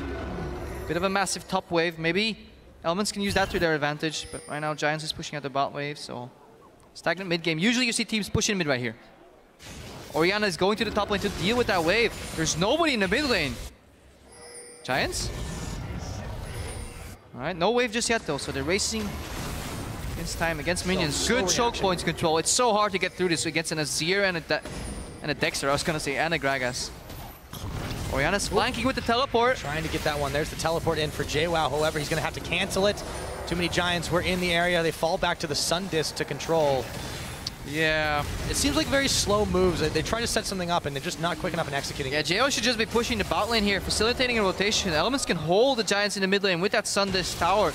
And then go back into the jungle and go in, but here's on the hunt. Oh, denied. Denied. It's pushed back. And meanwhile, while the hook was finally landed, it's Godfred that went down. Dexter took the incentive to bop him in the face. Ooh. With the man advantage we said it in champs, so like Pyra, if you use that zero ultimate, you could stop the Dragon's Descent. You could stop that ball delivery system. You need to find another way, Giants, because you just got completely read like a book and denied by Froggen. And Jwaow's on the bottom. He's taking down a tower. He's winning that split push. Elements in control. This is just where the objectives are lying for them. They can keep everyone for Giants busy while Tabzz does his thing in the top, while Jwaow does his thing in the bot. They keep them occupied. They get this 1-3-1 going, and they continue to push Giants back. Yeah, when Giants have their ultimates on cooldown, 1-3-1 is an efficient response to their composition, in my opinion. Especially because Azir can hold his own, Corki can hold his own, Gnar can hold his own. This completely frees up Dexter and Nyph as roaming resources for vision control. They have to base right now, refill their sight stones, set their sights on the next dragon when it comes up eventually. Get that extra movement speed, facilitate those rotations yet again, and see if they can find an opening. Might be a little harder because honestly this one was donated quite a bit by Giants. When you play against an Azir and an Alistar, you really want to look for those flanks. You don't want to come from the front door because it becomes very easy for Azir to just pop his ulti. Either he cancels the Shyvana ulti mid-cast, or he, just puts the ulti down and you can't leap over it. You have to flash over that wall and then ulti, but then your entire team will have to flash. And it's too easy to disengage with a Azir if everybody's right in front of you. That's why flanks are so good. It's an important communication game for Giants to be able to make these plays, but as it stands, Elements have themselves in the lead. All right, 20 Second try on blue buff. Is it going to work? Uh, Frederick's not going to attempt to do anything to it, so there we go. Pepinero will secure that. So one out of two ain't too bad. Dragon's up in about two minutes. Elements are going to leisurely take their time to get the warding up, get the vision up, but Dexter's got to be careful not to get caught by Godfred here. He's going to preemptively go ahead and take a dash. And that's how you usually see which team is in the lead. Yes, you have gold, which is even. You have some dragons and towers, but the game is usually spelled out by the wards. Who has wards in their enemy's red jungle is usually a good indicator of how far ahead of a team is. And Elements have defensive double pink ward at their jungle, and they're aggressively invading Giants' jungle. So they want, they're the one moving first. Giants put all their vision around the Baron. They really don't want Elements to push in and peel back to that Baron for free. So Elements are just going to ignore that objective for now. See if they can find an opening somewhere. Very hard though. Sivir has wave clear. Orianna has wave clear. So with that, Giants are definitely going to be able to stop the siege as long as they don't lose anyone. The problem is it's still been very, very tough. Pepinero, he's got the shield on, avoid the Azir poke. So that's what you want to do. You want to punish Giants, slowly trying to get vision. Deny them, put them in the dark, and then eventually peel back and get those neutral objectives. Maybe steal away their Raptors, maybe we steal away their Krugs, and slowly inch that gold lead forward and get more dragons. So at the end of the day, it's still about the scaling, but it's not about the comps. It's about getting yourself more and more powerful to where your opponent can't get anything done. Giants are going to have to work fast to counteract that process that Elements are trying to make happen here. Staggering the backs, but getting ready. I want to see if the next Drake. if the Giants can get an opening at the next Dragon and pop on the hunt and find something to work with. For that to work, they need to get wards behind Elements.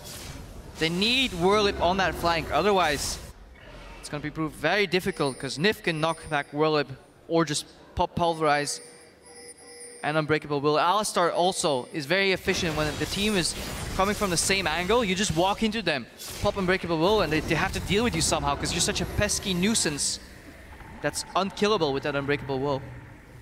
Alistar, uh, not the greatest in chaotic teamfights where everybody's coming from all angles and you really have to divert your attention because then Unbreakable Will is slightly less efficient.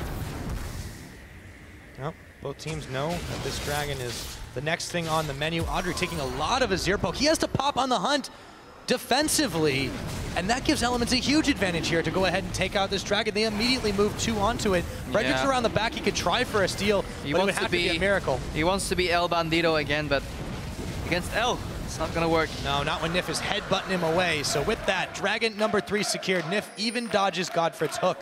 And Elements on par to get some revenge from earlier in the season, earlier in the split, I should say. Yeah, and Elements looking for a, you know, fight fire with fire. How do you fight a dragon? You simply get five of them. And you beat the dragon with aspect of the dragon. Sometimes it works. Teleport coming in. Werlip doesn't cancel it. They turn their attention to him. Nyph's going to get the knockup. Jwaow goes Mega Gnar. The ball Ooh. lands on everyone from Elements, and they might have stayed too long as Giants turn around the collapse. Frederick picks up Froggen. Dexter gets hit by the ball of Peppy, and now Nyph is bailing out. Headbutts, but Adryh takes him down anyways. All of a sudden, three Elements members down. Yeah, that hurts, honestly. Why would you start the Baron so early? You can't afford to do that if you don't have complete vision control over the area. Tab's looking to poke. Jwaow coming in with the return teleport. Giants, they make the correct move. They send in Werlip, who is very tanky. He survives long enough to get that shield from Orianna.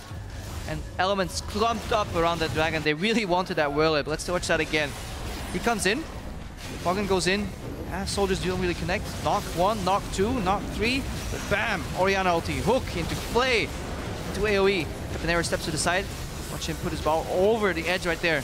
Slow them even more. And Adryh is untouched. The auto attack speeds him up a little bit. And crucial positioning mistake. Overreached by elements.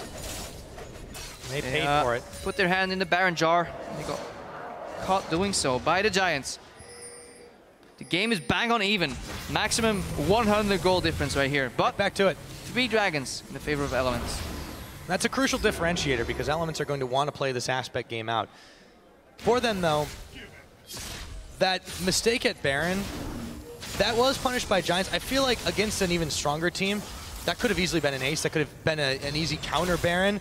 And this is the kind of thing that Elements, as they're you know currently sitting in seventh place, trying to climb up in the standings, are going to need to Perfect. play out way better. They need to perfect it. It was okay to an extent to take control of that area and that objective to force something, keep up the tempo of the game, but you have to weigh your options. You need to know how well you can do that Baron, how long you can keep tanking it without taking too much damage. And honestly, they could have peeled back and gotten a free teleport. That would have been fine.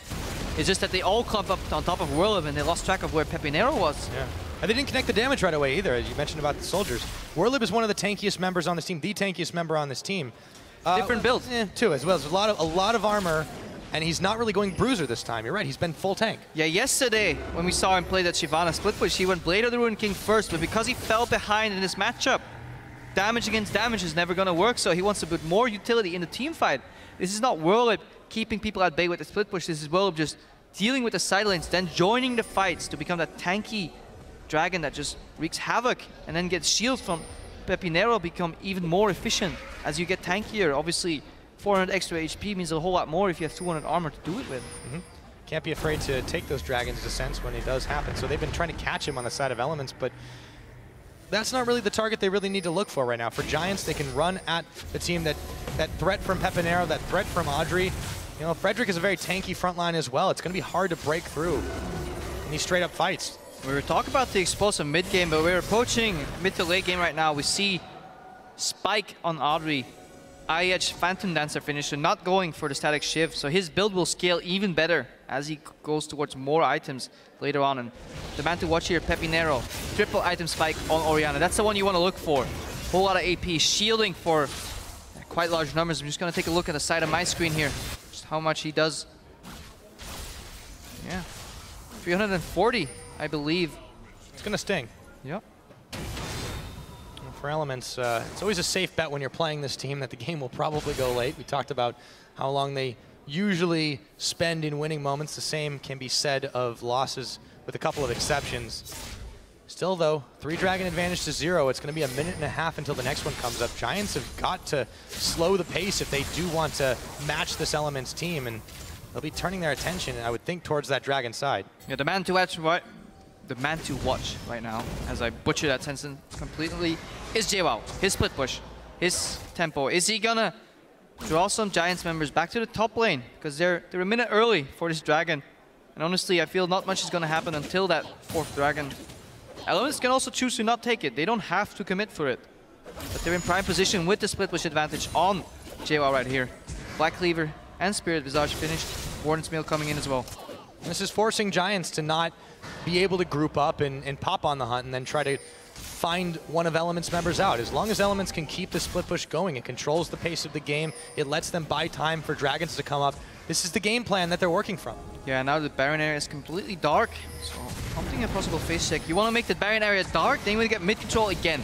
You want to push in mid quite deep, and then you want to fall back to the Baron area. Then they have to face check. Here we go. Whoosh. Pepinero cannot connect the shockwave. That should be a free dragon. Coin is popped by Nyph. Looks like he thought a fight was coming their way. Dragon is going to be in just less than 15 seconds. Giant still in position, but there is no longer that threat from Pepinero. Adryh gets chunked. Ow. And because Jwaow pushed in the top lane first, he could move to the mid lane. Godfred oh. with the Hail Mary. Can't quite get it. On the hunt pop too. That's the problem with Hail Marys. You don't always get him. The ball, however, does do a lot of damage to Nyph. And all of a sudden, Elements are the ones who are backing away. Giants trying to force an opening, punch a hole through this Elements team, and finally take down this mid turret. Will they get it? Froggen around the side. Dexter throws the barrel. It doesn't connect on Frederick, but Nyph is able to. Frederick is going to have to tunnel his way to safety as a teleport comes in for Jwaow. They pop on the hunt defensively. Oh, Godfred, and narrowly avoiding the damage. I Still feel Elements were putting a little bit too much emphasis on the side lane control when they could pick up the easy dragon. However, survive long enough fight's not over. Yeah. It's never over. And then easy look at Pepinero. His ultimate's almost coming up. So he might actually catch some of the Elements members off guard. They bought this time. Here's teleport from Werlip too. And Frederick's also going to come in around the back. Now, Elements are bailing out of this situation. Frederick, uh, Werlip's not going to try and let him back away from this one. Lantern's thrown out as he go right look back. Look at Pepinero. He's dragon. the man to watch right now. Peppy is coming around the back of the pit as the Dragon is being tanked by Werlip right now. Adryh's taking a whole lot of damage, but now he turns his attention, and Froggen's already down. The rest of Elements have to scatter. Jwaow's gone Mega, and Frederick's going to go down, throws Werlip away to the rest of Elements, but Nyph as he follows gets caught by a chain. Won't quite go down. Now JWoww and Megan are being chased out by Pepinero. Very scattered fight. It's a two for one so far. Not quite sure what Peppy was doing early in the fight, but it pays off right now. He picks up two kills in that fight, makes Werlip survive And there goes Slipping the well, and the dragon lost. Elements a missed opportunity here, in my opinion. Uh, Very quiet. can we tell them? Yes, guys, this is not Team Solo mid playing. You know, they have some mid lane oriented teams back in the day. But honestly, a missed opportunity by Elements right here. They had the window of opportunity when Orianna Ball or Orianna ulti wasn't cooldown. They could have probably traded a tower for Dragon. Let's watch that again. Pepinero doesn't know if he goes left, right, just pacing right here, but Froggen tries to join his team but walks through Giants because he gets zoned by Pepinero on the left side and look at how low Frederick goes. Actually goes down. Yeah, Pepe just picking up those kills one by one. Elements, they waited too long. Story of their life almost right now. Waited too long for something to happen and they got punished for it. Giants are now 1.8k gold ahead of Elements and they stopped the, the dragon bleeding almost. You know, Elements Yeah. had the threat of getting that fourth dragon right there, potentially five later on, but right now they're 12 minutes away from a potential fifth dragon and that's a, a whole lot of time for that Giants lineup, lineup to keep scaling. Well, we saw our longest match of this play yesterday with this Elements team. They did manage to pull out a win, but at this point, Giants, they're they're playing it a little bit better, and they've stopped, as you mentioned, they stopped that bleeding, they stopped the game path for Elements to pick up all the dragons, and they get themselves some more vision on the map. I got a lot of sleep yesterday, so I'm ready for another long match. If Elements and Giants choose to break that record, We're in for a long haul. see if they do. Dragon's still stuck in the mid lane. Zero is scaling up. He also hit his triple item spike. Pepinero says, I want another one of those large rods. I like it, I do a lot of damage. On that split push TP Orianna. Honestly, probably the first time I've seen that. But ironically, it's working.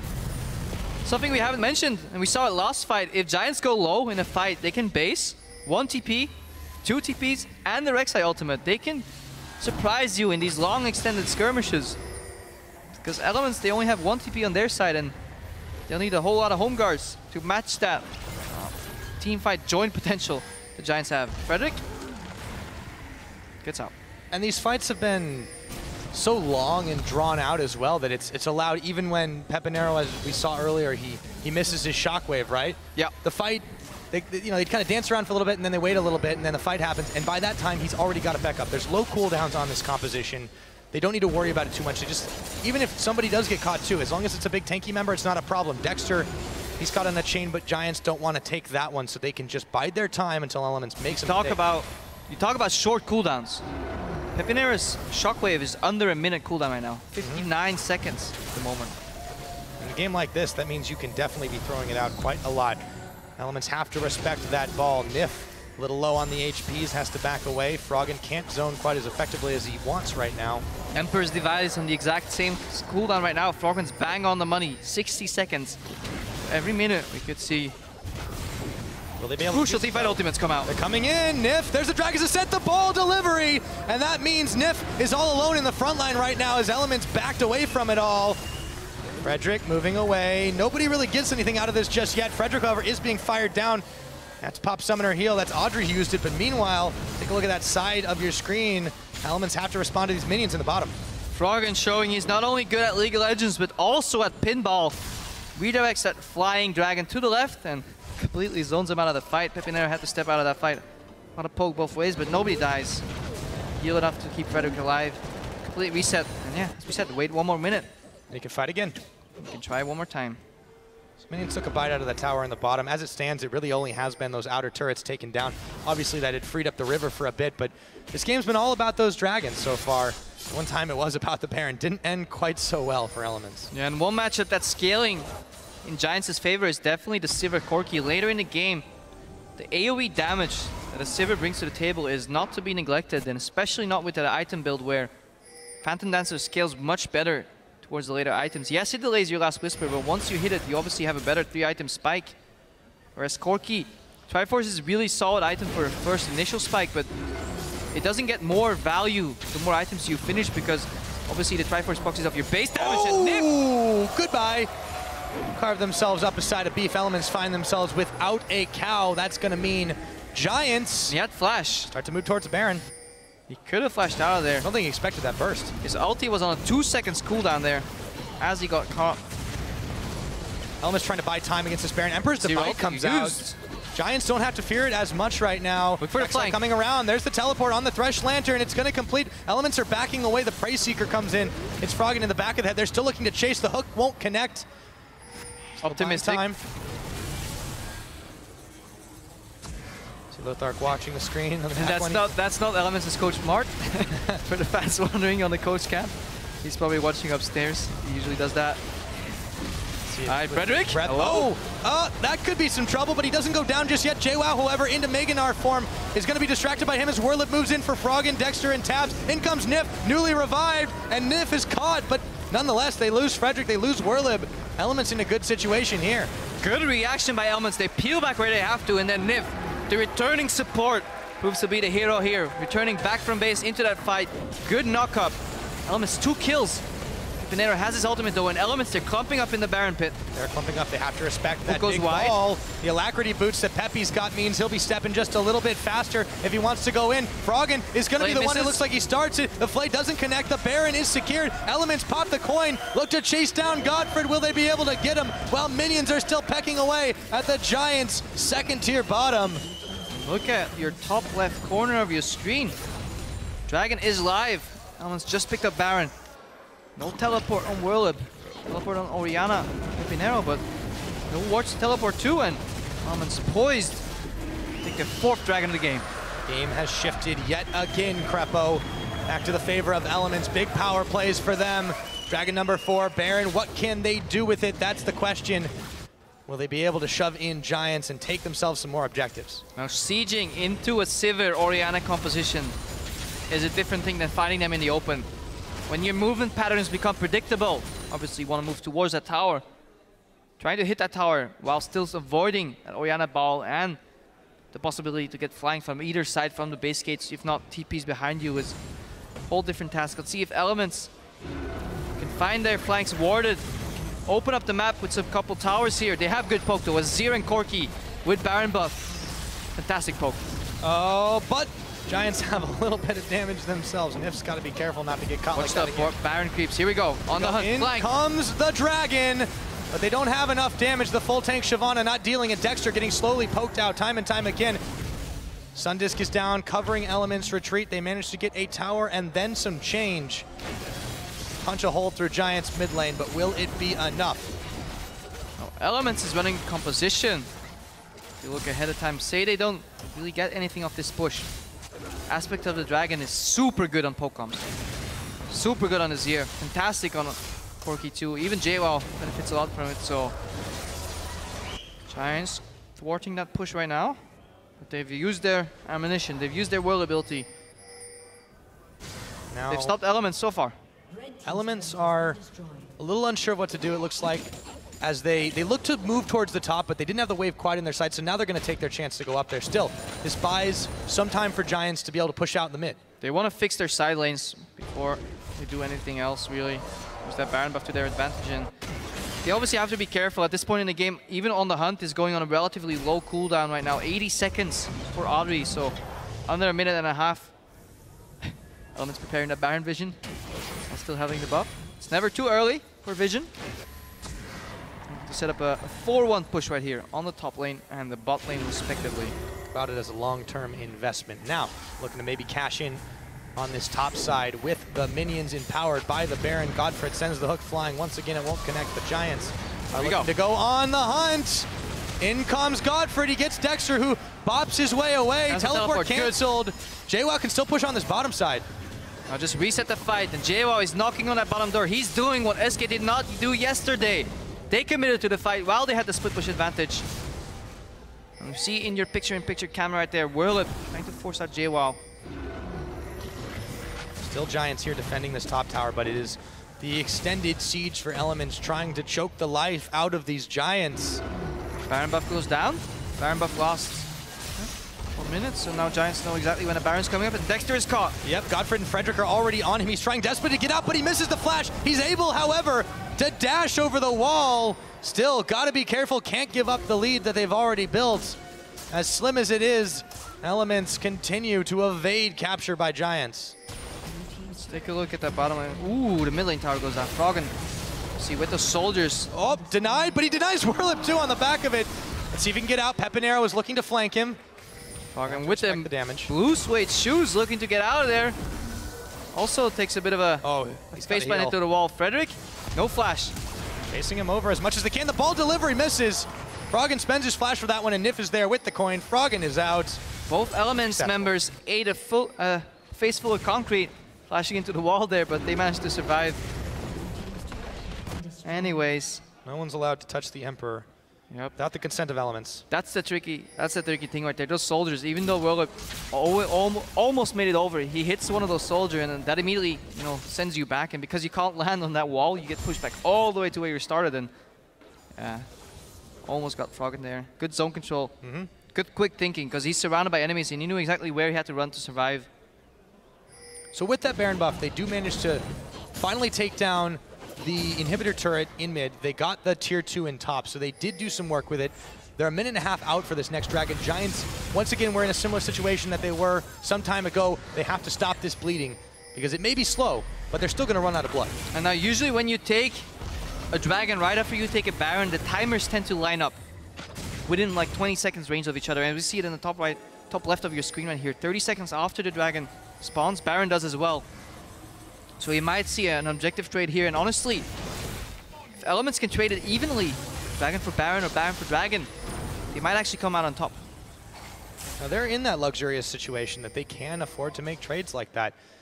The gold hasn't been as much to speak of this game because it's been so close. It's three or four, 3,000 different right now. That hasn't made much of a difference. But those dragons, they tell the big story. The towers, they tell a big story. Giants have given up a lot of their lead here. However, elements are the ones that don't really have the position on this dragon. Instead, they may elicit to just try and force pressure off by heading towards mid.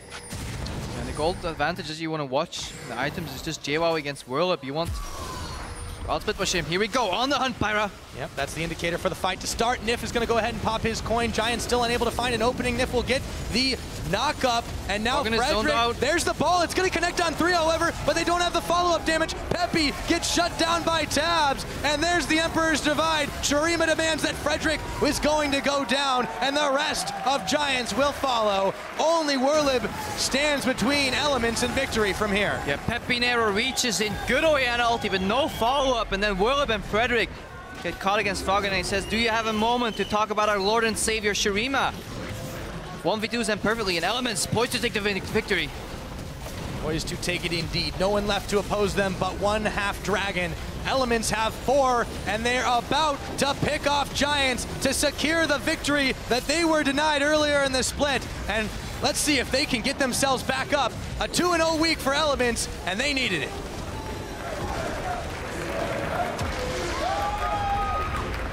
Yeah, Elements, slow and steady mid-game. Managed to dance around that Sivir composition that very often they ran themselves, and honestly, they figured out what Giants wanted to do. Made a small slip up at the Baron, and was almost a mirror of what SK let them do yesterday, where Elements got out on top because of a Baron trade with a Gnar involved, but eventually they stayed ahead, and getting those early dragons really put a lot of pressure on Giants. Mm-hmm. They picked out Orianna, very weak early game. They picked a scaling bot lane and they lost a lot of their map control. And I think that crucial solo kill Jwaow had on Whirlip right before he teleported back to base with a lot of gold, honestly, set things in motion here. And Jwaow, he's been looking better recently. He came into the split as one of those talents that always found himself on a weak team. People were always saying, hey, is he the real deal? Is he not? He has to prove it. And honestly, people were doubting, rightfully so, in the, in the first few weeks. But he's been looking better. I think he deserves a lot of merit for this victory from Elements. I agree. I, I think that overall, Jwaow's doing quite good.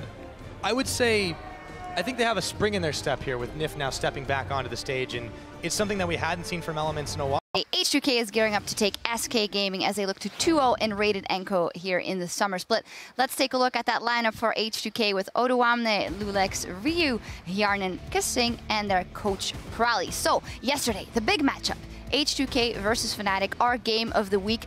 But as we said in A Block already, it all came down to shutting down Odoamne with the team from Fnatic. Yeah, the lane swap from Fnatic where Odoamne more or less wasted his teleport towards the mid lane. It meant he couldn't do a whole lot. He really got set far behind. We see it here on your screen. He was down 62 CS at 20 minutes. That's massive. Huni got so far it because Fnatic were just one step ahead of H2K in that lane swap. And funny enough, the last time H2K and uh, SK Gaming faced each other, it was standard lanes, but SK Gaming also put a lot of effort into shutting down Odoamne. They ganked him multiple times. They can look to do the same because it's proven to be fairly effective if you can shut him down early. Yeah, as you mentioned, SK tried the strategy before. Let's take a look at the lineup for SK Gaming. 2 and 7 right now and on the red side for this one. Freddy122, Svenskeren, Fox, Candy Panda, N-Rated, and Lucas Schenke. So as we say there, Freddy going on this point, if it comes down to one versus one, or do you think they will opt for lane swap stress? Uh, it's an interesting one because I feel like while Freddy is typically very good at 1v1s, I think Odoamne has shown in other games that he's been uh, a very, very strong 1v1 player. Uh, in the last time they played, it was good recognition by SK. They managed to just gank Odoamne three times before 10 minutes, so it didn't even matter uh, how that lane matchup was going because they just kept picking up kill after kill after kill on Odoamne. Very similar strategy, as we said, to Fnatic's, and I think they'll probably look to do the same thing again here in this game. Yeah, the thing is, H2K as a team, they don't play for the laning phase. It's not about what you can do the first 10 minutes, so that's where SK Gaming can shine a bit more. Again, the few times they have faced these top tier teams, they've done pretty well in the laning phase. Freddy and Sven together have been able to like camp the enemy top laner, maybe uh, in the mid lane they managed to pick up a kill or two. So SK Gaming should try and get standard lanes and try and snowball the game from there. And I really feel like Odoamne has been maybe a little bit over aggressive in the laning phase from time to time, and therefore he's very open to ganks. Yeah, and for SK Gaming in the matchup, even though they haven't had the best split so far, some of their best games have been versus Fnatic, where right. they got ahead in the early game, versus H2K, where they got ahead in the early game. So it might be the opening for that in them, because yesterday, the game versus Elements is one they probably want to forget very fast and put a win on the board here. Now, as we check in with the casters for Champ Select, we'll hear from N-Rated, and you can see the synergy in H2K's bottom lane, both on and on off the Rift. Coming to H2K, KaSing had a really like great background, let's say it like that. I feel like he was in a lot of teams and he did good. He can match up with people. And I feel like that, that has come really great together with Hjarnan, who I think has re shown really promise in terms of AD carry. And that just comes together with the support that just suits him, that adapts to him. And they seem to work together as a duo. That's a big difference to other bot lanes. You see them duo queuing all the time. They're really great with each other in person. They have great personalities. They really suit each other. They make a lot of fun. And that's, I feel like, that's the whole secret. As long as they work together and they have the skill to do it, they'll improve. Some kind words there from N-Rated on his opposing bot lane. Hey everybody, welcome again because we're about to get ready to load up for our last champ select of week number five. Mm -hmm. Krepo, I think uh, Shucks did say it. SK is going to want to look past yesterday and see if they can find an opening here in H2K. Yeah, both teams with a loss uh, yesterday, so they want to look mm -hmm. very different victory. And the first step to victory is always champ select. Well, starting off right now, we'll see what they decide to do here. H2K will be our blue side team, SK on the red. And H2K. Give me that silver perspective. For, ah, the Cassiopeia is banned. Fox had some monster performances on that champion. Target banning Fox, um, definitely a good idea for H2K right here. And then SK looking at the Kalista out. If you value Kalista, you should probably value Sivir too. Otherwise, H2K is just going to take it. They say we don't want to deal with that cheesy Shen. Keep those gobbles away from those lanes. No support system. Keep those lanes split up and then out macro them, out move them. 280 carry bans here. Both junglers are still, or both of those top tier junglers are still available. They've really been targeting players rather than picking strong stuff. Are they going to go for the Rumble third ban here? Um, Odoamne has shown a good performance. Yesterday he did get shut down, but honestly, I feel only Fnatic could have done to H2K uh, what they actually did right there. Not sure if, H if SK can do the same thing. However, SK usually plays to their enemy's level almost. You know, very sloppy game against Elements, but they had some close games against H2K last time. If you don't remember that game, all I have to say is Twisted Fate against Fox's Viktor last time you saw that matchup, and then eventually Hjarnan with the Sivir.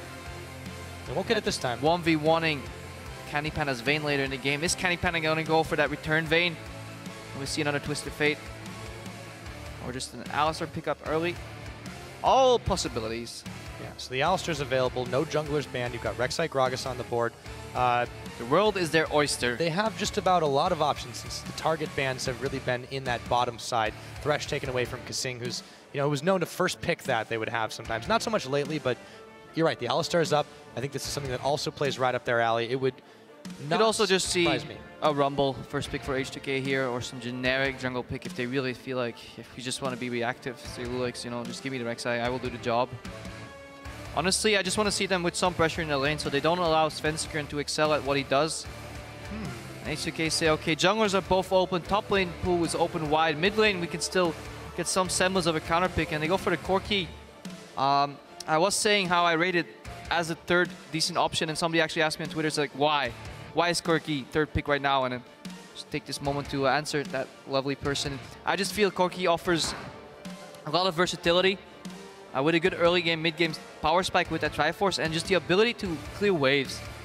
And that just adds a lot of tempo to the game. And I know I overuse that word um, sometimes too much, but it just allows you versatility. And especially in H2K style, you can get Hjarnan alone in lane, allowing Loulex and Kasing to roam together. Later on, you can also just put Corki in the mid lane, and he can hold his own even in a level deficit against most mid laners, just in terms of wave clear. This then opens up you. Uh, opens up the map for you to move your mid laner to the side lane, like H2K likes to do. So a solid pickup for them. SK with their turn to draft. Yeah, they go ahead and they get the Gragas, they get the Gnar. But harken back a little bit for this Corki. This is, you know, Hjarnan played it yesterday. Obviously, that didn't result in the win for them, but you can see that they're, when AD carries are getting banned away against them, they, they're, they're digging a little bit deeper. I want to see how comfortable he really is playing this and how comfortable. They, they clearly were making a statement to say, first pick, we want this. We dare you to see what you're going to grab. And Alistar's still up. It's not much like dare what, what you want to grab. It's likely that Candy Panda will end up a Vayne here again. Maybe a Caitlyn. It's just that it just it fits so many compositions. And obviously H2K have to pick the Rek'Sai here because you don't want to pick too much here. Because if you really had prior want to pick, you would have done a tier 1. So you don't want to reveal too much. You just want to say, we're likely going to end up having our mid lane counter picked anyways. So we might as well pick it early. Jace is still a flex pick in the sense that he can go both top and mid, but it is extremely likely that it will go mid lane. And of course, they match tier 1 jungler in Rek'Sai for tier 1 jungler on the side of SK Gragas. So not too much information given away, honestly, but H2K already with the semblance of a Pokemon position. So we might actually see a Janna come out later. Could be good against a Gnar. This uh, Gnar jumping in too with the Howling Gale and the Monsoon. Add a Rumble in there and you run the, the, the very obvious triple threat composition that obviously Fnatic likes to run too. So Rumble Janna might actually be a good way to finish up this composition. And there's no danger of it H2K. being picked away either. So Lulu and Caitlyn are both picked up. Candy Panda decides to go back onto that. So the Vayne option should be a very long range auto attack for him to be getting ahead in the lanes. But again, H2K, you know, they're the team that does like to take these swaps. Wouldn't be too surprising to see. Yeah, SK Gaming pick up the Lulu, very comfort picked for and rated really. He likes that Lulu because it offers offensive lane potential. Double push here. Caitlyn and Lulu can knock on your tower very quickly and just try and whittle that one down. Wild Growth, very easy to use in team fights. Complement well with Gragas, with Gnar. So honestly, I feel it's almost a must ban against SK Gaming because I feel Enratus is considerably weaker on any support except Lulu. Now, is H2K gonna prove me right? Partially so. I imagine they have to go for a non-Alistar support here. Because the double range is just too big. Yeah, Janna has comes out. left up. They take him. And the Janna. And then the Ryze instead of the Rumble. I feel this is gonna complement it just so. Ryze is very immobile. Can get hunt down, but with some peel and disengage from the Janna, you can keep him alive in these fights and do a lot of damage. Well, and we've seen in the right hands what he can do. You know, there. This is a league right now here in Europe that has just such a high caliber of top top laners, and Odoamne is among them. Even when Huni was pulling out that Ryze and he was getting poked out time and time again, or rather taken down, focused time and time again, he still was able to make big plays and come out massively ahead. That's something that I feel Odoamne can very much do, even if he does get set behind in this game. And you did talk about the lane swap, and this is such a very obvious situation where HTK wants to have normal lanes. In my opin opinion, they want to get that right scaling as quick as they can. Don't delay that tier. Don't delay that scaling all too much. Whereas SK, in a lane swap, they can they can take the towers down quickly, and the only really viable mid laner for Fox left is Azir. SK with honestly a, a well-rounded composition. Mm-hmm. Both teams here, different composition to a sense. Will be interesting. I think Odoamne is the number one priority on H2K.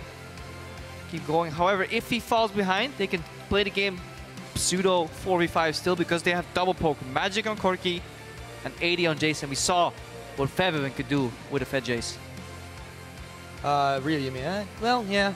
Um, I'm really interested to see what they do decide to do in the early game. I think I agree that, that getting Odoamne ahead is important. Against Fnatic, it did not work when he was set behind. This is a guy that is doing roughly a third of the damage of his team. He's the highest damage percentage out of top laners. And when he got shut down, the game did not end well for H2K. Yeah, but honestly, that also is to the merit of the way Fnatic kept snowballing that advantage.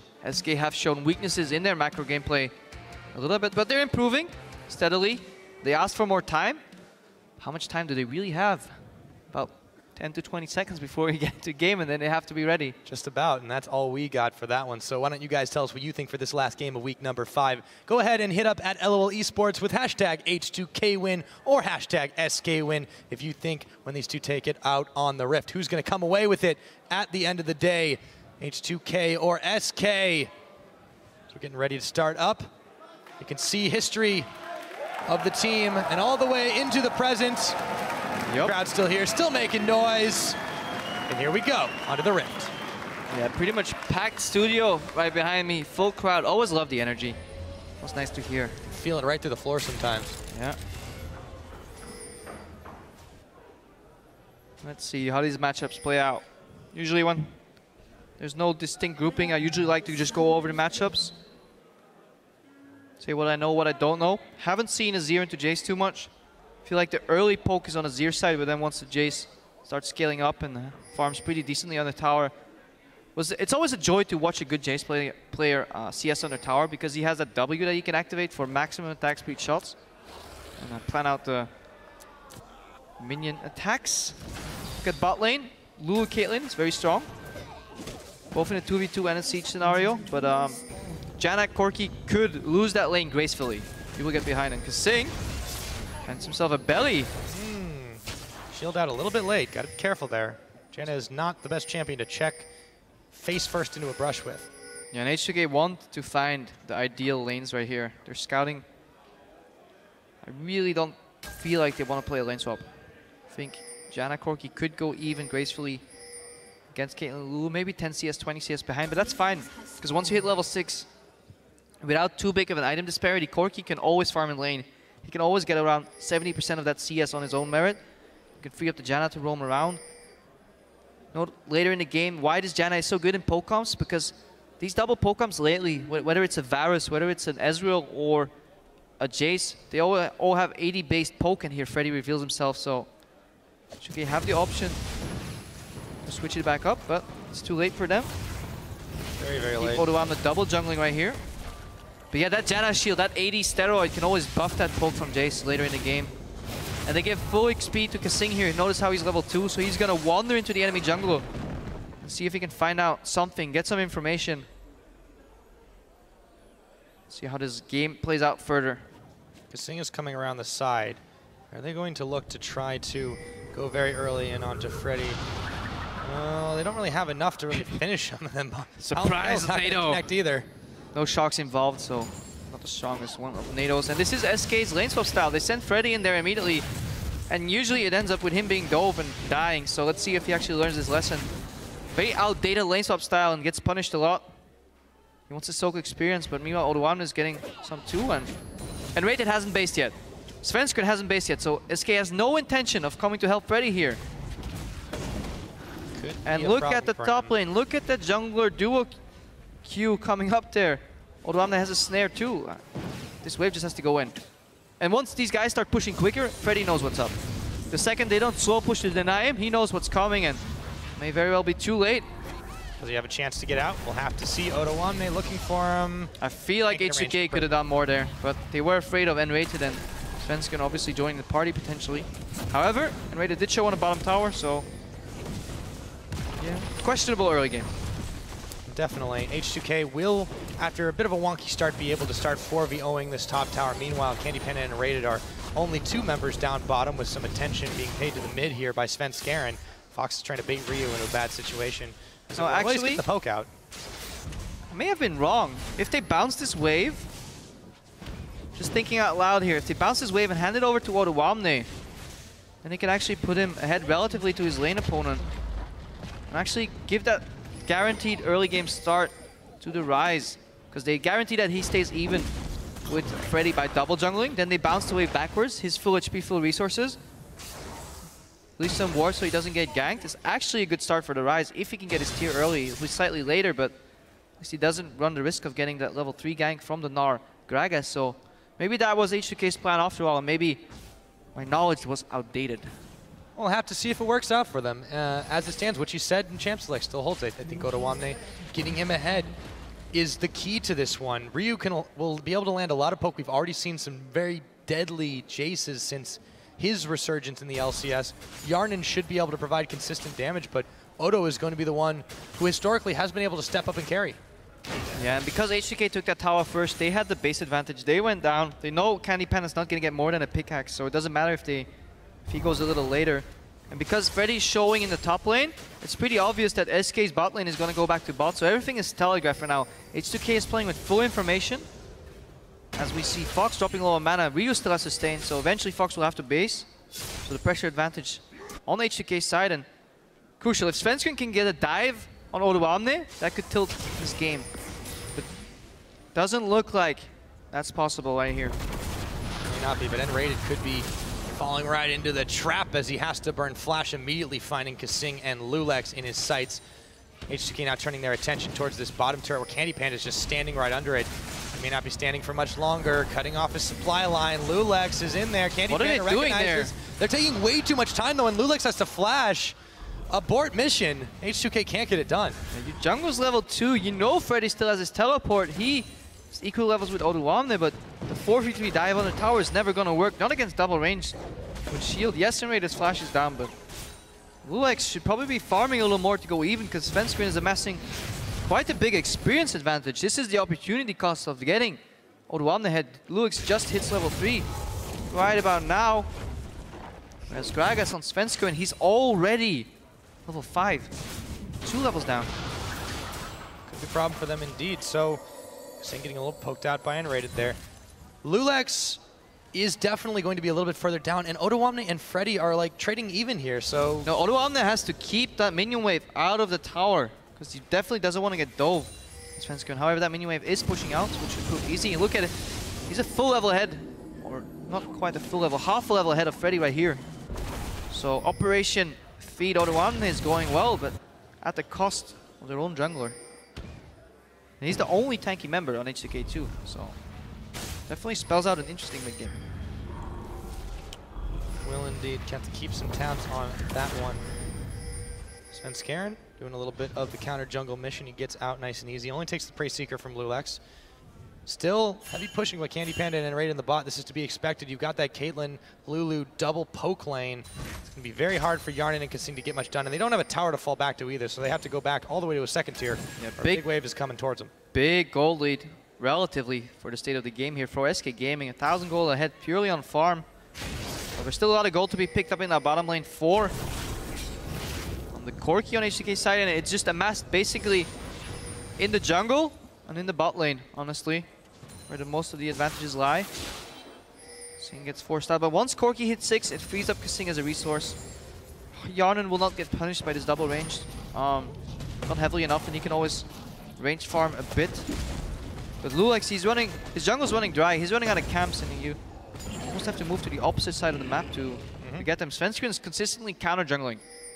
Hasn't spent much time in his own jungle, and this is putting H2K in a precarious position.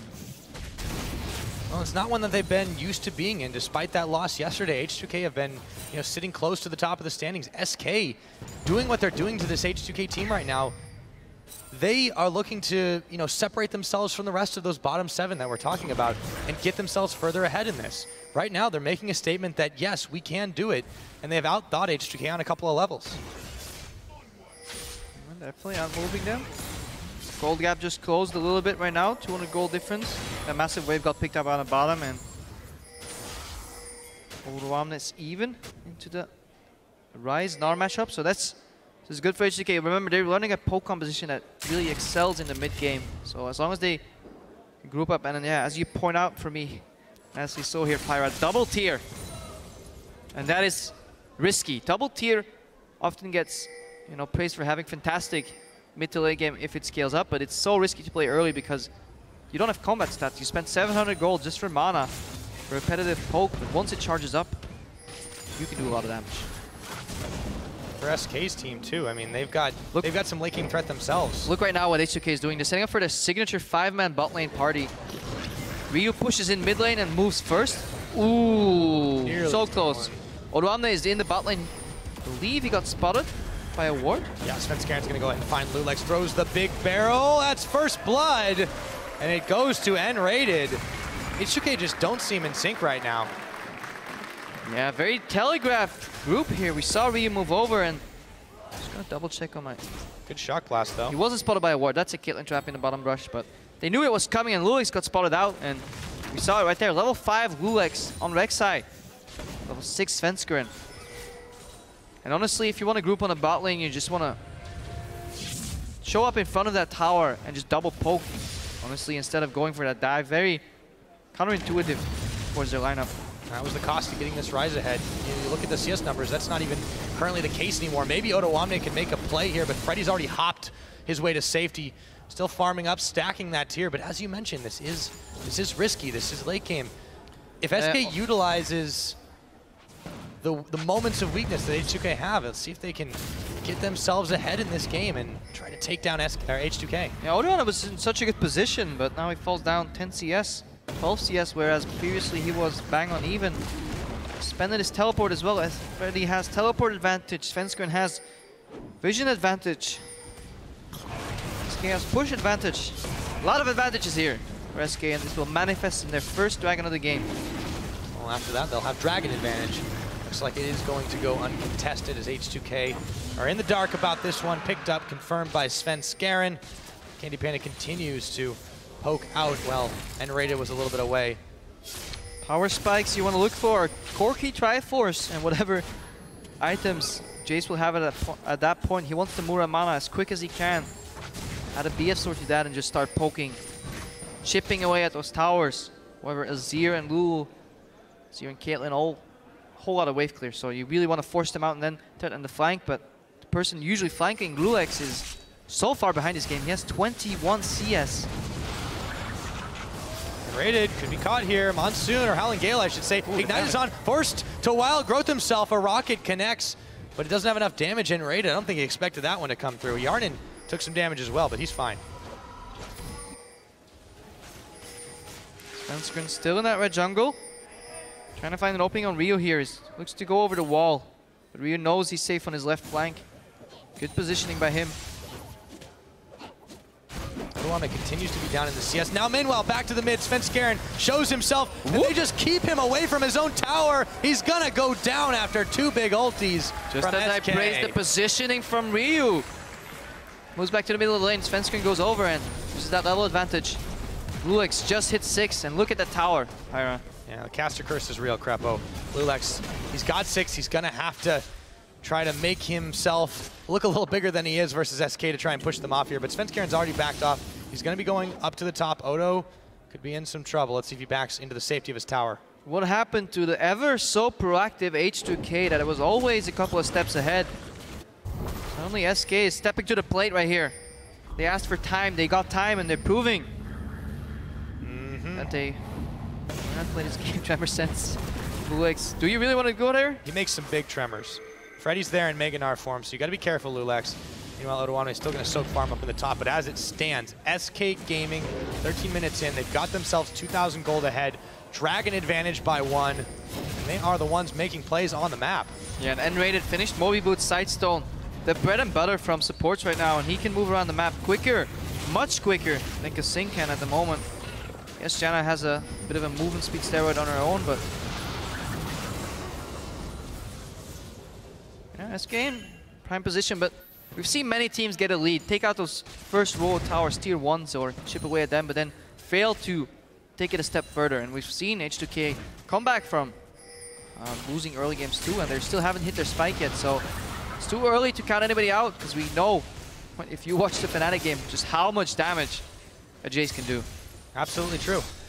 Ryu looking to emulate Febiven on that one, and he's still got a ways to go. You mentioned, you know, this, these Tears, they take a while to stack, and You know, it's, it's a long-term investment for H2K, but this hasn't really been their MO throughout the split. Yes, it's maybe changing a little bit, but they've usually been the team that, that gets to head. They go these 10 to 20 minutes and then get up and get ahead and get a big power spike and you know take fights around, translate those into towers. It's not happening so far. They've only got one tower versus SK, who are standing strong here.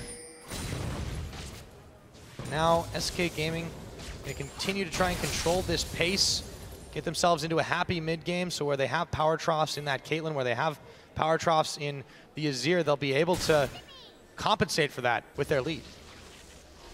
SK honestly looking play a very passive game here until the second dragon. It seems ironically this was or not ironically actually just history tends to repeat itself because last time they faced off SK finished the game with four dragons to none if I recall correctly. So H2K got behind in Dragons, but eventually Ryu found an opening with his TF porting in and taking out a Fox every time. And it looks like this game is back on Ryu's shoulders. Right now, if they will be able to step up to the plate and carry, that's what H2K is hoping for. Odoamne will still have some time. Ooh, that misses. Blast not connecting. He has to clear the wave. There's an opening here for SK. They're going to be able to finish off this tower, and they do. Yeah, Ryu. one for them. Tries to connect the poke that, that would then splash onto the wave, but misses, and this is crucial. Just sacrifices his tower there. When you run a Jayce, you have to take a choice whether you will hit the minions or Odoamne, they're going in. Yes, he is. Freddy's in mini Gnar. It's going to be a while to stack it up. Three snares. He has to burn his flash. Odo is going to get out of dodge, though. Loulex coming back around the side. Is this just a feint? It looks like it. Acting. Prey Seeker. Narbar stacking. Oh, he's out. He's going to be a nice and safe. Fox is there for defense as well. They might be baiting this one. And Odoamne Go is down. Fox tricked by Freddy. Yeah, H2K a step behind against SK Gaming here, falling for very easy tricks, and SK honestly playing very well as a team. Previously helping each other. Freddy knowing his limits. Knows that the Ryze just doesn't do that much damage just yet. Yeah, very different H2K. 4,000 gold in the lead right now. SK Gaming. Impressive performance. Very impressive indeed. remember, you hark back to the last time these two met. That was back in week three. It was quite a long game. It took a little while to get going. There were these back and forth fights. SK controlled the Dragons, though. They were the ones that were prioritizing this, and H2K just, they didn't seem to care. They even gave up a Baron but, but, they H2K, still were able to finish him off. H2K in that game had a very different comeback mechanic. They had the triple threat with the TF porting in, but right now they're playing with a whole different team composition. They have Poke, and Poke from behind is so incredibly hard to play because, yeah, quite obviously people would just get too tanky and they would just not care, and as long as you can't keep up that minion, minion wave clearance, then you're falling behind, and then SK will punish you and just straight up dive you the composition. Gnar can get into the side. Svenskeren can go in, knock somebody back. So can Should we shuffle with Fox, and then if somebody gets caught and clumped upon, then Wild Growth will be the answer from SK Gaming. We'll see if that does come to pass with this Dragon coming up. H2K will be moving into position, or at least attempting to. Still some pressure on the top by Odoamne dealing with, oh, oh Freddy, but it is nRated who's the one who takes the brunt of that shock blast back in the middle. They might have to reevaluate their positioning. Crab's going to be fought over. Looks like Candy Panda will be able to secure it. Yeah, Gosu Pepper was the first one this weekend to feel the brunt force of that Jayce poke as we see Odoamne square off with Freddy yet again. Those stuns. Technically snares. Might As well feel oh, like you got all right. You got me. Feel like you're perma stunned with the rate they're coming out there. Ira. Snares even worse because you. Yes. You can. I've been wrong about those before. You can cast abilities, or you can watch people hammer you in the face over and over. Torment. Yeah, Odoamne, he's charging up. Jayce is charging up. Corki just hit his power spike, so that might buy enough power for H2K to stay in this fight. Want to contest his dragon. They have to poke their way in, and this game I just all in the dragon. Look at Fox I thought for a second he was going to flank, but yeah. This, this, the next J-Q is going to be big. Yeah, but they're going to have to make a move now. Candy Panda's taking a lot of damage from that shock blast. H2K decides this is the time. Can they secure the dragon? They get pushed back. Loulex is there. The Monsoon is going to keep them alive, and it is secured. They take it away from SK. Meanwhile, though, Odoamne is going to be the one taken down. And it is a one for none. Hjarnan trying to beat a hasty retreat. Look at bot wave, though. Should be able to do it. There is a big bunch of minions that SK can take advantage of, and they're just buying time, stopping the ports. Svenskeren, low as he is, can push on this tower. Fox waiting for Ryu. Will he be in danger? I think so. Gonna have to burn his flash. Summoner heal immediately. Good read by Fox. He knows that Ryu wants to go to that bot wave to clear all those minions, but not in time. Svenskeren pushes it in. SK trade one kill and one tier 2 tower for a Dragon on H2K, and honestly, get better of that trade. However, H2K stopped their bleeding, so now they have more time to scale up that poke. But mm -hmm.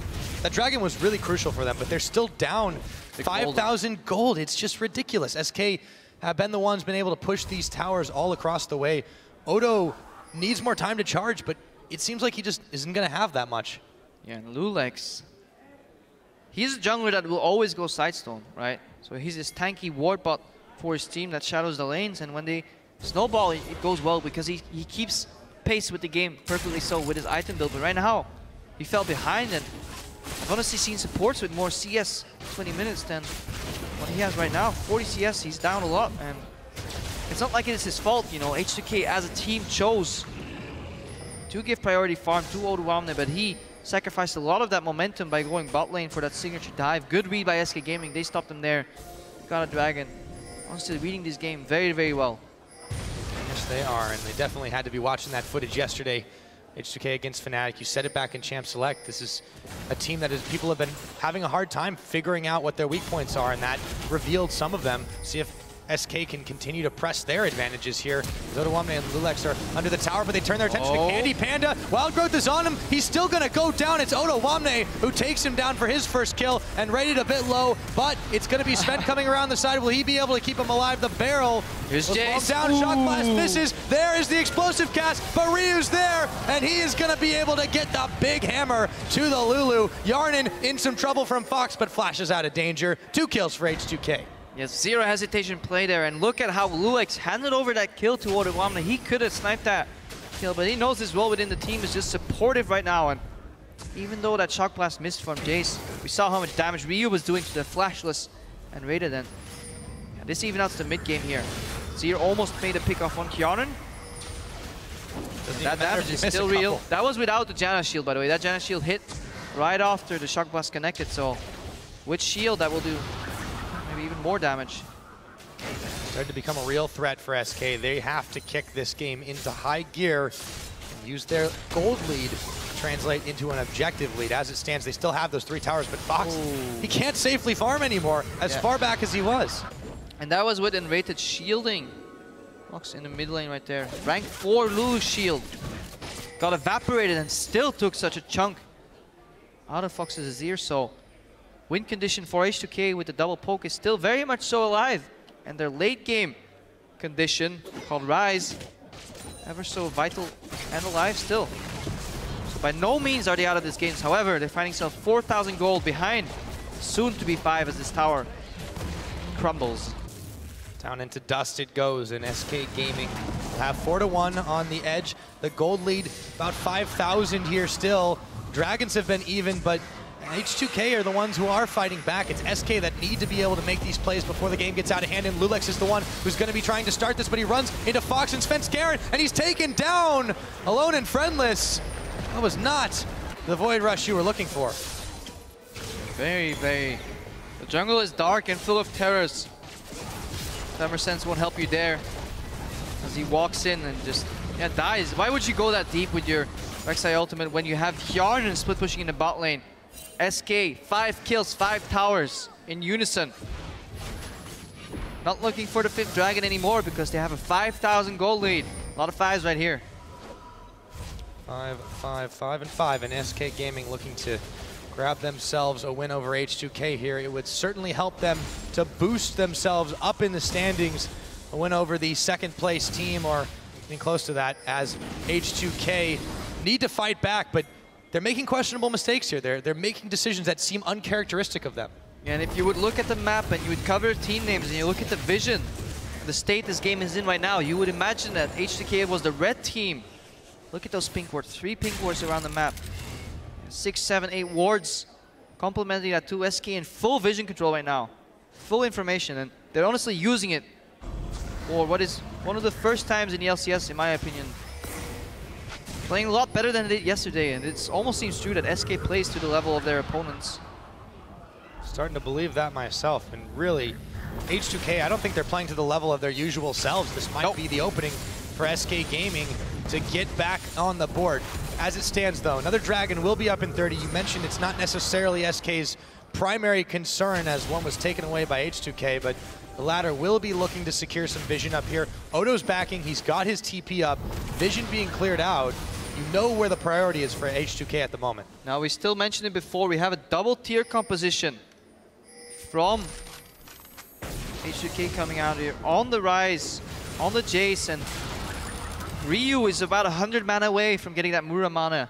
Seraph's Embrace finally finished for Odoamne. There's gonna be some big spikes, and honestly, they'll need him. H2K is looking to take their sixth tower here in the top lane, but Odoamne does his best Rooney impression. Makes that wave disappear.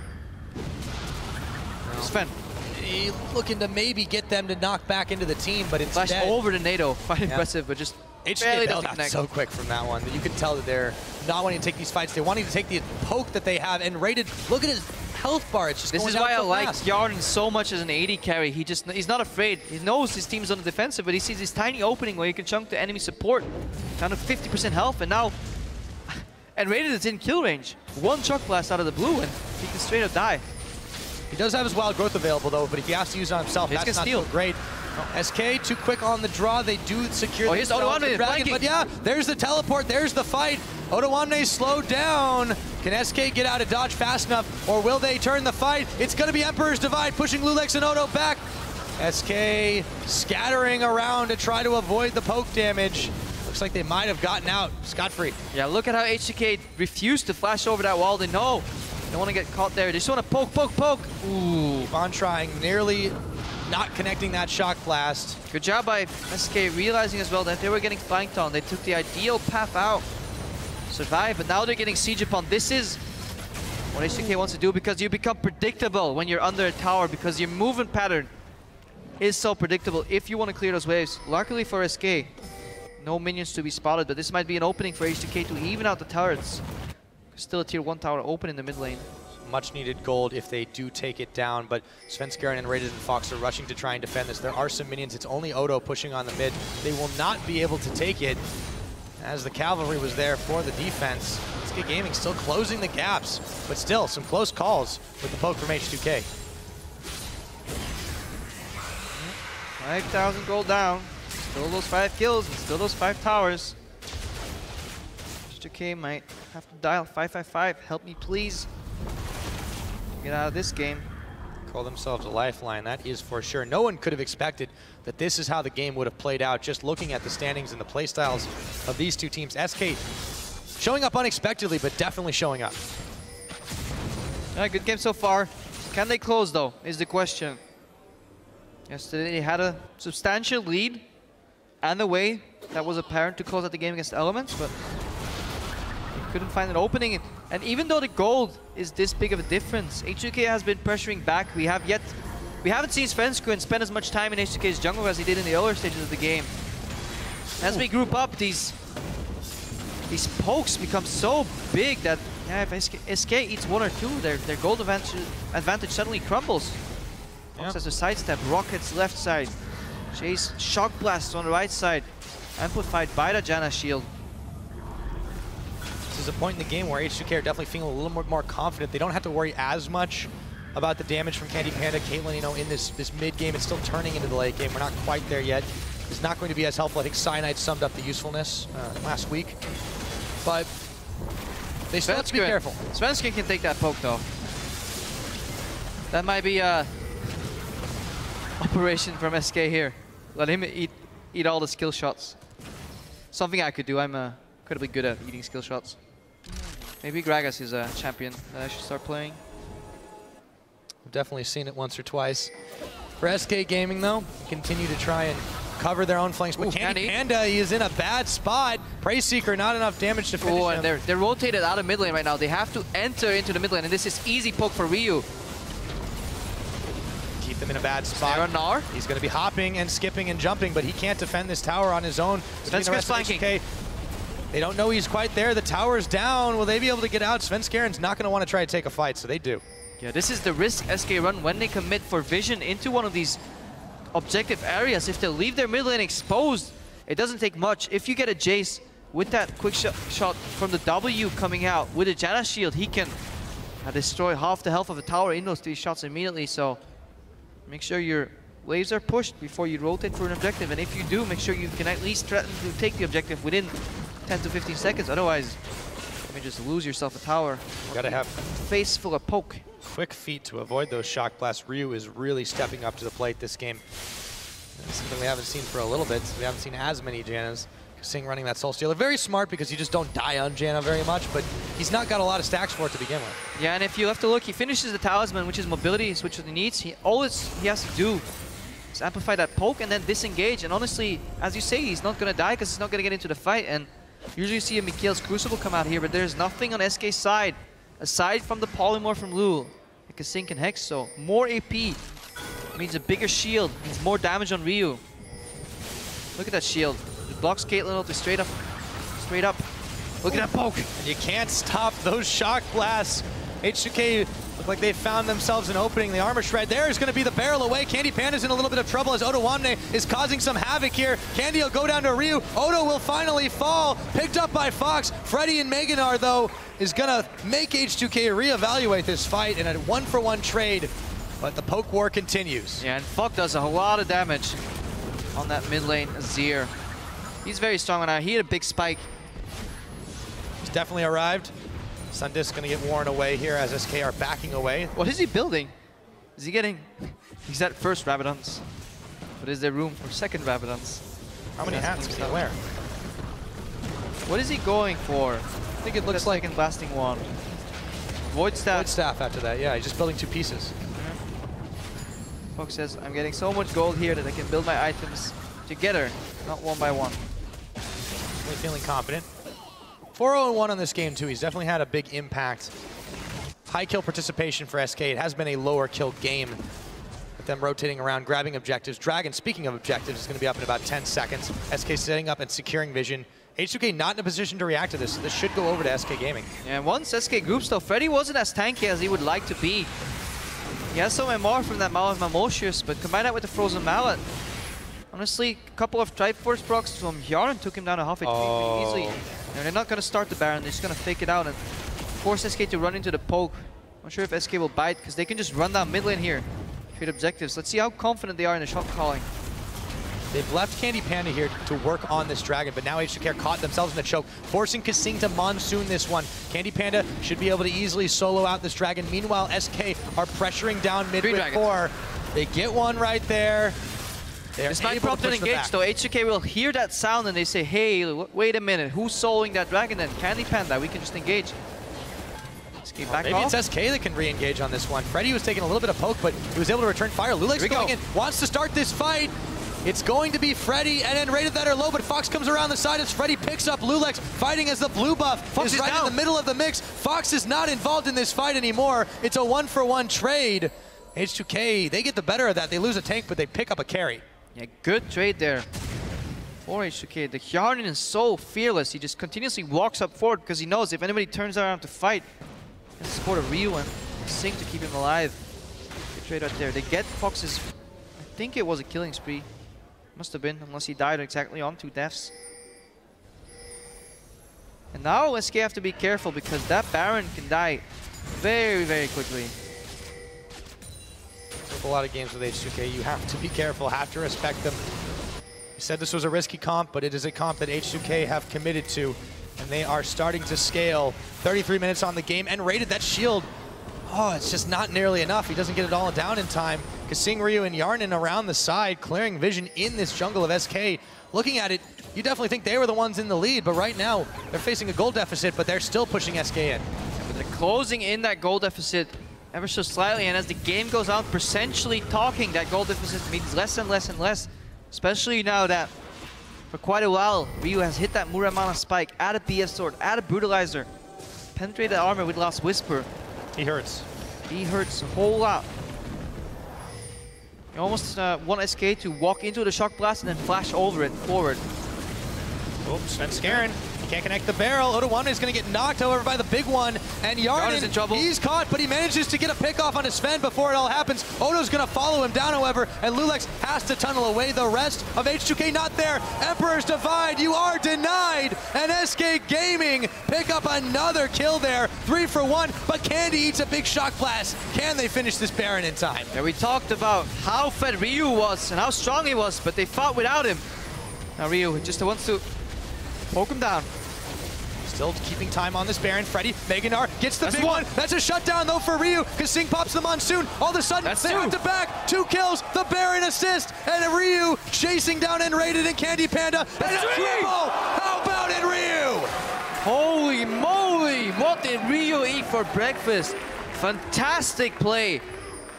Connects on the right targets at the right time and gets some assistance from Baron buff. And yeah, H2K, hopefully you learned your lesson. Don't fight without Ryu because holy moly, he does a lot of damage. I think SK had to learn that lesson too. Don't fight when Ryu's there. Six and one, teleport in for Odo. They're gonna look to rush this Baron down. It's spotted by SK's ward, but still some time on Candy Panda, Fox, and Freddy. Sven could attempt the Miracle Steal, but he's gotta be careful to dodge the Shock Blast. And Rated is there as well. In goes Odoamne. They're gonna turn their attention with just him. Big Barrel to try and push him back. Teleport now for Freddy as he's come back off of Fountain. Not sure Odo's still like that. standing strong. Baron going low. Sven got Scarrett comes in. The steal is complete. Svenskeren comes up with it, and Freddy picks off Odoamne. Very questionable flash from Odoamne. He tries to jump on Svenskeren, chunking out. Svenskeren is simply too tanky. In return, H2K know that they just lost damage on Baron. They can't burst it down anymore. Let's watch it again. He flashes over. Snare, hit, snare, hit. Just not enough. Really keeps him alive. And now H2K loses damage on Baron. And they're pressured because the longer they wait, the more people from SK come back. And they burn down the Baron and Svensker. And this is a beautiful steal. And game saving. See if SK can use this 5,000 gold lead with the Baron buff, because now no longer does Ryu just simply one-shot that wave. They need two shot waves, perhaps even three, to get through that. And H2K might lose some more towers. With that, the momentum shifts back that way.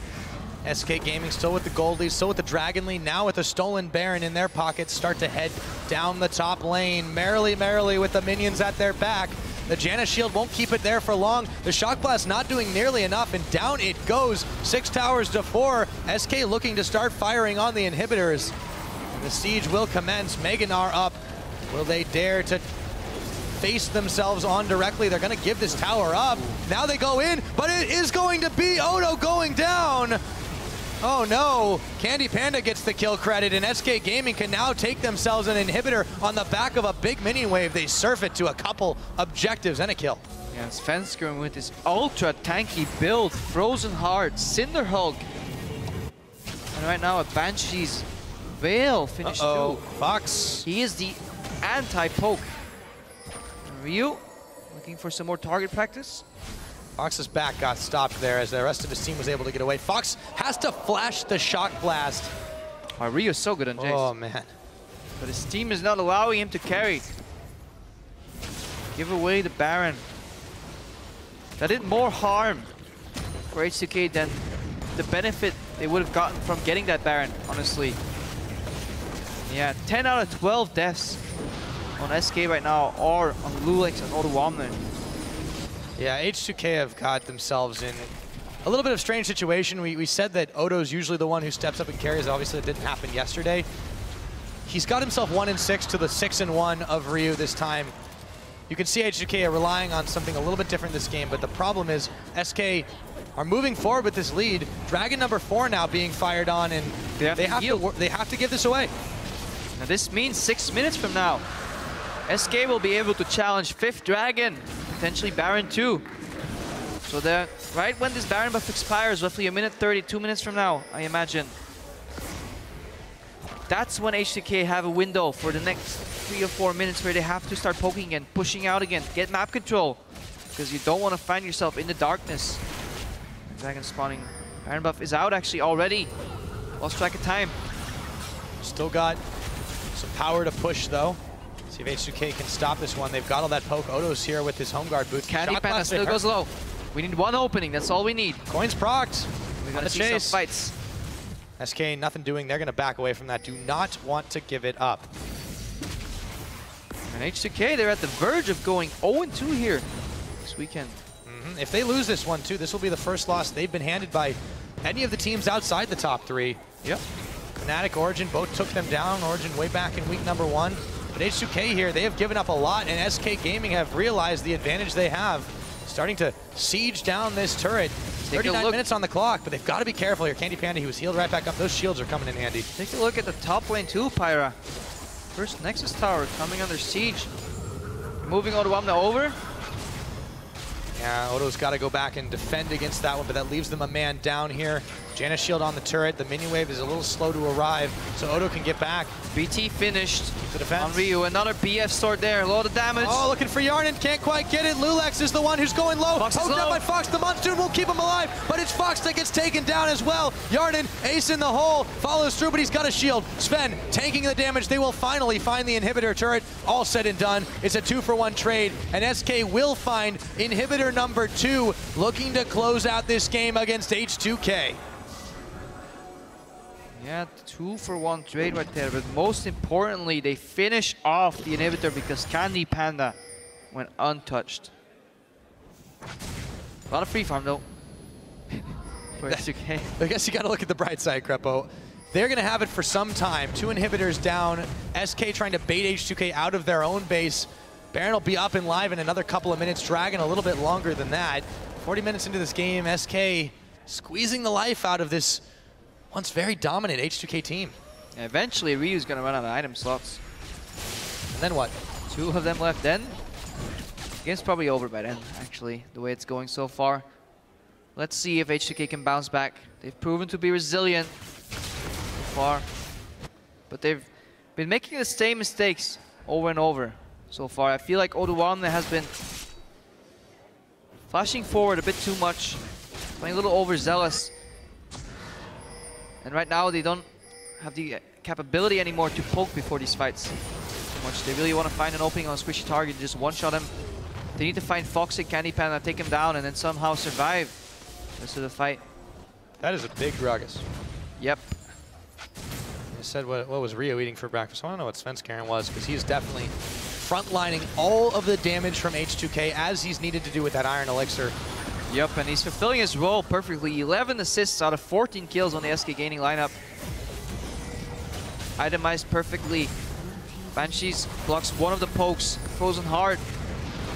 You a lot of armor. Candy Pan is still taking the poke, but he's not as worried about it here as long as they can keep him safe behind the lines. He's able to throw out those ace in the holes. Odoamne is going to tank that one. A shock blast hits Svenskeren, but he's perfectly okay with that. Sundus to fall back to. Inhibitor respawns in the top, but SK are not letting the siege up. They're not they're not here to take down the middle of Inhibitor Tower. They're simply, it seems, waiting for objectives to spawn behind them so they can peel back. However, H2K managed to get a lot of wards in that area. SK hasn't cleaned them. Honestly, if SK don't split up, they might not be able to force this. Let's see if they can to maybe try, but there's a lot of wave clear on the side of HK. You can see those fast bombs. Those traps are really annoying to deal with, actually. Candy Panda takes damage. As we hear them getting sprung, Sing is on trap duty. The side lane. down, but yes, this bottom lane is pushing very heavily. HK know that they have to take a moment to move, but they can't catch SK Gaming the moment they go for the chase. SK poof, vanishes. Baron's live again. And Candy Panda, most importantly, picked up that Quicksilver Sash. That means the next time Odoamne flash snares him, he can QSS flash out himself. Get the Wild Growth potentially on him or on Fox on the Azir, and suddenly those two squishy carries become a lot harder to take down. Even nRated, can survive more than two pokes right now, which means yeah, Ryu is having a harder time carrying this, this mid to late game, and SK played it well. Odoamne is looking for the home guard TP, but he's on wave clear duty at the same time. He's got to run, run, run out of the base to clear those minions away. That means H2K can't rely on that big wombo combo there. And SK aren't going to give him an opening to even try and fight. Vision control there is scattered from both teams, but SK Gaming are the ones that are putting him in the right places, not letting H2K do much of anything. Dragon will be up in another 30 seconds. This is Aspect.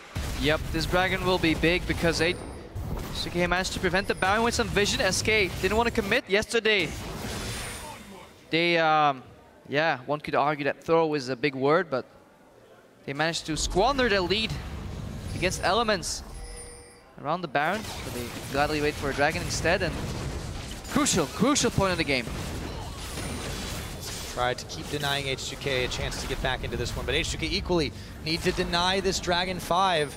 SK Gaming with that big buff that they would receive, be able continue to force their way in. Odoamne's around the side. H2K moving into position. Dragon started. It's going down so quickly, but they made their move. Dragon's glow. It's going to get picked Aspect. up. There's Aspect. Can SK do it with this? They pick up one kill on Odo. They're going to look for two. Loulex is down. Ryu's fired. It's Candy Panda running wild. Big shutdown on Ryu, courtesy of Fox, and a triple kill for Candy Panda. Can SK do this, you ask? And yes, they can. Five kills, five dragons, aspect of the dragon, and they're looking to close out this game.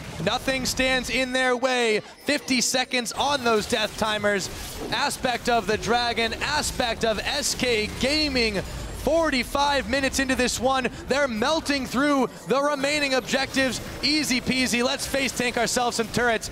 And SK Gaming, after a very rough start to this split, will finally manage to grab another win on the board and take down H2K. And after such a victory, you have to put your shoes back on. Candy Panda says, one of those players that comfortably plays without his shoes.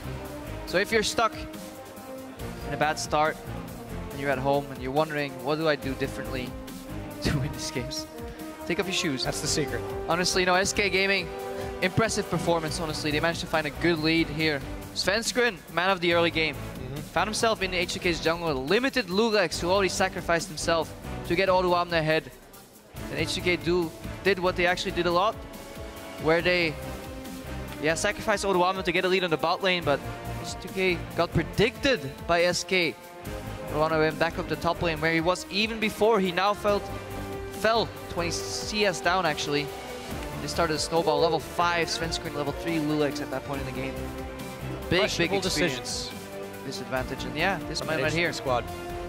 probably, he knows there's things to work on, but they ha they've built themselves up quite the buffer in the mm-hmm. standings. So. You can afford to make a few mistakes, drop a few games, but nonetheless, if you want to separate yourselves from the pack and keep yourself safe in that top three, you cannot do this consistently. So that's something they're going to have to keep their eyes on is probably the hand on the shoulder of Ryu, the rest of the team in turn. Ryu really stepped up, played an amazing game on that Jace, but the rest of his team just couldn't do quite enough. And again, teamwork, decision making. It seemed that they were a bit out of sync this game. It's not something that we've seen from H2K this split.